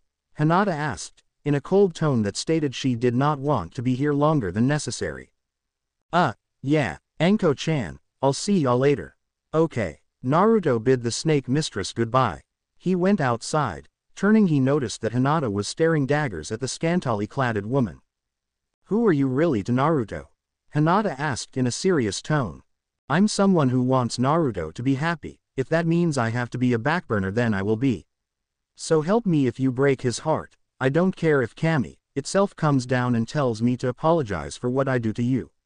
I won't do it, Anko replied in tone that matched Hinata's. One final question. Do you love Naruto? Hinata asked, it was more of a confidence thing than an actual question. How about we tell Naruto that we are going to have a woman talk and let him go do something for a minute? Anko explained sensing the weariness coming from the young teen. Hinata nodded and explained to Naruto that Anko and herself wanted to talk for a bit. Naruto rubbed the back of his head from nervousness, I saw something a few shops back. I'll be back in a few minutes. As Naruto left the two women, a air of seriousness enveloped the women. Now that he's gone, again do you love Naruto? Hinata asked puncatting the question. I do, he's someone that I can relate to. He hides so much for the happiness of his loved ones. He carries a mask that he won't let down, not unless you can make him. I can only do it in exchange of shedding my mask for a few moments. I will never ask him to shed it in front of others. It's the pain that we both feel that we have connected with each other. I guess it was around when he turned nine that I started to have a crush after warding him in the shadows. Anko explained, more worried for the young blonde rather than herself. This is was a situation that she had to tread carefully in, otherwise she could push not only the teen she had came to love, but also another who he had started to open up to. Hinata sat thinking over what Anko had just told her, and she came up with only one solution. Hinata turned to Anko, her position showing to the older woman. I want you to shed your mask for a minute. I need you to show me what you are speaking of. Hinata explained. Anko swallowed, this was it. A now or never moment, one of those moments that could make or break her fellow mask wilder. Anko closed her eyes, taking a deep breath. Hinata stared adamantly at the snake mistress, suddenly she felt as if she was drowning. The air suddenly no longer existed, only pain and suffering were there. Eyes that her father showed a few times with weariness. Only these were more intense, concentrated even. Anko pulled her mask back up, burying the pain and suffering back down. She noticed that the young heiress was shaking hard physically. That is my pain. I only ask you this out of my love for Naruto. Please, Please don't ask him to shed his mask. Not until he is ready, until he is willing. It might take years, or even decades. Trust me, he will show you it. Anko explained and begged the heiress. I will not ask Naruto to shed his mask until he wishes. Anko, I would love it if we could share Naruto's love. I feel that if we try together, then his pain might ease. Hinata explained, she had felt Naruto's worry when she explained to him that her and Anko wanted to talk. Hey Hina Anko-chan. I'm back. Naruto announced himself to the two women. Naru-kun, I want to say something. Hinata spoke gently in a calm tone. Okay, did you not like the date? Naruto asked, worried that Hinata wasn't happy with how the night went. No, no, no. That's not it. Um, if it's okay with you. Hinata started, sighing she pushed through. Knowing that if she didn't do this now, she never would be able to. Anko-chan and I would like to share our love with you. Hinata told the blonde, to show her point Hinata nodded to Anko. Anko stood up in front of the blonde. Grabbing Naruto's shirt, the snake mistress kissed him. Needless to say, Naruto was shocked. He had been beating himself to find a way to be with both of them. Yet, they had settled with putting Naruto above themselves rather than fighting for him like a couple of fangirls. Hinata stood next to the couple, tapping Naruto on his shoulder to let him know that she was still there. Naruto turned his attention to his other hime, only to be pulled into another kiss. This one more intense than the one he had before, after a few moments the kiss ended. Naruto stood frozen, seeing both of these women kissing him without even being enraged with the other had shocked him to his core. Naruto, come back to us. Anko was saying, as Naruto came around. Huh, oh the things I wanted to get you guys. Naruto fumbled with not only his emotions, but with the two packages that he had with him. Um, I hope you both enjoy them. They wrapped them the same, so you might have to switch. Naruto explained. Opening the packages that Naruto had presented to them, both women gasped at the beauty of the gifts. Hinata's package had a dragon pendant made of amethyst, that looked more elegant than fierce. As if it was made just for her, recognizing her position as a princess of the Hyuga clan. Anko's package had a fierce fox talisman made from topaz, sheer wildness that the fox emitted was just for her. Showing the truth that she was overly protective of not just her village, but of her loved ones. Both women stared at the pendants, tears barely being held in check. Naruto started to get worried, it had been a few minutes since he had gave them their gifts. Naruto, would you like to place them on us? Hinata asked handing the blonde her pendant. Naruto nodded, placing the amethyst dragon around Hinata's neck. Turning to Anko he repeated the action with the topaz fox. One good thing is these have a seal on them so that they'll never fade or break on accident. Naruto explained. They're beautiful Naruto, I can't think of a more beautiful way to end the night. Hinata and Anko both expressed in total admiration. Naruto happened to look at a clock as the group passed a timepiece shop, seeing how late it was getting started to pull Hinata along. Shit, Hinata it's 5 minutes till 10. Your dad's gonna kill me. Naruto started to worry. Hatchling, use your wind chakra. You'll be there in a minute. Grandine told the blonde. Mentally slapping himself, he turned to Hinata. I'm sorry to be so forward, but I'm gonna have to carry you. Don't want to risk hurting you, otherwise your dad will kill me. Hinata looked confused for a moment before she nodded. Naruto picked her up bridal style. Anko, I'll take you out next time. Naruto promised. Wait, before you go. Anko told him. She turned Naruto's head to face her and gave him a light kiss. Till next time. Naruto smiled. Till next time hubby. With that said, Naruto applied wind chakra to his feet and jumped onto the roof. As soon as they had landed on the roof he started to sprint, not a normal shinobi sprint. It was one that seemed that a demon from hell had started to chase him. The scenery blurred past as Naruto pushed himself. In moments the Hyuga compound was in sight, slowing down he landed at the front gate just as the clock struck 10. Naruto gently placed Hinata down. Hiashi opened the gate, seeing that his daughter was on time. Cocking an eyebrow at the state of her hair. He would have asked, but having seen the speed at which Naruto had came back to heal Hinata he was not surprised. Um, we lost track of time. Naruto explained nervously.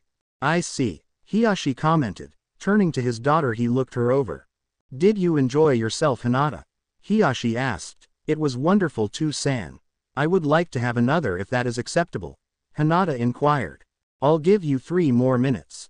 Hiashi stated and went back through the front gate, leaving it slightly ajar for Hinata.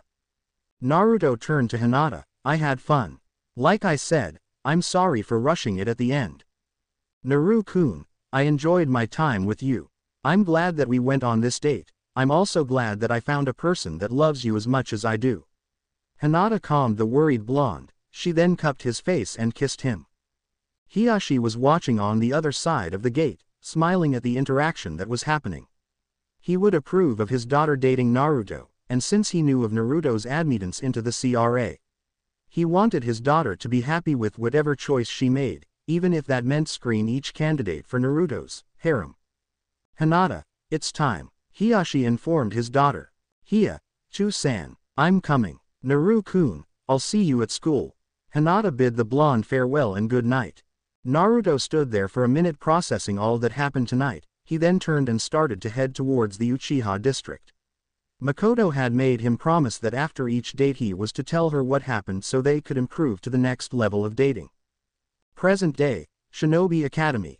Naruto was brought out of his reminiscing of his first date with Hinata and the meeting of his two beautiful himes, by a hand that was waving in front of his face.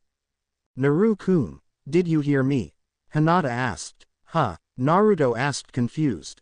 I asked what are you doing after? Hinata asked again, knowing that the blonde was remembering something. Oh, I have no idea. What do you want to do? Naruto asked. I thought we would go grab Anko-chan and Kurenai-chan to celebrate. Hinata stated to boyfriend. That sounds good, I haven't seen Kurenai since summer break. Naruto remembered. They had been invited to a lake party over the summer, but that would be for another moment to think back on. Naruto Uzumaki, Iruka called. Good luck, Naru-kun. Hinata wished, kissing him. It was Naruto's turn to get the catcalls from the boys. As Naruto entered the testing room, Naruto knew he had this part in the bag. He remembered all the training Anko had put him through to make sure his chakra control wasn't shit. Naruto I need you to do a henge, a kawarimi, and finally a bushin. Naruto nodded and henged himself into an exact double of Iruka.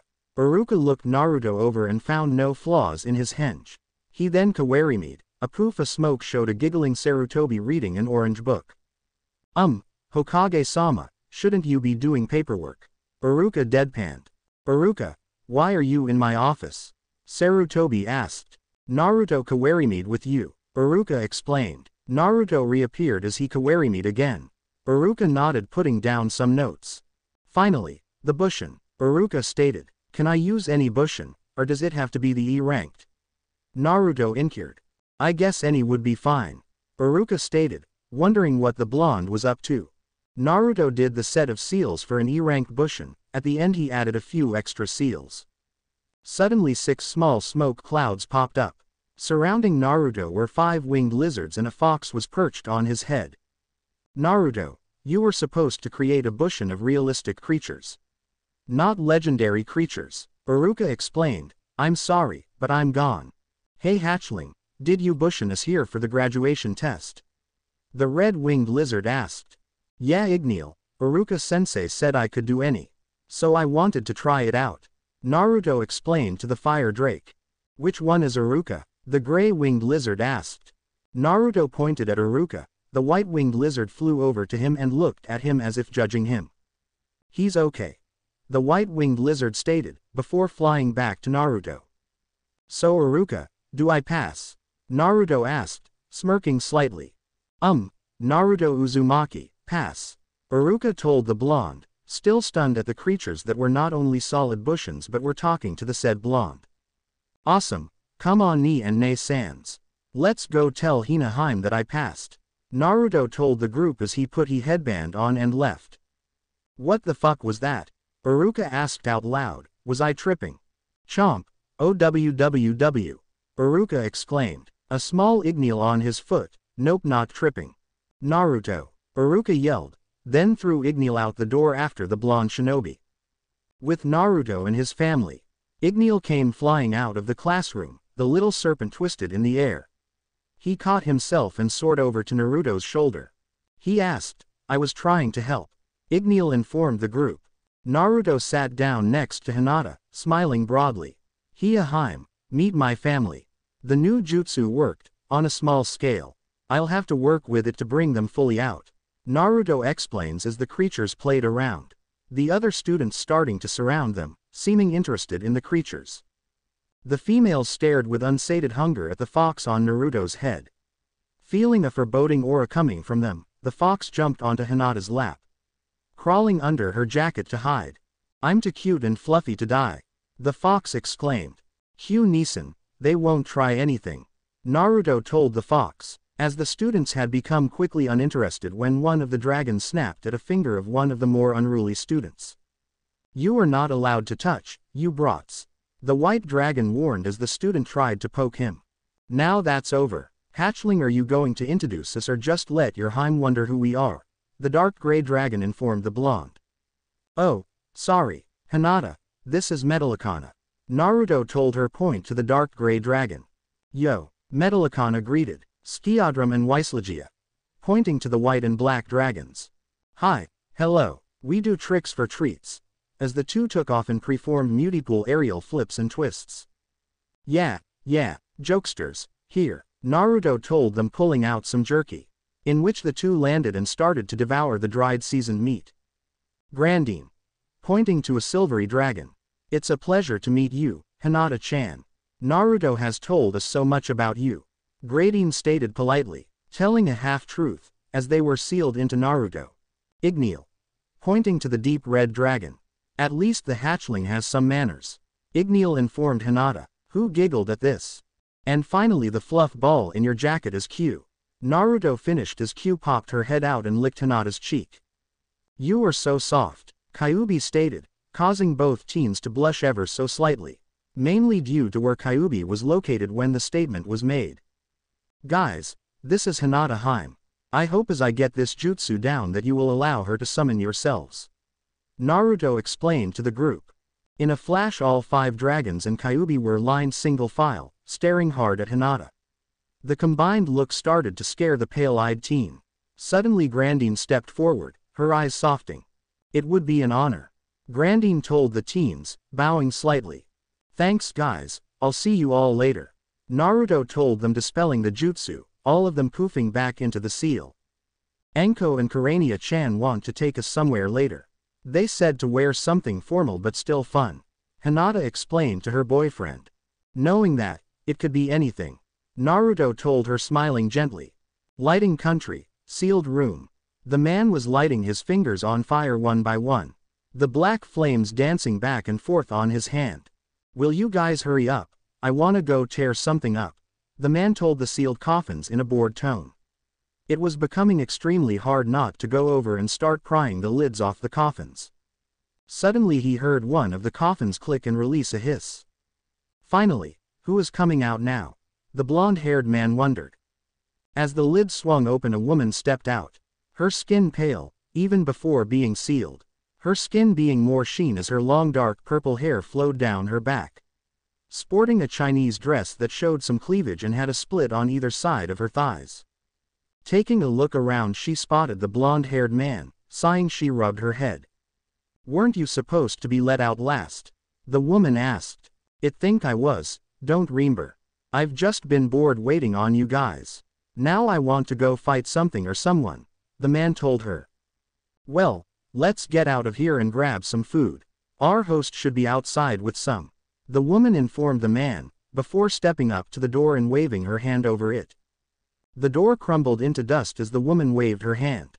She then went back to the coffins and waved her hand again. The objects returning to the same shape they had been when first used. The woman stepped up to one of them, that had a heart carved on it. My daughter, hurry so we can be reunited. It's been so long, I have missed you so much, my angel, the woman told the coffin. Another coffin, a snake carved into it, clicked and released a hiss. A man stepped out, stretching his arms. One eye closed due to scarring, while the other purple serpent eye looked around at the cave. His maroon hair blown back, a purple serpent with wings draping across his shoulders. He sported a black shirt with crimson pants, and a white trench coat. Am I too late? The man asked. No, you are right on time. Of course we have one who was too early. The woman explained. Hum, who was that? The man asked, then looking past the doorway he frowned. He spotted the blonde-haired man sitting next to a fire that had been made in the large cavern past the doorway. Oh, him. Why did we have him sealed with us? The man asked the woman as he walked past her, smelling fresh air mixed with cooking meat. We needed his strength and combat prowess, the woman informed the man. Sighing, the man shook his head. Why couldn't we had sealed Gray or even Leon? He asked. Upon hearing the name, Gray, the woman turned and kicked the man in the back of the head. Never say that name again. I can never forgive that bastard. Not for as long as I live. The woman told the man furiously. PFF'd, so easily riled. The man comment at her, then left to eat. He was starving after being sealed up for ages. Soon we will take control of this world and shape it to our image, the woman stated to the midnight black coffin. Konohagakure, night time. In the middle of Konohagakure was a bar. Not just any bar, this one had a backroom access that only a few privileged were allowed in. The only way to enter this back room was to be formally invited or be brought as a plus one. It was in this place that elite shinobi could relax, calm themselves or even cut loose every once in a while. The Whispering Lotus. I've only heard that elites could be allowed access. What are we doing here? Hinata asked. Hinata was dressed in a snug black dress that curved in all the right places, complementing her flared hips and large bust. Her dragon pendant setting perfectly above her cleavage. Finishing the outfit were a pair of dusty purple spiked heels. We thought that you and Naru-kun should have at least one memory of where he is not scorned other than Ichiraku ramen and a handful of shinobi shops. Anko explained, as he walked arm in arm with Naruto. A tan dress shirt that the top buttons were undone to allow a view, her fox talisman pulling the focus to her assets. Skillfully accompanied by a rusty brown thigh-length skirt, with a pair of brown leather stilettos. So, we are going to an elite backroom bar. Naruto asked, nervous that they might be not treated right, even with the promise of a release from the hated and disgusted looks that he had become used to. Naruto was dressed in a formal shirt with a dragon motif wrapping around his torso, its head laying on his right shoulder. Pair with black dress slacks and polished dress shoes. No, you've heard of rumors that the Whispering Lotus. I'll be the first to tell you that the rumors are true. Now for the rules of the Whispering Lotus. Rule number 1. Masks are worn at all times and no names given, no one is to know who you are other than the company that you enter with. Rule number 2. You don't accept any drinks from anyone but the bartender or staff. Rule number 3. No matter what happens you leave with who you came in with.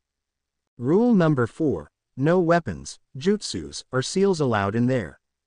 The final rule, no matter what happens do not fight or defend yourself when attacked. Breaking of these rules result in not only the revoking of the person's membership. They may also end up in taking a trip to the hospital that will leave them in the ICU or even the coma ward for a few months. Kurenai explained, her red satin dress leaving little to the imagination, as it hiked up to mid-thigh. The V-cut flared at the top and came to a point just below the top of stomach. She wore a pair of crimson-red heels to pull it all together. The group came to a set of stairs leading to a single door with a white blooming lotus painted onto it. The group stopped at the door, Anko held up her hand. She then knocked, two short raps, three hard knocks, paused, then finished with a hard knock. A eye slit opened up revealing a pair of golden eyes, it did a quick look before sliding closed. Another larger access point slide open to reveal three black masks and one white. Black for the ladies, white for the gentlemen. Remember the rules, and do enjoy yourselves. A voice behind the lotus informed them. Once the masks were situated onto the group's faces, the wall to the right of them parted to reveal a staircase leading down. The light coming from the staircase was light red, gave off a warmth as if in a lover's embrace. Kurenai and Hinata led the way, moving down the stairs elegantly as if they were walking through the softest silk. Kurenai's arm was under Hinata's with her hand slightly tipped and Hinata's hand on top. Anko on the other hand was having a hard time with the stiff form of Naruto, finally having enough the pair stopped their descent. Naruto, nothing will happen. You need to relax, have fun. Anko told him with a smile, she then gently kissed him. The blonde started to relax a little bit more after his hubby hime told him to. After a few moments, Naruto took a deep breath and nodded. With this they continued their descent. Kurenai and Hinata were off to the side of the entrance, calmly waiting for the pair. With a nod from Naruto showing that he was fine, the group entered the Whispering Lotus. Whatever rumors that Naruto and Hinata had heard, were put to shame. They entered into a red velvet room, the light were dimmed and the air was filled with a light incense that relaxed the mood of any high-strung shinobi that had either had too much on their plate or they had just come off a high-stressed mission. There were around a dozen booths lining the walls, only about a fourth of them were filled. A handful of people were loitering the bar which was in the middle of the room set against the back, the front half was a polished gray marble dance floor. A few couples were gently swaying to the steady stream of soft music. A host appeared as the group of shinobi entered. He held a tray out to them, Kurenai and Anko both set their shinobi ids on the tray. Mistresses Hubby and Rose, would you like your normal booth or a more accommodating setting? Also are your guests to be allowed access or are they just a plus one for now? We would like a private booth. Our guests are just a plus one for now. Virgin drinks for them. Anko told their host. Understood, I'll make note of future Lotus members. May I have your names? The host inquired. Yes I am High. Starlight. Hinata told the man, almost missing rule number one. Mistress Starlight, and you sir? The man asked to the still slightly anxious Naruto, as he wrote Hinata's name into the logbook. Kitsune. Naruto informed the man. Ah, Master Kitsune, I believe you have several people here who did not enjoy what you had done on Double Z Day. I myself was quite adamant of the events that had been set up, the host informed Naruto. Thank you, it is always nice to meet a fan. Naruto complimented the man. If you'll follow me, I will set you in room P3. The host informed them leading them to a small private hallway that were lined with half a dozen doors. Stopping at the door that labeled P3 feet, the host produced a small key ring, holding seven keys. Unlocking the door, the host stepped back and bowed to the group allowing them to enter. I will have a more diverse member of our staff join you in a few moments. The bar is to your left, if you wish for a song the entertainment system is to the right. Enjoy your time at the Whispering Lotus, the host explained, then left. Wow, this had to be super expensive. Naruto commented, looking at the rich satin couches that sat against the wall. A high-end stereo system was equipped with over a thousand songs, Hinata started to look through them as they enjoyed each other's company. Anko and Kurenai sat on one of the couches, suddenly the couch started to slightly heat and vibrate. Oh, MMMMMY, GGGGGGOD. I'm in love with this couch. Anko told the group, her stress melting as the heat and vibrations relaxed the snake mistress body. A few moments later a knock was heard at the door. Opening it a woman with light green hair and a green and blue feathered mask stood in front waiting for permission to enter. Good evening, I'm Kujaku. I'll be your bartender for this evening. Kujaku informed them as she set herself behind the bar. A kyubi, one virgin kyubi, an angel dust, and some sparkling cider. Kurenai ordered. Yes mistress. Kujaku bowed slightly, the started to mix the drinks. In a show of flair and expertise, that left the two plus ones in awe. Kujaku set up the glasses and started spinning two bottles in her hand. She tipped the bottles forward and filled two of the glasses a little with two different liquids crossing the streams a couple of times, before adding some hot sauce to one and some lavender petals to the other. Kujaku, then turned and made the same as the first kyubi except with spiced juice. To finalize the order she pulled a long-stemmed champagne glass out and popped the cork on a bottle of apple cider, filling the glass to a breath from the top. Kujaku placed the orders on a tray, carrying them as if they were made of the most fragile objects in the world. She set them on the small table in front of the couches, she then pulled out a packet of matches and lit the two kyubis on fire. If that is all, Kujaku asked, bowing. Kurenai nodded, allowing the bartender to return to her station. Hubby, a kyubi, Kitsune, you'll have to have the virgin kyubi. Trust me, the real drink is so much better. Sparkling cider for Starlight, and finally angel dust for myself. Kurenai rattled off, grabbing her drink and sipping it lightly. After the drink she sighed in content. Are all the staff here shinobi? Naruto asked the two older women. Yes they are, they do this for fun or relaxation, even though the staff gets paid an average of a small B-ranked mission. Anko explained, sipping on her drink. Her face turned a slightly darker red as she blew some steam out of her mouth. Kujaku, may I ask what your field of expertise is? Hinata inquired at the bartender. I am a ninjutsu specialist mixed with some taijutsu. I put a show on every second Saturday of the month here. If you wish to see it, I'm sure I can make an arrangement Mistress Starlight. Kujaku informed Hinata. Suddenly a loud thump could be heard on the other side of the wall behind the bar. Reaching up Kujaku tapped her mask twice, the mask switched to a reddish color with a band of gold. Kujaku, we need you to restrain an occupant in P5 feet. Thank you.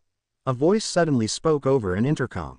Never a calm day, just one day, is that too much to ask? Threat level, Kujaku asked. Code green, light measures. Please escort Master Hound and Mistress Tigress out. The voice replied. Revoking of membership or a wrist slap. Kujaku tried to confirm. Wrist slap, they just had too much to drink. No harmful intent noted, just an accident. The voice replied. If you'll excuse me, mistresses and master. I'll return. Kujaku told them as she headed to the door. As Kujaku left, Naruto looked to Anko with a confused look. The codes had thrown him off. Green, blue, yellow, orange, and finally red. Green is mostly people get to happy with their drinks, blue and up are more physical. Nia-chan and I have been coming here for a couple years, we've only heard of one orange incident. That was when an Inuzuka was shit-faced and tried to fornicate with his animal partner. On the main dance floor. Something you never want to see, or think about. Unless you are into that. Anko smirked as both Naruto and Hinata blushed. There has been only one code red since this place had opened, only then did the owner appear to stop the debate. It was a good thing too, Apparently the jutsus that the people were going to use, were at least in A rank. Anyways, let's just enjoy our drinks and then be on our way. Kurenai added to the explanation. Naruto sipped on his virgin Kyuubi. It was spicy, yet it felt undermined. As if the kick was missing. Rose-chan, you are right this one is weak.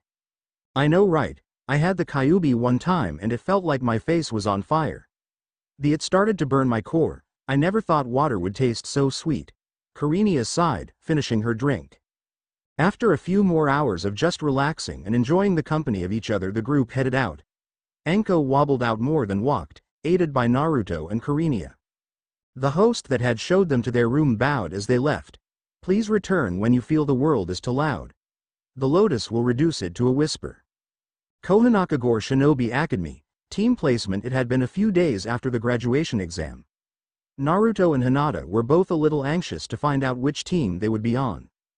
Iruka stood at the front of the class smiling proudly at the class that had been his pride and joy for the last four years. My student, after today I will not be able to enjoy your company for eight hours a day. I do wish you luck and bless you for the years to come. Iruka speeched quickly, now team placements. Team 1 will be Naru-kun, no matter what team we are placed on. I'll always make time for you.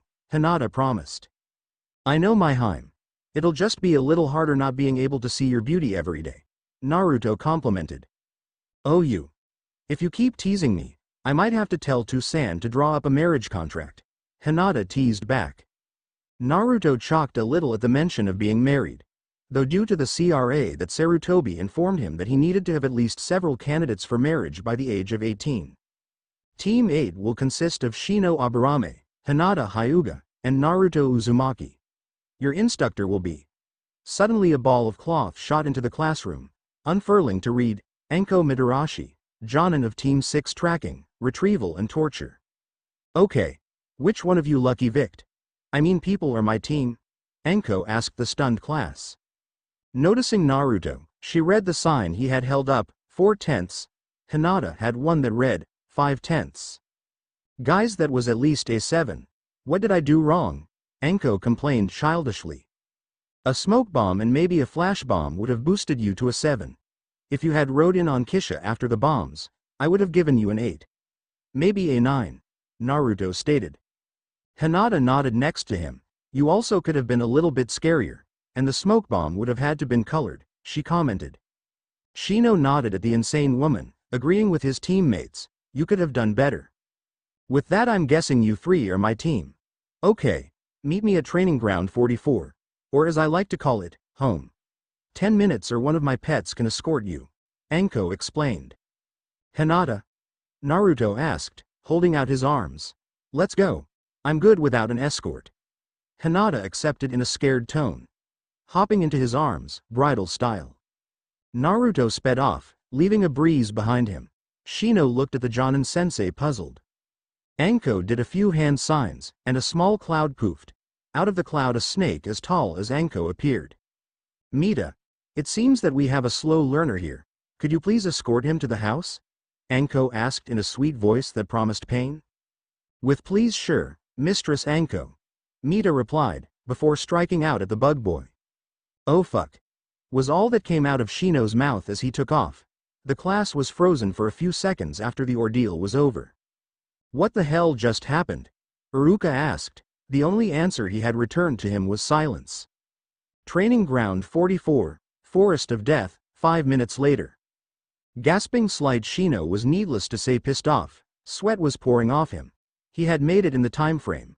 It didn't help that his new sensei's, pet, had nipped at his heels every other second, forcing him to stay at a dead run. Naruto-san. Who is this crazy bitch? The usual static bug user breaking face. Oh, this is Anko hime. Naruto stated, having reached the training ground three minutes earlier with Hinata. Anko clicked a pocket watch open. Looking at it, then at the teens, she shook her head. Blondie. I had expected you to be here in less than 30 seconds. Pale eyes. You should have be here in 4 minutes if you had ran by yourself. Finally, Bug Boy. You were 30 seconds too late. Now for introductions. Let's start with the blonde Gaki. Anko criticized the three teens, as she shut the watch. Um, Anko-sensei. What do you mean introductions, could you explain? Hinata asked. Sure. My name is Anko Mitarashi. My likes are dango, snakes, various forms of torture, and a certain gaki. My dislikes are a certain snake pedophile, people who can't look underneath the underneath. My dreams are to get revenge on said pedophile and be happy again. Anko told the group. Now, Blondie. My name is Naruto Uzumaki. My likes are ramen, training, and my himes. My dislikes are people who can't tell the difference between a sword and a seath, people who think others are disposable, and the three minutes it take to cook ramen. My dream is to become strong to protect the ones I love, and make sure they're happy for the rest of their lives. Naruto rattled off. Okay. Pale eyes. You're next, Anko pointed to Hinata. My name is Hinata Hyuga.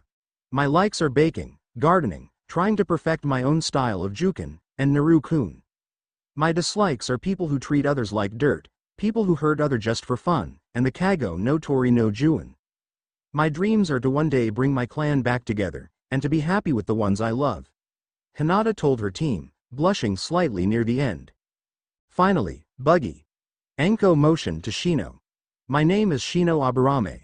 My likes are researching insects and meditating. My dislikes are people who refer to others as insects, chemical insecticides, and the squashing of the more helpful bugs. My dreams are to become a strong clan head and to discover new species of insects. Shino stated in a monotone voice. This is an interesting team the Hokage set up for me. Okay, that's all for today. Meet me here at 8 in the morning. We'll have the test then. Anko told them. What, why would we have to take another test? Didn't we just graduate? Naruto asked, the three teens confused. Do you really think that thing they call a test meant you were actual shinobi of the village? No, that was to weed out the hopefuls. Tomorrow you'll take a test to see if you can actually become shinobi. Anko explained, showing no remorse. Anko then smiled sweetly, one that promised pain and death. Try not to bore me to bad. Flashback. One day ago, Hokage's office Sarutobi sat looking at the papers in front of him. He had just finalized the team positions, Looking up, the red-eyed woman standing before him was pissed at the Hokage. He had taken the chance she had to watch over the child she considered a sister. Why are you not taking my request, Hokage? Kurenai asked the aged man. Do not mistake me denying your request. You are a capable shinobi, but you need to focus on your physical form. I also think you need to try to have a stronger emotional and mental structure. I just believe that you are not ready to command a team. Sarutobi explained to the Jonin. Then who will get Team 8? Kurenai asked the old shinobi. Anko will take command of Team 8. She is more than capable of handling those three. I also think this will be a good experience for her. Commanding a team may help her grow more, and become more steadfast rather than headstrong. Sarutobi explained his reasoning to the Genjutsu mistress. I still think that you should have let me take command of Team 6, the Jonin finished as she left his office. Anko needs to have more connections to this village rather than just the hate of her former sensei. I hope this team can help. Sarutobi thought to himself, hoping that he had made the correct choice. Training Ground 44, Forest of Death, day after team selections. It was 15 minutes till 8 when the three teens appeared in front of the main gate to the training ground. Ah, hello my little victims. Are you ready for your test? A sadistic sounding voice asked the teens. Looking up they saw their sensei standing on a branch of one of the large trees. Jumping down, Anko pulled out a timer. Okay maggots, here's what your test will be. As we are going to be a tracking and recovery type team, if you pass, you will have to find and return one, Anko, tag within two hours. Each tag will be placed on one of my pets. It will be your choice on how to approach this test. Anko explained to the three teens. Anko sat on a rock just inside the large fenced-in training ground. She summoned three person-sized snaked. One was Mita, whom Shino had the experience of becoming acquainted with. The other two were her little brother and sister, Mission and Taro. Okay, I'll partner you up with your target. Buggy, since you and Mita are such great friends. You can have her. Blondie, you'll take Mission.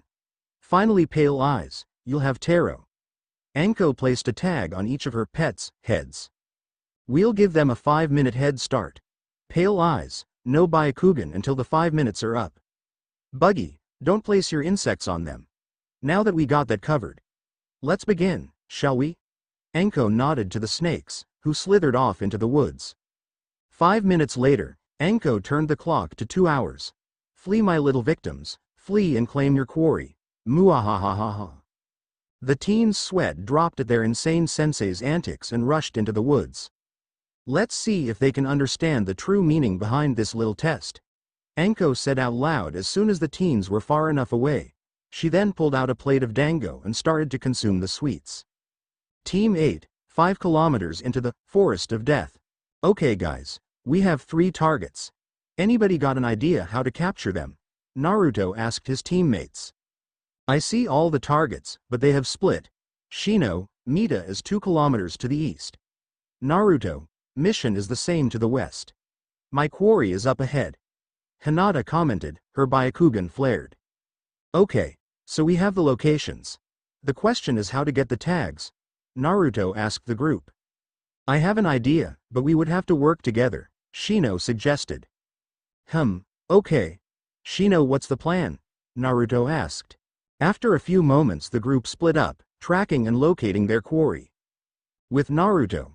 What an ugly skin color, and I thought toads looked gross, covered in that mucus. At least they don't have to shed their skin to change clothes. Ha ha ha. Naruto teased the mission. Mission cocked an unseen eyebrow as the blonde container started to speak, but when he heard the comment about being compared to a toad something in the snake snapped. Mission curled up and struck at the blonde. Wow, and so slow too.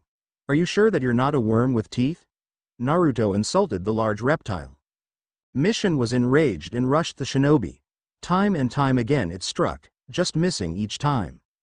Seeing Naruto had done his job, he rushed back to the meeting place, throwing a few insults every few seconds, so that his quarry stayed with him. With Shino Shino stood in front of Mita. The two stared at each other, neither one moving. Mita-san, Shall we have a rematch from yesterday? Shino inquired the large serpent. Why SSSS should I? Mita asked, being cautious, intrigued that the bug user had not tried anything. I was caught off guard. Shino stated, waiting for a reaction. Plus, I really think your agility is lacking. Taro seemed to have a more slender form based for agility.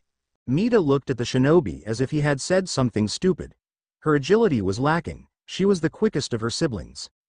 Her speed was next to none in the Hebi clan other than Manda, who had experience. Very well, what ISSS the contest? Mita asked the boy. We race for three kilometers. If you lose, I claim your tag, Shino stated. What if ISSSS should win? Mita inquired. You can use me as your plaything, Shino replied. Interesting.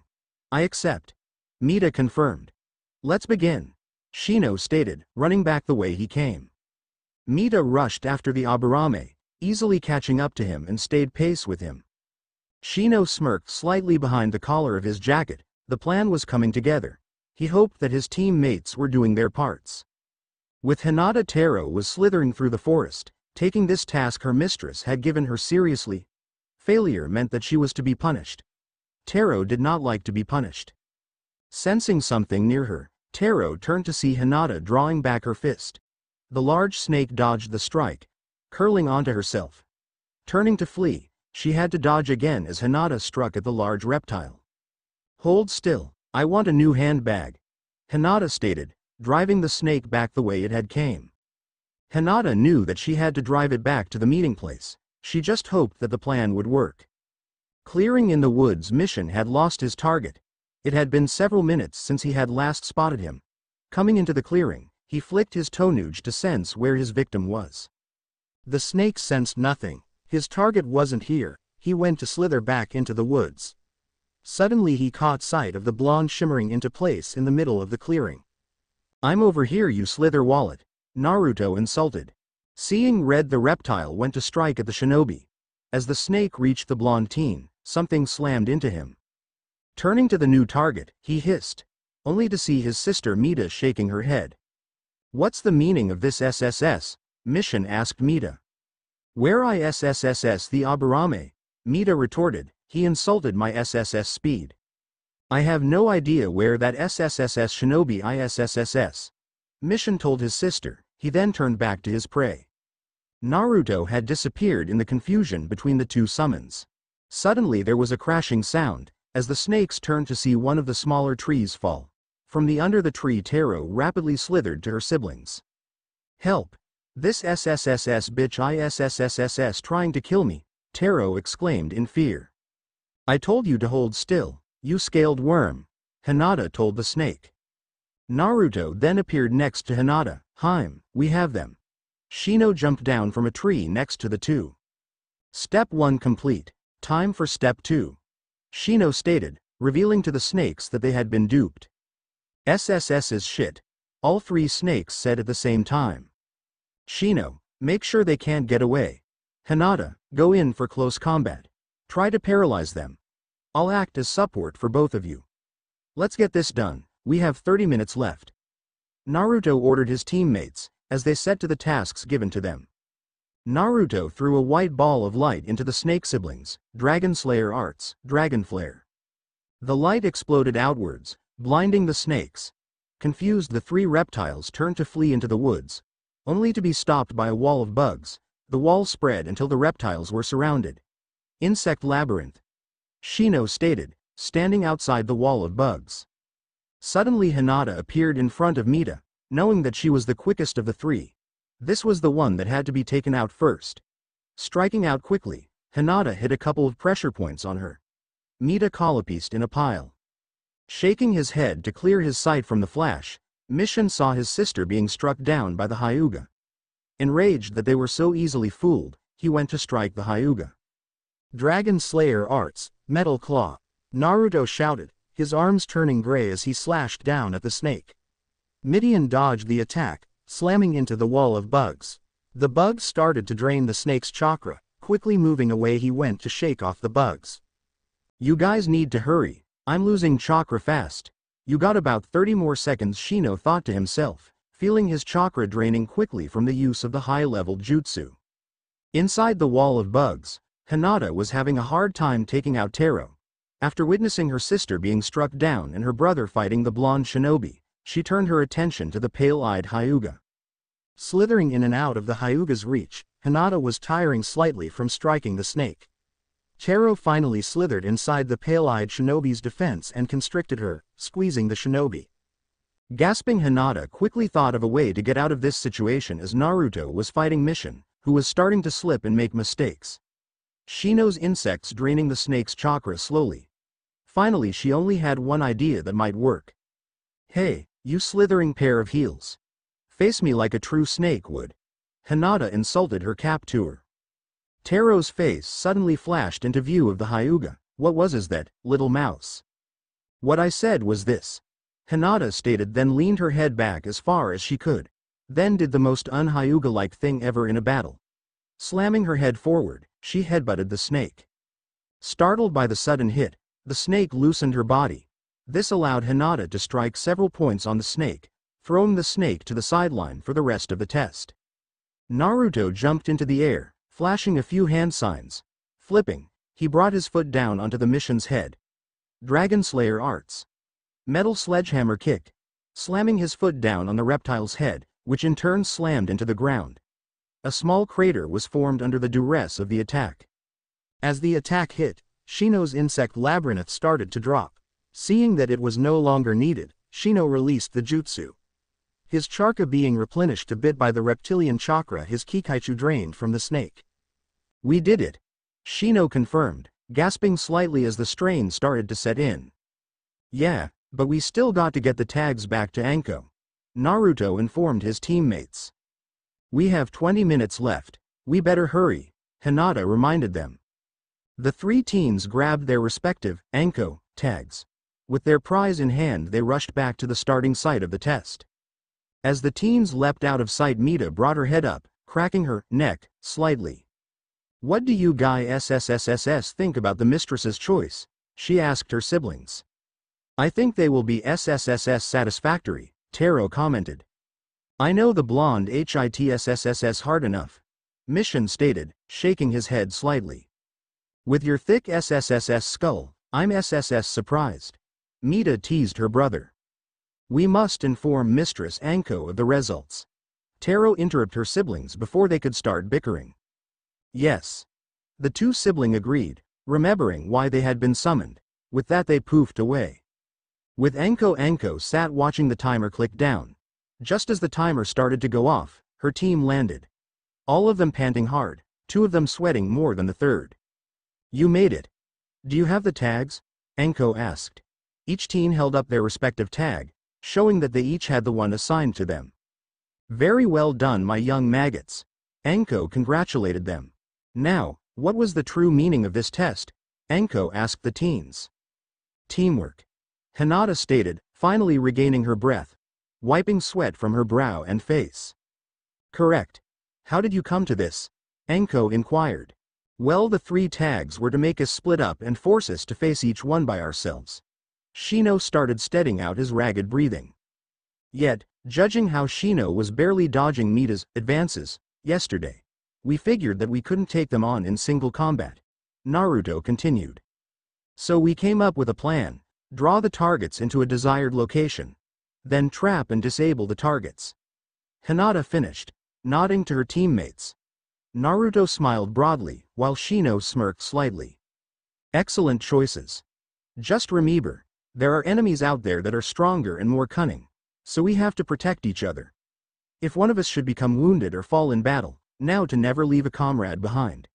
Anko stated, looking down proudly at her team. Okay, enjoy the rest of your day maggots. Cause tomorrow we'll start learning the art of the Mitarashi torture sessions. Anko smiled broadly, an air of pain and suffering seeping from her. Be here at 9 o'clock tomorrow morning, we'll figure out a plan to improve you guys and then we'll take on some missions. Hiya sensei. The three genin answered, leaving the training ground. Next day, Kohonokage Mission Hall. Team 8 stood at attention of the Hokage, waiting for their first official mission. Anko, do you believe that your team is ready for a mission of their status? Sarutobi asked the Jonin sensei in a serious tone. I do, Hokage-sama. Anko replied, standing at attention. Your first mission shall be. Hokage looked through the scrolls, Team 8 anticipating at what they might get. Take out a band of Rouge bandits, hunt down a Rouge shinobi, or escorting a high-ranking official. All of these thoughts went through the young Genin's minds. Babysitting a council member's grandchildren, Sarutobi stated. The looks on the faces of Team 8 were priceless. Naruto's eyes were wide with disbelief. Hinata was bewildered. And Shino had fell on to his ass in shock. Anko pulled out a camera and took a quick picture of her team's expressions. That's a keeper, ha ha ha. Anko told them laughing at her team. Several weeks later, Konohagakure, Northern Park. This is Blondie, target spotted. I'd also have eyes on the target. Same. Anko pressed on the com link, begin operation. After successful capture, confirm target. Hi. Three voice spoke. Suddenly there was a loud yowling, some cursing, and a couple poofs. Suddenly everything went silent. Target captured, confirmed target to be Tora. AKA, the demon cat of Konohagakure. Hinata spoke into her com link. Awesome. Let's go collect our pay, Anko told her team. Naruto and Shino's clothes were in tatters as Tora tried to claw the two teens to death. Hinata was about to paralyze the animal, only to be stopped by Anko. Now now my little maggots, no harming the pet of the fire daimyo's wife. Anko told them, holding back the laughter of seeing her team be tormented by the demon cat. I swear if we have to catch this bitch again, I'm going to skin it and make a new loincloth. Naruto told her. Shino and Hinata nodding in agreement with their blonde teammate. Over the last couple of weeks the team had completed numerous D-rank missions, ranging from clearing fields to washing out the Inuzuka dog kennels. These D-rank missions were insults to shinobi. These missions were no more than chores that civilians were too lazy to complete on their own time. So they hired out shinobi to complete the mundane tasks for them. Soon Team 8 entered the mission hall, still carrying the struggling Tora. As the cat was returned to the crushing grip of the fire daimyo's wife, Team 8 couldn't but feel satisfaction at the torture of the animal. Dear Kami, Anko sensei is starting to rub off on us. All three of the Genins thought at the same time. Weeks of being around the insane sadistic Jonin had started to twist their way of thinking. Even the stoic Shino was starting to have a little more emotional expressions. They would start every day by meeting at Training Ground 44, or rather they started to call it home. Anko would then run them through team building exercises, consisting of a game of capture the flag to a high-stake game of tag. The Jonin also started teaching them chakra control by forcing them to run up and down trees, while dodging kunai that Anko threw at them. If they were quick enough, they got away. If not, they received small nicks all over body. After an hour or two of this they broke off to do individual training that Anko had prescribed, would be putting it loosely. Shino, trained in physical endurance. Over the past couple of weeks, Mita and him had sprouted an interesting friendship. What started as Mita, hunting, the bug user, soon turned into the two competing with each other in races or games of tag. Hinata and Naruto would spar against the snake mistress and improve on the flaws each time. Anko started teaching Hinata how to introduce a more fluid set of moves into the Juken form. Naruto would train by himself, learning more of the legendary dragon-slaying art. He also started to work with his enhanced senses, blindfolding himself while he tracked different animals. Short to say, that the genin were far stronger than what they had been almost a month before. Shino had cut the sleeves on his jacket so that he had more movement, to make up for the loss of his jacket sleeves he wore a double-layered long sleeve shirt, he also had a medium-sized pouch on his back, containing specialized goodies for setting and distrutting traps. Naruto sported a silver and red short sleeve shirt that had a dragon's head stitched over the right side of the shirt. His pants were shorter than the usual, one side ended at his knee while the other reached mid-thigh with leather strips crossing to reach down to his knee. Leather gauntlets covered his arms from his elbows to his hands, etched with what seemed to be dragon scales. Hinata had shedded her jacket, rather wearing a tight form-fitting top that showed her toned stomach. Accompanying this was an opened purple coat that reached just above her backside. The bottoms, cut to shin length with leather straps crisscrossing down attaching to her footwear. Back to the moment at hand, Team 8 was now waiting for their next assignment. Rather praying to be released for the day so they could heal their wounds. Sarutobi scanned the mission records for Team 8. As of today they had completed 35 D-rank missions. It was 15 more than needed to take a C-rank mission. Well, let's see. Ah, we have several more D-rank missions that require our attention. You can help a farmer near the outskirts clear a field, walk the Inuzuka's dogs, trim the trees around the Nara's deer farm, or babysit.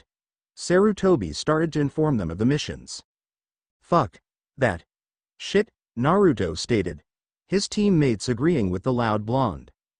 We are not doing any more fucking chores. The blonde told the aged Hokage. Naruto, you and your team are not ready for missions outside the village. There are certain restrictions that are placed so that fresh genin do not get killed in the line of duty. Iruka started to explain, his lecture mode starting. And that is why you will be doing D ranks until your Jonin sensei thinks you are capable of high rank missions. Iruka ended his lecture. Anko that was 2 centimeters off the mark, you have to give up Dango for 48 hours. Hinata told the Jonin. What, I swore that it was dead on. Anko complained, the hurt of losing her favorite food crushing her. That seems like a wonderful idea to try out with the roast. What if you used sage rather than garlic? Shino asked, his mouth being wet from the recipe that the blonde commented on. Hum, I actually didn't think about that. It would still keep the spark of the meat, without the extra heaviness. Naruto commented. Are you guys even listening? Iruka asked the group of insane shinobi. You were saying something Iruka? The group asked, to which Iruka's sweat dropped. I was saying. Iruka started again, only to be stopped by Anko. We know what you were saying Iruka-san. You just forget that they are no longer students. Rather they are genin of Konohagakure, under my leadership. So in the nicest possible way, fuck off. Anko told the shocked Chunin. But, but, Iruka started, only to be stopped again, this time by Sarutobi. She is correct Iruka. They are no longer your students, you must let them go. Now, back to the task at hand. Team 8, do you think you are ready to be assigned a mission of a higher caliber? Sarutobi asked. Hi, Hokage-sama. The team told him. Fine, this just came in. One of our own has turned traitor, stealing the forbidden scroll and fled to the north. You are to track the shinobi and retrieve the scroll. If possible capture the traitor and return him also. Sarutobi told the team. What is the target's name? Anko asked the old man. Mizuki. Your target has a five-hour lead. I suggest you hop to. Sarutobi told them. Hi. The team replied. Okay, you guys have 10 minutes to grab your supplies and meet me at the northern gate. Even one second late, and you get to have a special training when we get back. Anko promised her team. North Gate, five minutes later Team 8 all landed at the gate. Anko stood waiting for them, seeing that they were prepared for anything that was to happen. No time like the present. Let's go. Anko ordered the team, with that they took off after the trail of their prey. Naruto out front, his enhanced sense of smell holding the trail. Hinata was behind him, her Byakugan active. Shino was to the left of Hinata, while Anko was to the right. The team watched for traps that could have been set in case of pursuit. Even though their quarry had a head start on them, carrying such a load as the Forbidden Scroll would tire them. Soon the tracks showed fatigue, signs of rest here and there. Okay, we are 100 kilometers from the land of rice. He might be meeting someone as he has slowed, Anko informed her team. We need to be cautious, remember our objective is to obtain and return the Forbidden Scroll. If we can, capture the traitor Mizuki. If not, we must terminate him.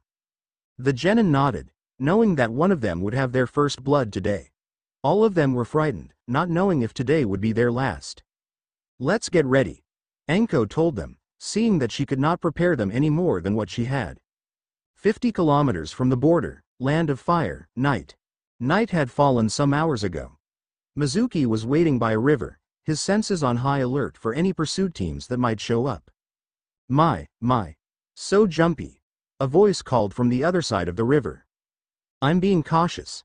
My village would have sent a tracker team out after the scroll. Mizuki told the voice.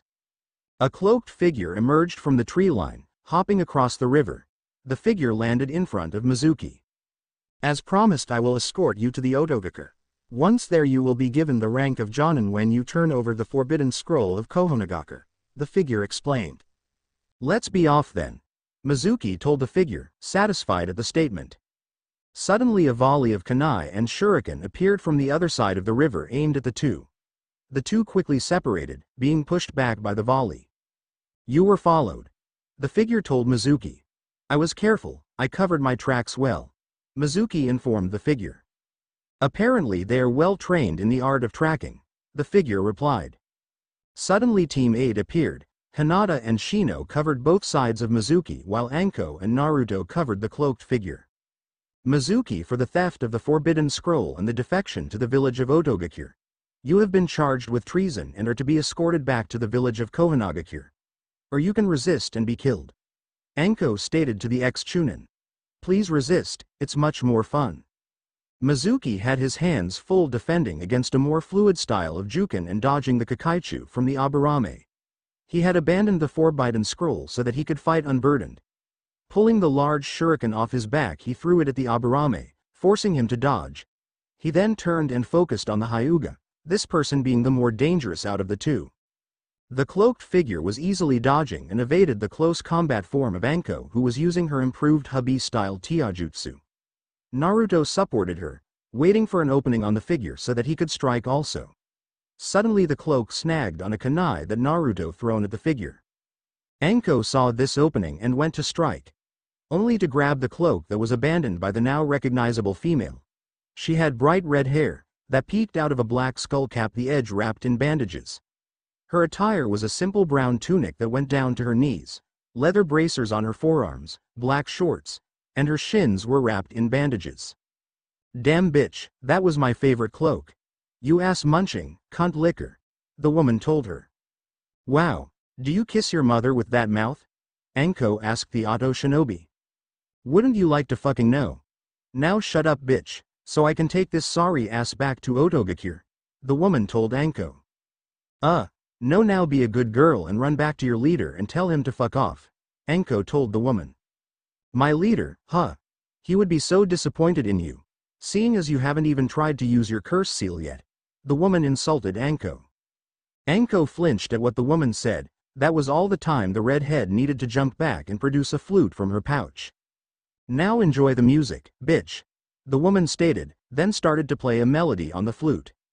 Upon hearing the sounds Anko froze as the flute user phased out of existence. Naruto wasn't doing any better as his acute hearing made the effect even worse. Suddenly a shock of energy was sent through the two.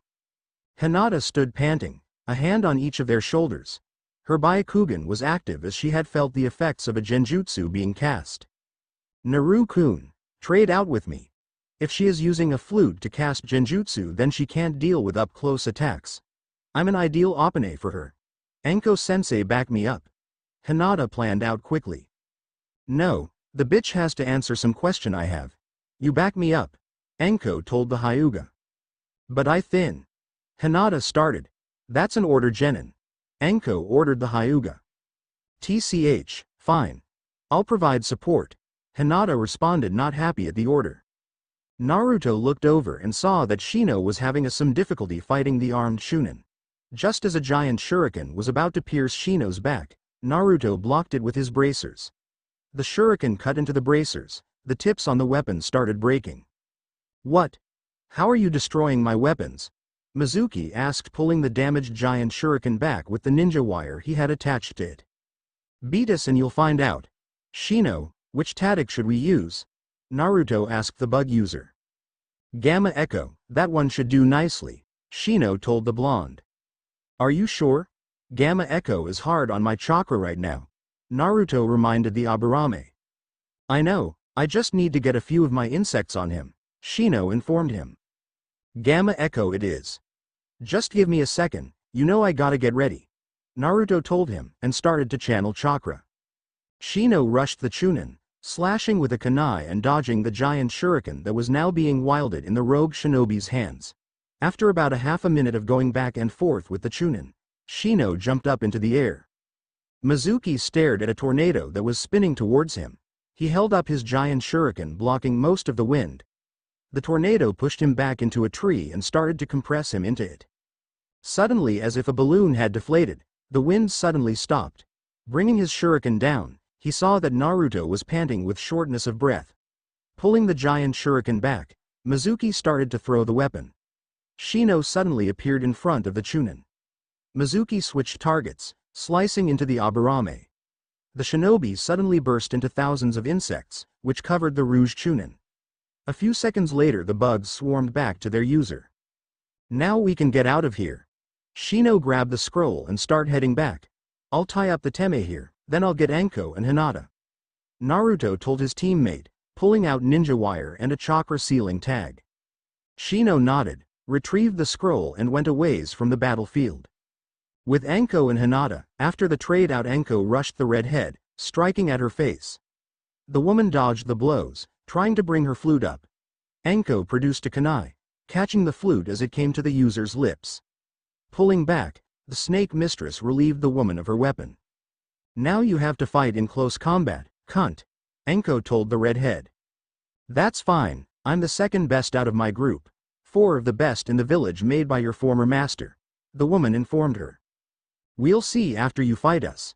A voice to the side told her. The woman dodged her head back as a strike came into view, flipping back. As the redhead flipped, she struck out with her feet catching Hinata on the side of her jaw, causing the Hyuga to spin away. Anko struck at the woman as she came out of her flip, just before she stabilized herself. Being caught off guard, the shinobi rolled as she fell back, lessening the damage. It still hurt though, the strike already starting to bruise. Fuck, I need to get the hell out of here. The woman told herself, she then started to head towards the river. Dragon Slayer Arts. Dragon Flare. A voice called out, suddenly she was blinded by a bright flash of light. Suddenly, the woman couldn't move anymore. Falling forward, her face rushed to the ground. Right as the tip of her nose touched the ground she stopped. Now now Hina-hime. Just cause she got a lucky hit doesn't mean you should let her fall on her nose. A voice told the Hyuga. Well it hurt. Hinata pouted to the voice. We'll take her back to Konohagakure. Anko commanded the voice. Hi, hi. I already put a chakra sealant on her, the voice told Anko.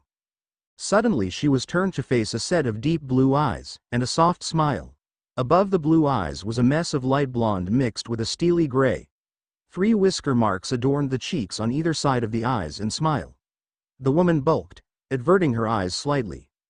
Might I ask your name? The whiskered individual asked. Okay. Gag it is. The individual told her as he produced a white cloth out of his scroll. The scroll was labeled, Capture and Torture Tools. He then gagged her with the cloth. The woman shocked a little upon seeing the label on the scroll. Noticing he turned a shade whiter than what she had been a moment ago, looked at the label. Ah, don't worry. I'm not gonna torture you. I don't hurt women. My himes on the other hand, that's their own story. Now up we go. The boy told the red-headed woman as he pulled her up into a bridal style. Anko, we need to hurry. She might have back up nearby. Let's get back to the village. The boy suggested to Anko. Hi, hi. Let's get out of here. Anko ordered. I smell snakes Naruto thought to his family. Yep, it's coming from her strongly. It is also coming from about 5 kilometers north of here. Igneel informed his Nissan. Naruto nodded to himself, keeping the information till they were in safer territory. Team 8 started back the way they came. Anko and Naruto in front with the prisoners, Hinata behind them watching with her Byakugan, with Shino behind her leaving his insects here and there. The redhead just watched the blonde's face as he jumped through the trees. She had never seen someone so determined, yet at the same time so comforting. The last time she saw a look like that, the leader of her village had come to her home and took her away from her mother. They had been having dinner, her and her sister were laughing at a joke their mother had just told them. Then suddenly their world had been turned upside down. Shaking her head of the memory, she started to focus on how to get out of this situation. Menatali slapping herself for not learning how to control her curse mark beforehand, rather wanting to prove her worth before gaining more strength. Now, she had been captured by a bunch of tree huggers and were being taken back to their village.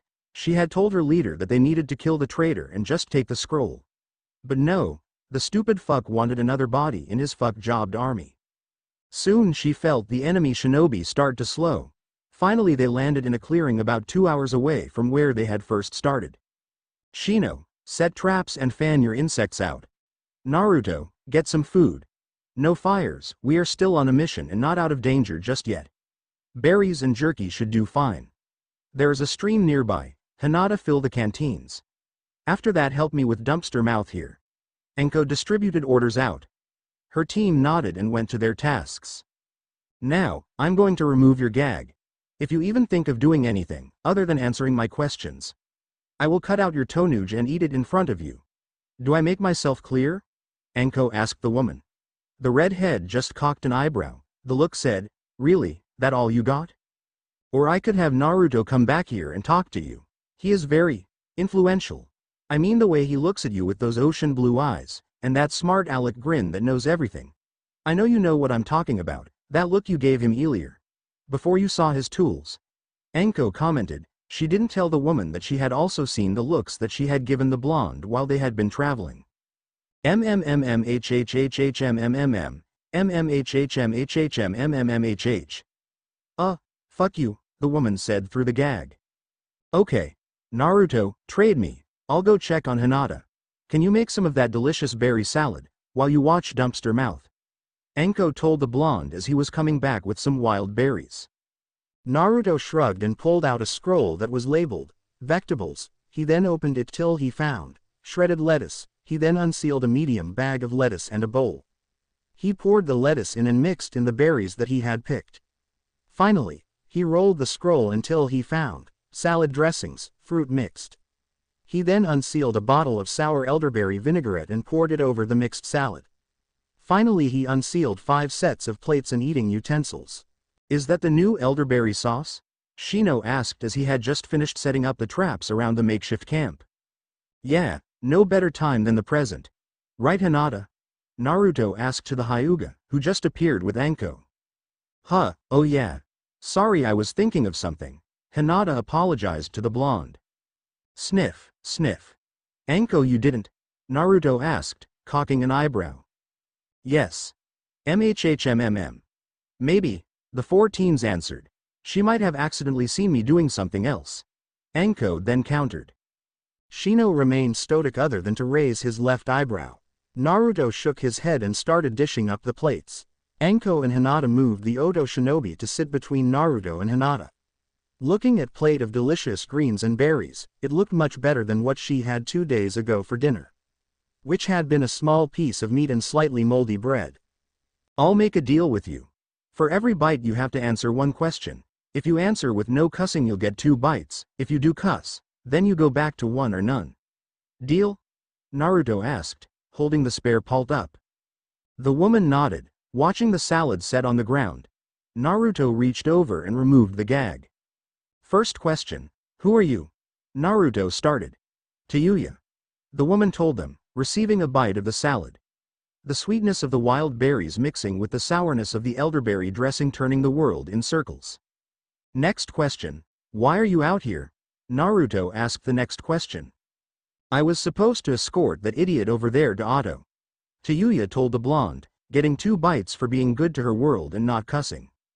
What's the mark on your neck? Naruto asked, not even noting the surprise from the redhead. I don't know what you're talking about. Tayuya told the whiskered teen. Naruto put down the plate and started to put the gag back in her mouth. Wait, wait, it's a curse seal that was put on me by the leader of my village. Tayuya told them, her portion returning to one bite. Anko had flinched at hearing what Tayuya had said, and reached up to her neck. This did not go unnoticed by her team. Naruto looked at Anko with a cocked eyebrow. Hebi-hime, you want to tell us something? Naruto asked, noticing Anko's far-off look as if remembering something. He had finished feeding Tayuya and cleaning off his own plate. Huh, oh no it's nothing important, Anko replied, forcing herself to keep her hands in her lap. Anyways, I'll take watch. We'll be leaving in four hours. Team 8 nodded, seeing as the battle had worn them out. The speed in which they had tracked the Rouge Shinobi and now the extra weight of the quarry plus one was taxing them. Naruto laid his head back onto the soft grass, his eyes started to slowly closes due to the exhaust of his first mission outside the village. Hinata cuddled up next to him, feeling his warmth against the cool night. Shino set his back against a tree, dozing gently as his insects came in and gave him a report every five minutes. Tayuya looked at the blonde as the bluette snuggled against him, then turned to look at the snake mistress. She then voiced a question that had been in her mind since they had stopped. So, are you fucking the blondie? Tayuya asked bluntly. Huh, unfortunately no not yet anyways. Hina has claimed the first for everything. That includes popping his cherry. Anko told the redhead. Interesting. Why are you sharing, don't you bitches get jealous of each other? Tayuya inquired, wanting to see what made these tree fuckers tick. Actually no, due to our love for Naruto being stronger than our jealousy against each other. Anko told the woman. Plus, with how much he has to endure in his life. He need to be allowed to have happiness with the ones he loves. Wow, that's deep for a stupid ass tree fucker. Tayuya commented. I'll take the compliment behind those words, Anko told the woman. Now get some sleep, you'll need it before you get back to Konohagakure. The prison cells are not as nice as outside is. Anko informed the woman. Naruto's mind sitting down in the middle of the plateau, he looked at the scroll in his hand. While they had taken a short break, he had placed a bushin of skiadrum on the forbidden scroll. The shadow dragon had slipped in between the rolls on the scroll and was now currently copying as much as he could to Naruto's mentality. Kage Bushin, a rank jutsu, allows the user to make single to mutable copies of themselves that have chakra and are solid. These copies can be used for spying and information gathering. As when dispelled they will return the memories to the original. Naruto read off to the others. I remember Kushina being able to make dozens of those to confuse her opponents and find weaknesses. Kyuubi reminisces Ed. That sounds worth investing some time in. Igneel commented. It does sound useful, and if you mixed our energies in with them. This might be the answer to our problem, at least a temporary solution, Grandine stated. If we take this and figure out a way to combine it with the Hakke no Fuin Shiki, we might be able to allow you guys to have a more permanent body. Naruto informed them. An interesting idea, we could have solid bodies yet still be part of your essence, Metallicana mused. It'll take a few years, but if I can get the Kage Bushin down, then we could figure it out in months. Naruto told his companions. It'll take time, but soon I can be surrounded by my family. Edo Tensei, who would want to bring back a lifeless shell whose will is bent to the summoner's own? Weisslogia asked in a disgusted tone. I don't know, but that one can be put away in the back. We can probably find a way to counter it. Naruto explained, before turning back to the scroll which had numerous jutsus on it already. Looking over he saw several that interested him, Hachiman, Fury no Kami, Sozo Saisei, and Rasengan. Naruto started reading, four hours later. Naruto rolled over and came face to face with an ample-sized chest, looking up he saw that the chest belonged to Tayuya. The redhead had fell asleep a few hours ago next to a tree, but over the hours she had tossed and turned. Somehow maneuvering her way to his side. Anko sat in silent laughter at her blonde squad member, being stuck between the two kunoichi as he had slept. Naruto glared at the snake mistress, you could have done something. And miss seeing your priceless face when you woke up? Nah, I don't think so. Anko replied laughing. Naruto gently removed himself from between the two women. They snuggled closer together, the sudden absence of warmth making them seek out the closest heat source. Naruto pinched his nose so he did not have a massive nosebleed all over his shirt. Shino looked on away from the situation, though there was a small bit of blood coming from his nose. Naruto-san, you seem to get in the most peculiar situations, Shino informed the blonde. Nah you think? Naruto retorted. Do you want to wake them? Or should one of us did? Anko asked looking at the two snuggled women. Shino and Naruto looked at each other then looked over at the still unconscious Mizuki, they then looked back at each other with a sadistic smile. With Hinata and Tayuya the two women were unaware of Thier's situation until a sudden force was felt upon them. Both women awoke and hit the force with attacks.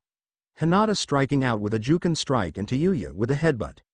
Sitting up they saw a battered Mizuki laying in front of them and three Konohagakure shinobi laughing hard. Naruto, sweetheart, did you throw an unconscious rouge shinobi on me while I was sleeping? Hinata asked, her aura seeping into a demonic-looking figure behind her. Suddenly Anko placed a hand on her shoulder. If you knock him out, one of us will have to take the extra weight, Anko explained, to the pissed Kunoichi.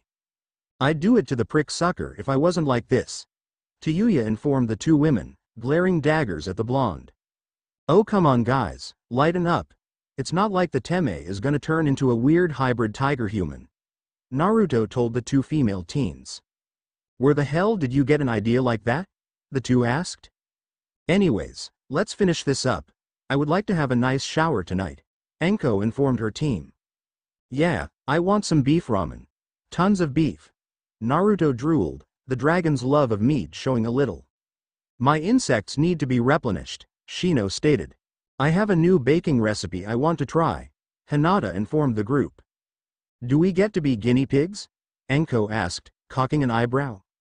My father will not allow me to test the recipes on the family members anymore.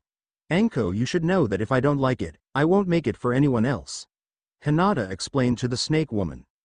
Nodding, Anko grabbed Mizuki. She threw him over her shoulder, the woman then turned to her team. Naruto was holding Tayuya in a bridal-style hold. Hinata had the scroll on her back. Shino had just finished collecting his traps. An hour later, Land of Fire, 50 kilometers from Konohagakure. The team had been making good time even with the extra weight. Suddenly Naruto flinched as something entered his range of hearing. Dodging to the left a golden-colored kunai lodged into the tree where his head had just been. Ambush! Naruto yelled, dodging numerous kunai that had been released. TCH, I told you we're too early. A gravely voice called out. And how would you have known? You have poorer aim than I do, plus I wanted to see if he could come up to my level, another voice replied. Stop it, both of you. Before I kill you. A new stern monotone voice told the two. A group of four shinobi appeared, they had the same outfit on that Tayuya had on, only slightly different for each one. There was a large teen with a triple orange mohawk, sporting a sleeveless brown tunic, and his brown bottoms ended right below his knees. A large grayish-purple rope-like belt could be seen around his waist, the bow inverted at the back. The second teen was a thin tan man with mutipule arms, a gray sleeveless tunic with a black sleeveless shirt and black shorts under it. A purple rope-like belt around his waist, the inverted bow in the back. His hair was pulled back into a rough ponytail, a Otogakure protector on his forehead. The next teen was a bluish-gray-haired, with some type of growth coming from the back. The teen had on greenish lipstick and light mascara around the eyes. The teen also sported a prayer bead-type necklace. The gray-haired person's attire consisted of a brown tunic with a black shirt under it, black arm warmers, and black shorts. The legs were covered in bandages and finally a giant scroll was being carried behind the back through the loop of the rope-like belt. The final teen was a pale thinly tall teen, with shoulder-length white hair that was zigzagged parting in the middle and pulled into two ponytails on either side of his head. He had two scarlet dots on either side of his forehead. His attire consisted of a loose light lavender shirt, that zipped up and had long sleeves. His bottoms were black pants that were cut off at mid-calf, a purple rope belt tied around his waist with an inverted bow in the back. What are you fuckers doing here? Aren't you supposed to be at the fucking village? Tayuya asked in a surprised tone. Leader Sama had us follow after you and make sure you were to arrive back on time. You have not, so we came to fetch you. The white-haired teen informed Tayuya. It wasn't my fault, I got captured by the tree fuckers. Tayuya explained, shaking her head at Team 8. Sensei. What do we do now? We can't fight them like this, and the village is too far away to make a retreat. Hinata asked, noting that the situation they were in. We are gonna have to retreat, it's all we can do really. We are just unlucky, they had caught us on the way back to the village. Anko informed her team. Naruto said Tayuya down on the limb, leaning her back against the tree. He then stood and started cracking his neck. You guys head on. I want to try something out. Naruto informed his team. Hinata appeared next to him placing Tayuya on her back. Naru-kun, if you don't come back, I'll hunt you down, kill you, then bring you back to life and kiss you hard. Hinata told the blonde in a sweet tone, a dark aura around the girl. That goes double for me. Anko told him. Hi Hime. Naruto answered, before cracking his knuckles and doing a few hand signs. Move now. Dragon Slayer Arts. Dragon Wind Drill. Naruto ordered as he blew a tight inverted funnel at the four teens. Three of the teens quickly moved out of the way, the white-haired teen stood still as the drill-like funnel hit next to him, destroying part of the branch the group had been standing on. Interesting. The boy said in the same calm monotone voice. I shall be your opponent. Actually I wanted to take all of you on at once. I guess the others are a bunch of pussies that couldn't beat a fly away. Naruto goaded the group of teens. If that is what you wish, then it shall be. Try not to die too quickly on us. The white-haired boy told Naruto. Naruto's enhanced hearing caught the hissing sound of something being thrown. Dodging, he reached out and grabbing a white-hardened arrow. Bringing the projectile up he studied it slightly, before throwing it back the way it came. The multi-limbed teen moved his head slightly the arrow plunging into the tree where his head had just been. Shocked that the teen had not only caught his arrow, but also thrown it back with almost pinpoint accuracy. TCH, damn it. He might be more fun than I thought at the beginning. The multi-limbed teen spoke out loud, starting to chew on something. Naruto didn't have a chance to retaliate, as the huge teen appeared in front of him. The teen thrust his hand forward hitting Naruto in the chest. Naruto flew through the air and slamming into the trunk of a tree. Ouch, that hurt a little you punk, Naruto told the large teen. Hmm. You are alive.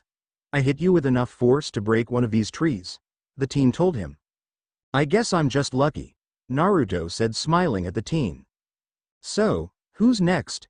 Naruto asked, balling his hands into fists. His eyes starting to turn into slits, and his irises turning a golden red color. His blood had started pumping hard, his breath coming in short. A roar started to thunder in the back of his mind, the call started rising into a torrent. Dragon Slayer Art, Metal Storm. Naruto yelled, metal shrapnel started spinning around the blonde pushing outward. Shit. Was all the big teen could say before receiving cuts and nicks from the metal-infused tornado. The teen had crossed his arms in front of his face, blocking most of the debris from hitting his face. Lowering his arms the teen looked behind him, the trees looked as if they had been thrown through a stripper that had been left on too long. It almost looked like a string cheese stick, half strung. He's almost at our level. The multi-armed teen spoke out. I want to eat him, he seems like a tasty meal. The big teen told the multi-armed teen. Jirobo, you always are hungry. Kidomaru, we don't have time to play. The white-haired teen told his teammates. Wait a minute. Fat, weird, pale, Where's the hunchback? Naruto asked, looking at his opponents.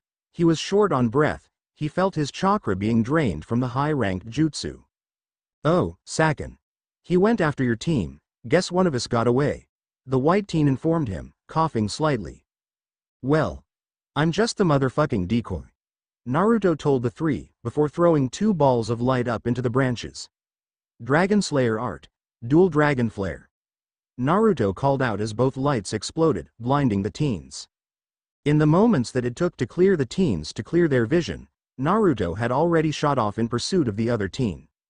What do we do now Kimimaro? Jirobo asked, looking at the white-haired teen. If we pursue them we have the chance at being caught. We must cut our losses. Let us head back to Orochimaru-sama and inform him of what has occurred. Kimimaro told the two teens that were left. Nodding at the truth, the three teens retreated, leaving to inform Orochimaru of the events that had transpired, and to plan their next move towards Konohagakure. With Team 8, 30 kilometers from Konohagakure. Shit, can this guy get any more annoying? Anko asked, having dodged another strike that had broke the limb she had been on. The fucker could get more fucking annoying, Tayuya commented to Anko. Bitch either shut up, or fucking give some useful information, Anko told the teen. Okay. Hey Saken, you dumb fucker. Hurry up and get me out of here. Tayuya told the teen. Tayuya. I might want to kill you, after I take out this trash. Saken informed the redhead. Tayuya visibly flinching at what the teen had told her. She knew that the teen wanted to prove that they were stronger than anybody else. The only person so far to beat them was the group's current leader Kimimaro. Shino, Hinata, Head to the village and send reinforcements, I'll hold this one off. Anko informed them, pulling out two kunai and getting set into an advance Hebi form. Well, well, one of the trash wants to play. Sorry, we don't have time. We are on a strict schedule. Saken informed the snake mistress. You'll just have to reschedule then. Cuz I'm gonna make you an appointment right now. Anko retorted at the teen.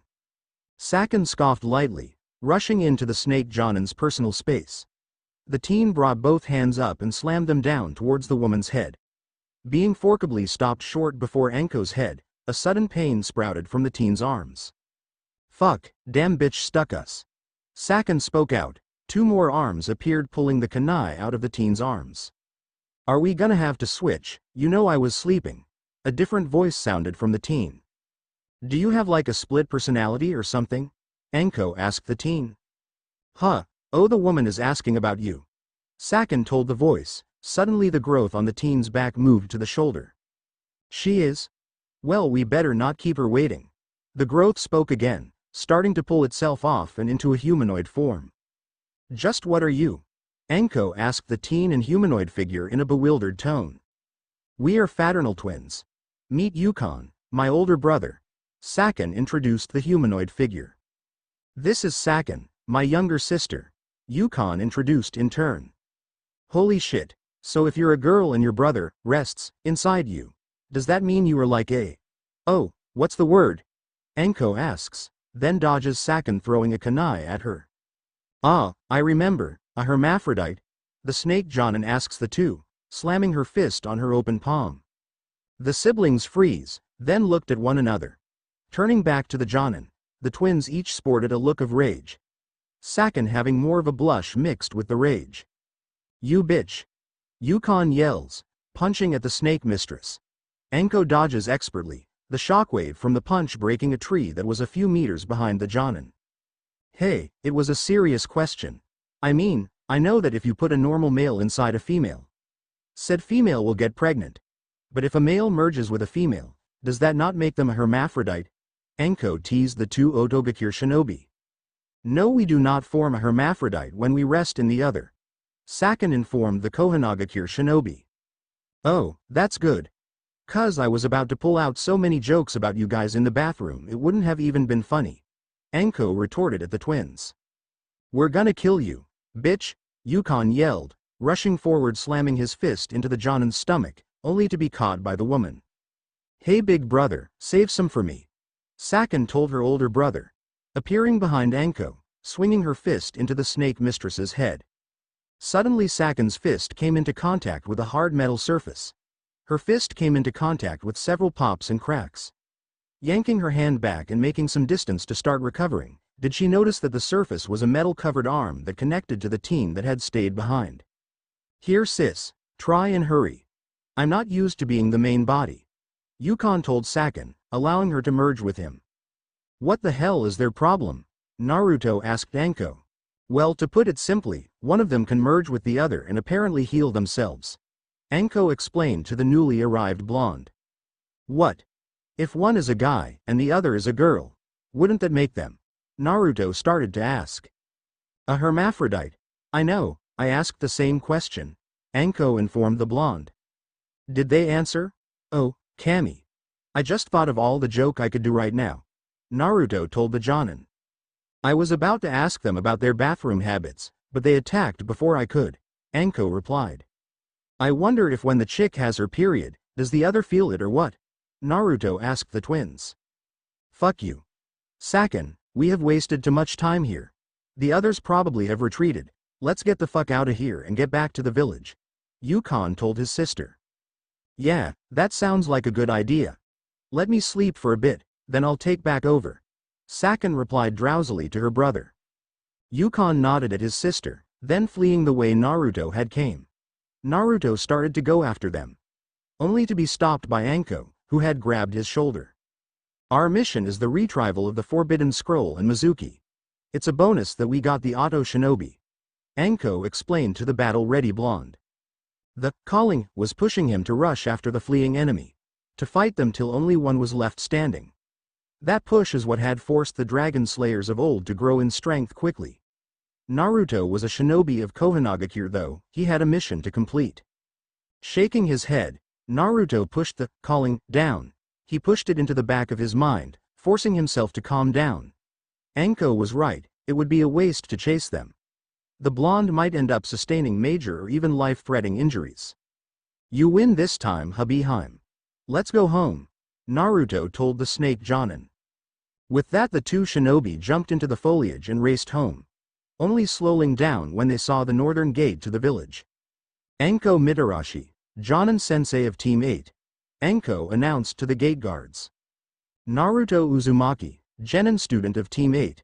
Naruto also informed the gate guards. Both guards looked up, checking their shinobi identities real quick. Glad you guys made it back, the rest of your team is over at IT with the traitor and prisoner. We were about to send a squad of Anbu out to retrieve you. One of the guards informed the shinobi. Thanks. Can you tell the two other genin to meet us at the Hokage's office, so we can be debriefed? Anko asks one of the guards, who nods and went over to short-range ham radio. Konohagakure IT, this is the North Guard. Team 8's Jonin Sensei and Spare Genin have returned. The Jonin sensei wishes for the rest of the team to meet at the Hokage's office for debrief. Copy. The guard talks into the walkie. Copy. Team 8 is to report to the Hokage's office for debrief. Tell Anko that if she wants first crack at this Otogakure shinobi, she needs to move fast, the voice replied. She already left, and judging by the dust cloud headed to the Hokage's office. You'll see her in about 15 to 20 minutes. The guard replied, looking at a long straight dust cloud that lead to the Hokage's office. Hokage's office Anko kicked the door open, and threw Naruto into the office.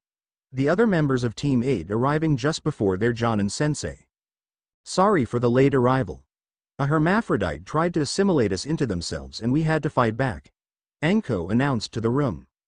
What? Sarutobi asked. Oh, sorry too far ahead. Let's start at the beginning. Anko said blinking slightly, then started to go over the mission report.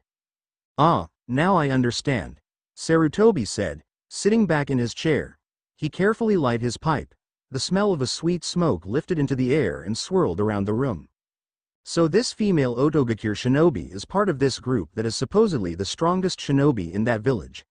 Due to her being laid back from her assignment, they sent the rest of her group out after her. Who you engaged and then retreated from to complete the mission assigned to you. Sarutobi summarized. Hi Hokage-sama. Judging how the Herma, the shinobi that engaged me, their strength and techniques were on par with my own. I judged that they would be high chunin to high jonin. Anko commented to the Hokage. Sarutobi nodded, then closed his eyes in thought for a moment. Then grabbing a pen and the mission scroll, Sarutobi made some extra marks before stamping it with his seal. I have upgraded the mission from AC rank to an A rank due to the effect of this group of Otogakure shinobi's strength. Sarutobi informed Team 8, handing the scroll back to Anko to turn in. With that I'll give Team 8 a 48-hour leave. I'll see you in two days at the mission hall. Dismissed. Sarutobi told the group. Hi, Hokage-sama. The team voiced, bowing before leaving. I wonder what you were up to Orochimaru. Sigh, I'm getting too old for this. Sarutobi told no one in particular. With Team 8. Okay guys, the Hokage has given us a 48-hour leave. I'll let you guys rest or do whatever you kids do these days. I've got a date with an Oto shinobi that requires a candlelights and soft music. Naruto, Take care of this for me would ya? Anko told the team before rushing off towards the IT department.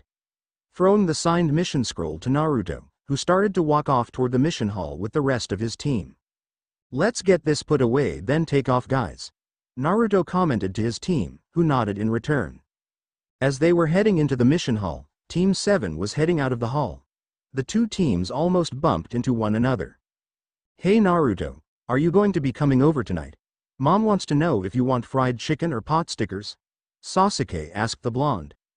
Yeah, I'll head over there after we turn this in and get changed into some clean clothes. I'll take some pot stickers. Hinata, would you like to join us? Naruto asked the dark-haired girl. Uh, I think my father wants to talk to me about something. I'll have to pass this time. Hinata informed the blonde. And what important D-rank mission did you have that you were missing for an entire day? Kakashi asked the teens. That is privileged information. If you wish to know more, then you'll have to ask Anko-sensei. Shino told the cycloptic Jonin. Hmm. Kakashi said, pulling his orange book back up to his face. We'll see ya later. Naruto told Team 7, as his team headed into the mission hall. Cave of Sealing, Lightning Country a click and hiss were all that was heard from back room. The woman that had been the second to be unsealed walked to the back hoping the coffin that held her adopted daughter had opened. Looking in, she saw that the blank black coffin is the one that was opening. A young man dressed in a high-collared red and tan robes with gold trim stepped out. A large white toga was draped from his left shoulder down to his right hip. His black hair was cut to the nape of his neck, and flowed slightly over his ears. The bangs on the front parted in two parts so that his eyes could look out onto the world. His final setting was he had a pendant around his neck, what was in it only the wearer knew. Good morning. Is it time already? The man asked the woman. Yes, it is my lord. What are your wishes? The woman asked, the robed man. I've told you many times Ultear, not to call me lord or sama, or any honorifics. It is too many years late for me to have earned respect. We are here to serve justice Umong those who wish ill upon this new world. The dark-haired man informed her. I'm sorry Emil. Zeref. Where shall we start? Ultear asked Zeref. I sense several powerful energies coming from the west. It also seems to be tainted with great evil, as if a demon from hell itself has been produced. Zeref informed her. Send Zancrow. Have Eric find us a proper area to set up a base. Your will be done, Lord Zeref. Ultear told the dark-haired man, bowing. Lord Zeref, when will my daughter become unsealed? Ultear asking the man, worried about the only member of the group that matters to her. Hum, she will be along any day now. Now, where is our host? Zeref informed Ultear, asking for the man as he walked out the door. Ultear stood, before stepping up to the coffin engraved with a heart on it. She gingerly touched the lid, kissing it gently. She then turned and walked out of the room to relay the orders to the flaming god slayer and the poisonous dragon slayer. The thirteen unopened coffins laying in waiting to be awoken to the new world. Southern border in the land of fire, cavern and unexplored cavern shut off from the rest of the world suddenly flashed in a dazzling light, that then deposited several characters into its darkness. Damn it, that hurt. Is everyone here? A male voice asked. I think so. Where are we? A feminine voice replied. Lucy, I think we did it. Lucy? A pink-haired man asked, looking around. I don't think she made it, Natsu. The female voice told the pink-haired man. We knew what would happen if she sent us forward. I just never thought. The man said, leaving the ending hanging. Natsu, let's not hold on to what could have been. We need to get out of here and gather our bearings. An older man told Natsu, who in return nodded. I wonder if the world has completely forgotten us. Natsu told the group as they started to look for an exit to the cavern. The two days of leave for Team 8 had been welcoming. Yet the leave had also ended too quickly for them. They now stood in front of the Hokage again, waiting for their next mission. We've received rumors of large tremors in the southern area of the Land of Fire. We want you to go down and see what is making these. If it is beast-like, stop it or incapacitate it. If it is a humanoid, try to reason with it or capture it. The aged man assigned them. Hi Hokage-sama. The team replied. Okay guys, pack for one week. Anko told her team, we'll be leaving in a half hour. I wonder what's going to be waiting for us, Naruto asked his team. I don't know, but we must be prepared for anything. Shino confirmed what his teammates had been thinking. Naruto went to the shinobi tailor that had made all his outfits. Walking in it didn't seem like a tailor's shop. The interior seemed more like an outlet clothing store for shinobi. Second-hand pieces and discount racks hung all over the place. The blonde walked up to the counter and rung the bell twice. An elderly man came from the back, looking up to the, the young shinobi. He smiled broadly as he approached the boy. Suddenly the man started to move his hands. To anyone else it would look like he was flapping his hands around and touching his face as if he was having a seizure. It had took Naruto years to realize the man was actually talking to him. Ah, Master Naruto. You have come for your gauntlets, the repairs went nicely. I am ashamed that you let the gauntlets get damaged like that. The man said with his hands. I am deeply sorry, Shinmoku asterisk. I had to use my special gift to keep them from getting totally destroyed. You do know what happens in our line of business. Naruto informed the man. I am aware of your line of work. I mended the gauntlets and reinforced the leather with a metal plating. I also added a lining of sealing arrays. You can place anything from kunai to a person into those seals. Shinmoku informed him. What about our special product? Naruto asked him, looking around to if anyone non-important around. Ah, the special product. The only problem with that is the materials are almost legendary. Do you know how hard it is to find that object, even if the object is found? The price to obtain it is almost as hard as finding it. The elderly tailor told him, but I am close to finding it. I would like to be informed when you do find it, as I am the only one in the world that can obtain it without paying the ultimate price. Naruto informed the elder. Hi, hi. I will inform you ASAP, Master Naruto. Now, do you require anything else? The man asked through his hands. Just the price for the repairs and upgrades on the gauntlets. Naruto told told him, holding up a wallet that looked like a fox with dragon scales starting around midway. I've told you when we find that object, you'll have been paid in full. Now, run along. The man told him. Okay, Thanks. Naruto told the man as he grabbed the improved gauntlets and head to the door. South Gate, ten minutes prior to departure Naruto arrived just as Hinata and Shino were lighting onto the ground just inside the gate. The hyperactive blonde checked his scrolls and his armor for what seemed to be the fifteenth time since they all arrived at the gate. Naruto-san, no offense. Could you please stop messing with your equipment, Shino exclaimed. Wow Shino, all you had to do was say please. Naruto retorted, setting his armor back to the original setting that he had it set to. Naruto, are you okay? Hinata asked perturbedly, her fingers poking slightly together, the blonde's energy causing the team to sense an air of foreboding. I don't know, it's this aura that is coming from the south. It's as if I know it. Naruto explained, visibly trying to relax. He took a deep breath and centered himself. I'll try to keep this feeling to a minimum. I'll try not to let it get too close to the heart. Naruto confirmed with his team. Anko suddenly approached as Naruto cut his intent down to a lower level. She noticed that her team was on edge from the blonde's aura leaking on a subconscious level. Okay guy. I've got a week's worth of dango. A large supply of kunai thanks to Naruto making those new storage seals for me. Anko informed her team. No offense sensei, but don't you think that consuming that much sugar is good for you in the long run? Shino asked, curiously. Anko struck a thinking pose for what seemed a half second. Nah, not unless they put me teaching the academy or some boring job like being the Hokage's secretary. Anko replied, Now, are we ready to begin the mission? Hi, sensei. Team 8 sounded off as they turned to the gate. Okay team, let's move out. I want to be halfway to the destination in a day, so we'll be moving quick and high-paced. The snake mistress told her team. Let's get going. You talk too much. Naruto informed the purple-haired Jonin, causing the said Jonin's eyebrow to twitch ever so slightly. Damn it Naruto, if I didn't care about you so much. The Jonin let the sentence hanging as Team 8 departed for the southern destination. Unknowingly setting off to something that would change their perspective on the shinobi world as they knew it.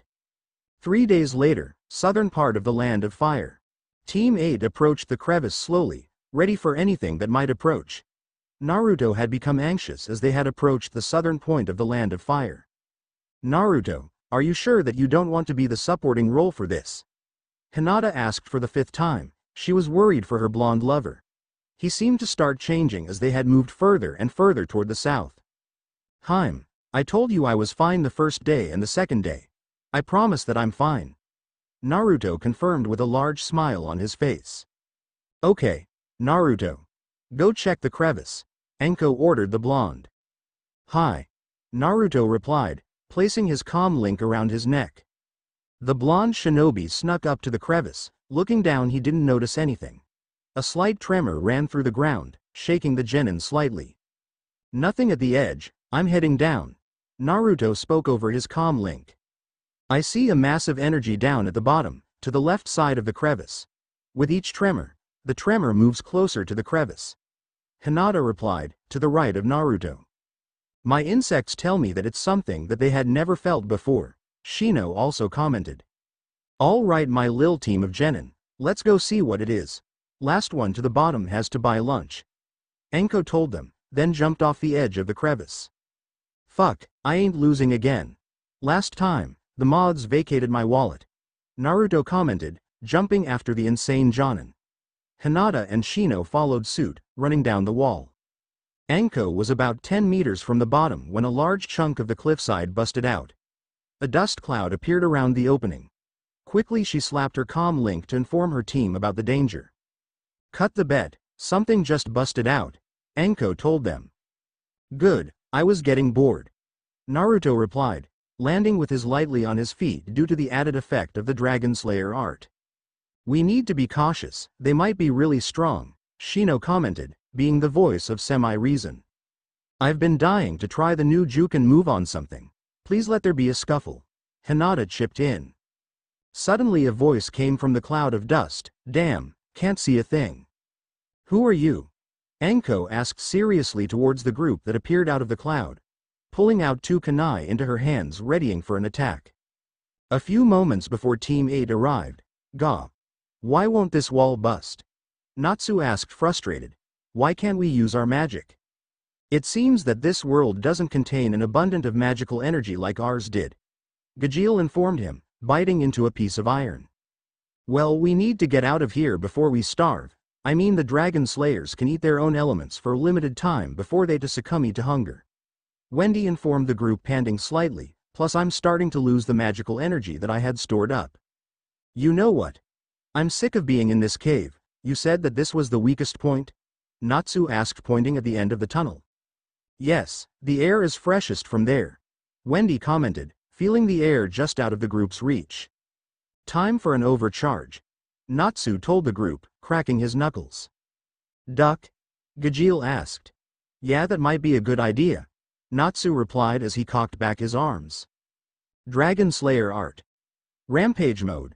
Natsu called out, as he started slamming his fists into the wall. After a few seconds the walls started to shake violently. Almost there. Just one more push. Natsu yelled to the group as he hammered away. Suddenly the wall crumbled and exploded outward, creating a large dust cloud that covered the bottom of the ravine. Damn, can't see a fucking thing.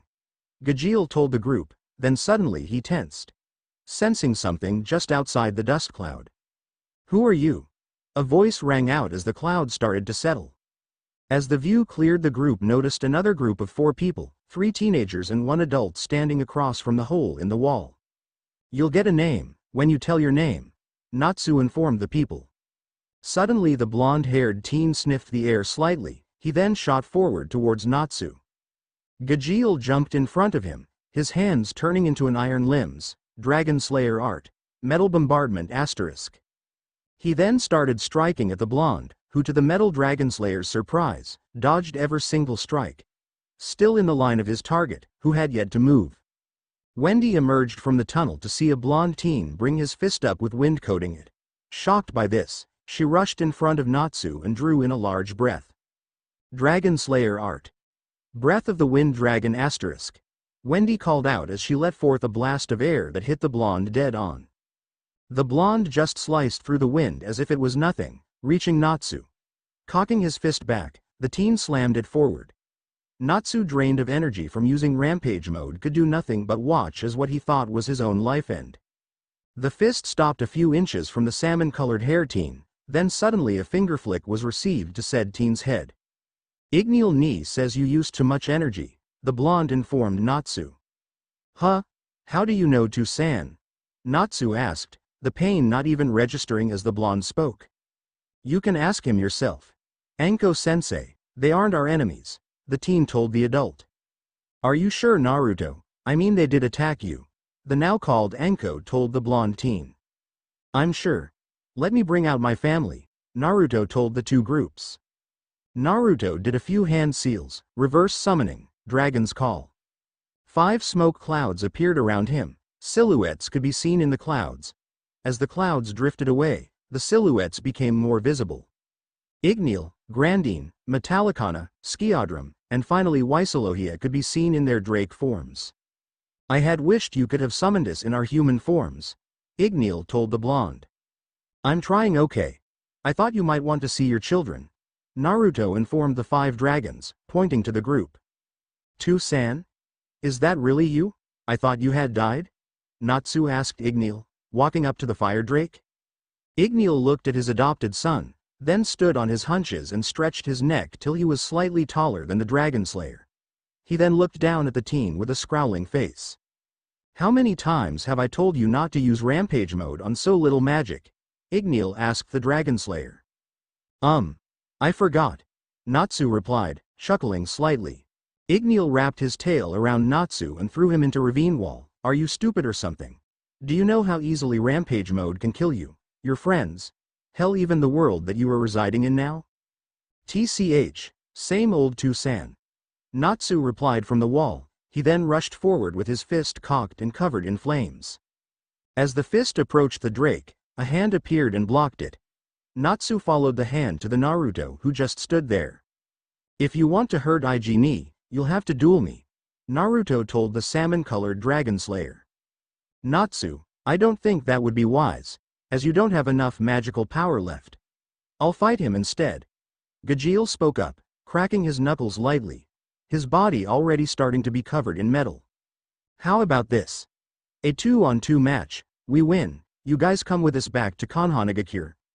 We lose, we leave you guys alone to do whatever you want. Anko compromised. That sounds fair.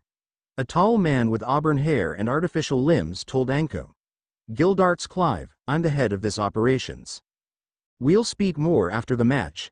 Anko informed Gildarts, before turning to her team. Hum, Inni. Minnie, Minnie, Mo. I choose Hinata.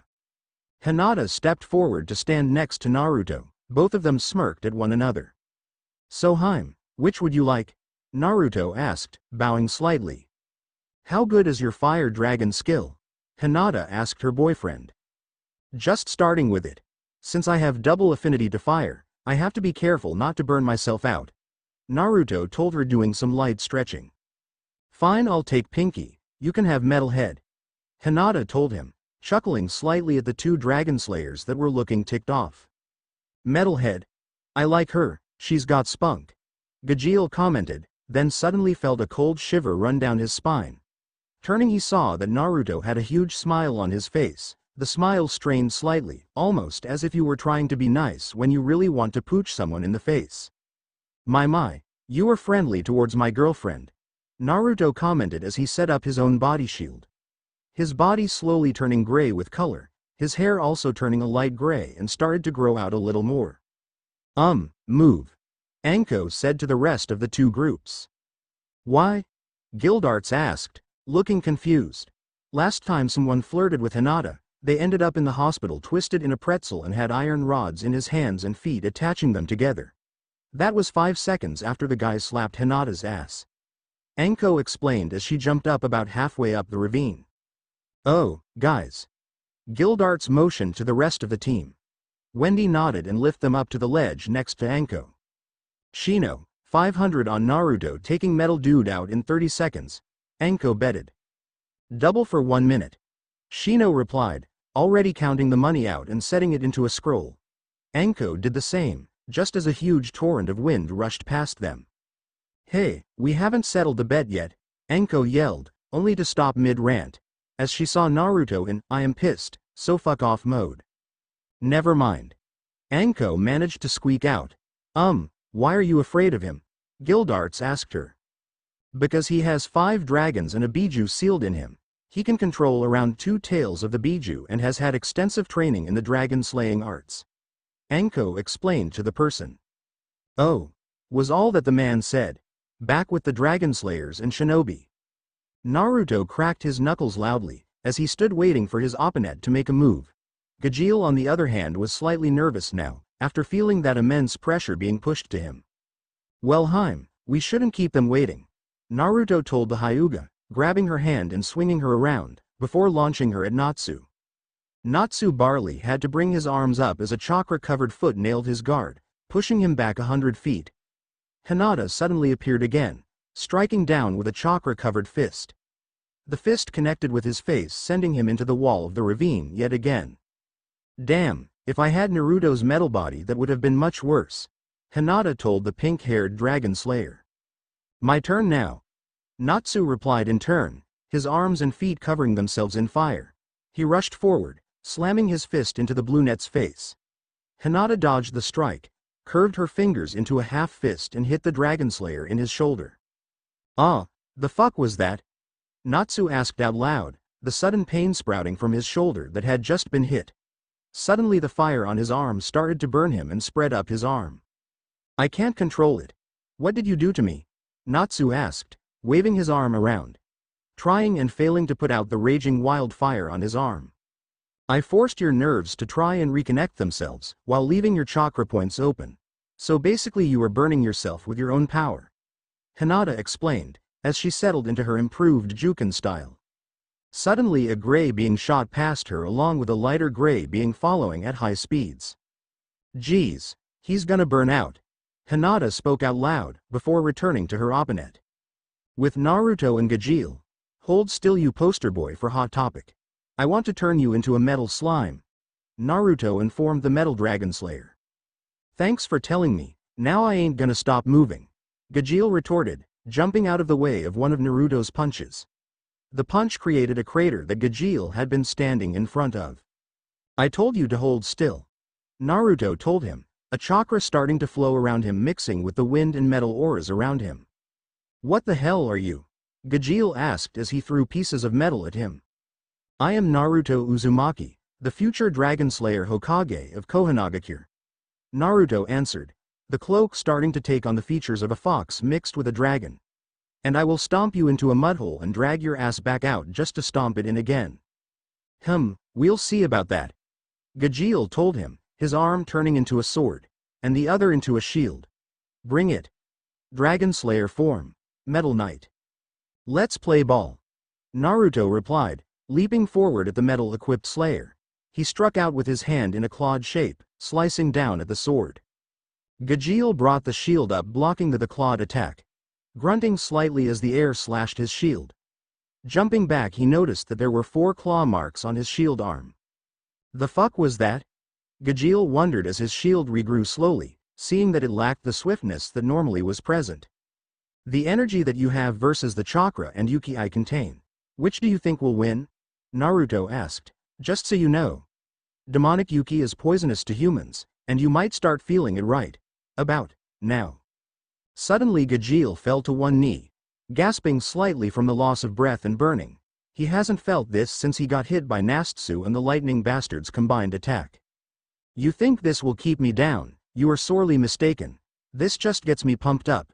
Gajeel told the blonde, standing up slowly. His breath still shallow and ragged. Huh, I might just have to try harder, Naruto told him in a slightly playful tone.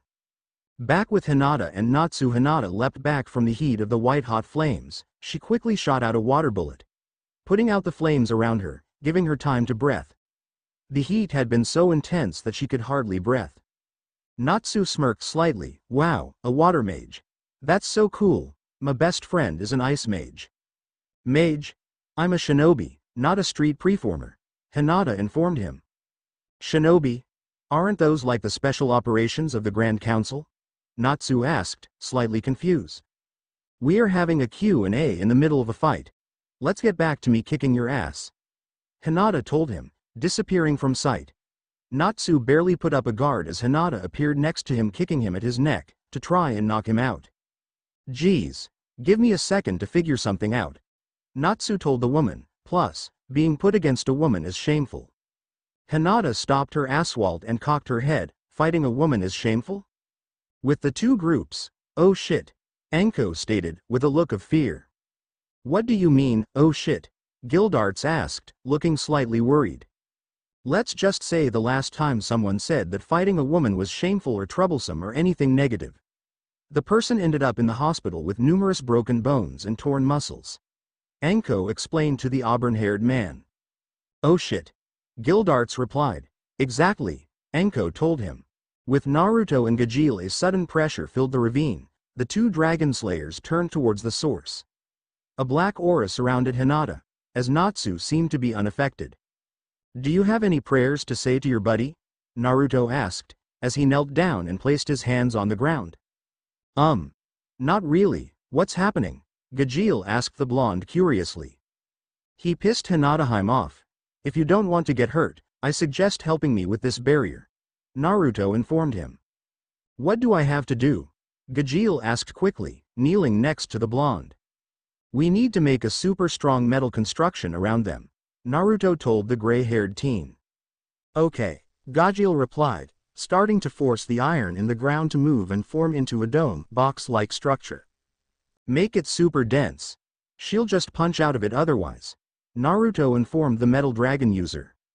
How? She can't be that strong. Can she? Gajeel questioned. Dude, even if I was at my strongest, I wouldn't fuck with her. Naruto told him looking slightly scared. Fuck. That. Shit. Gajeel told him, and densed the metal construction until only a super white, almost clear flame, could cut through it. Inside the construct were sounds of flesh hitting flesh and a few muffled screams that barely made it out. After a few minutes a large dent was made in the metal, and another. Suddenly the metal had hundreds of dents until the, the first dent burst open to see a panting Hinata. Sweetheart, Hinata asked softly. Yes Hime? Naruto replied, sweating slightly. Am I weak? Hinata asked him. Not that I am aware of. Naruto told the Hyuga heiress. He thought I was. Hinata informed him, pouting slightly. And? Naruto asked. We might have to take him to a hospital. Hinata told him, looking back at the broken form of Natsu. That might be a good idea. Naruto commented, back with the two groups. Now that's over, would you like to tell us who you are? Anko asked in a deadly tone. Yeah, we'll tell you everything. Gildarts replied quickly, not wanting to even see what the inside of the construct looked like. A few hours later, around a campfire, you actually want me to believe that bullshit? Anko asked the group of now named mages. You are a group of mages, sent into the future to stop another group of mages that want to take over the world. And that this Pinky's brother is the leader of the group of evil mages? Yep, that's about it. Gildarts told the purple-haired shinobi. Well that's just fan-fucking-tastic. How the hell are we supposed to deal with that? Anko asked as she threw her hands up in frustration. First we need to speak with your leader and look at the history that has happened since we have left. So we get a better grasp at what happened, and find out where they could be located. Gildarts explained, while I do that, I need someone to take care of these kiddos. Anko looked over at the two groups conversing with the other. The two groups seemed to be enjoying each other's company. The four dragon slayers the most as they talked about their pasts with each other. Let's just say, a lot of things were burnt, pierced, and shredded before the night was done. Well, I guess we need to go back to Konohagakure to inform the Hokage about this. Then we'll go from there. Anko told the destruction mage. That sounds fine. I'll inform my group that we'll cooperate with you till something happens. I mean, it's not like you are suddenly going to lock us up in chains and place a binding spell on us. Gildarts joked. Anko chuckled nervously, slight scratching her neck. Gildart's sweat dropped. You have some sort of restraint, don't you? Anko pulled out a wad of chakra suppression tags, from what Naruto has to us. You guys are just like an untrained shinobi. So we wanted to be safe with your handling, she explained. Ah. So these are supposed to suppress our energy until we can be trusted? Gildarts asked. Yep, that's the jest. Anko told him, handing the tags to him. Okay, that's fine. I'm actually surprised that these haven't broke down. Gildarts told her, picking up a rock. The rock turned into numerous cubes. That's cool. We need to rest so we can get back to the village ASAP. Anko told the mage. Yeah. Gildarts got up and went to inform his team of what was to happen. This is going to be a long three days back. Anko told herself. The end. I hope you enjoyed this episode. Remember to subscribe and like this video. See you in the next video.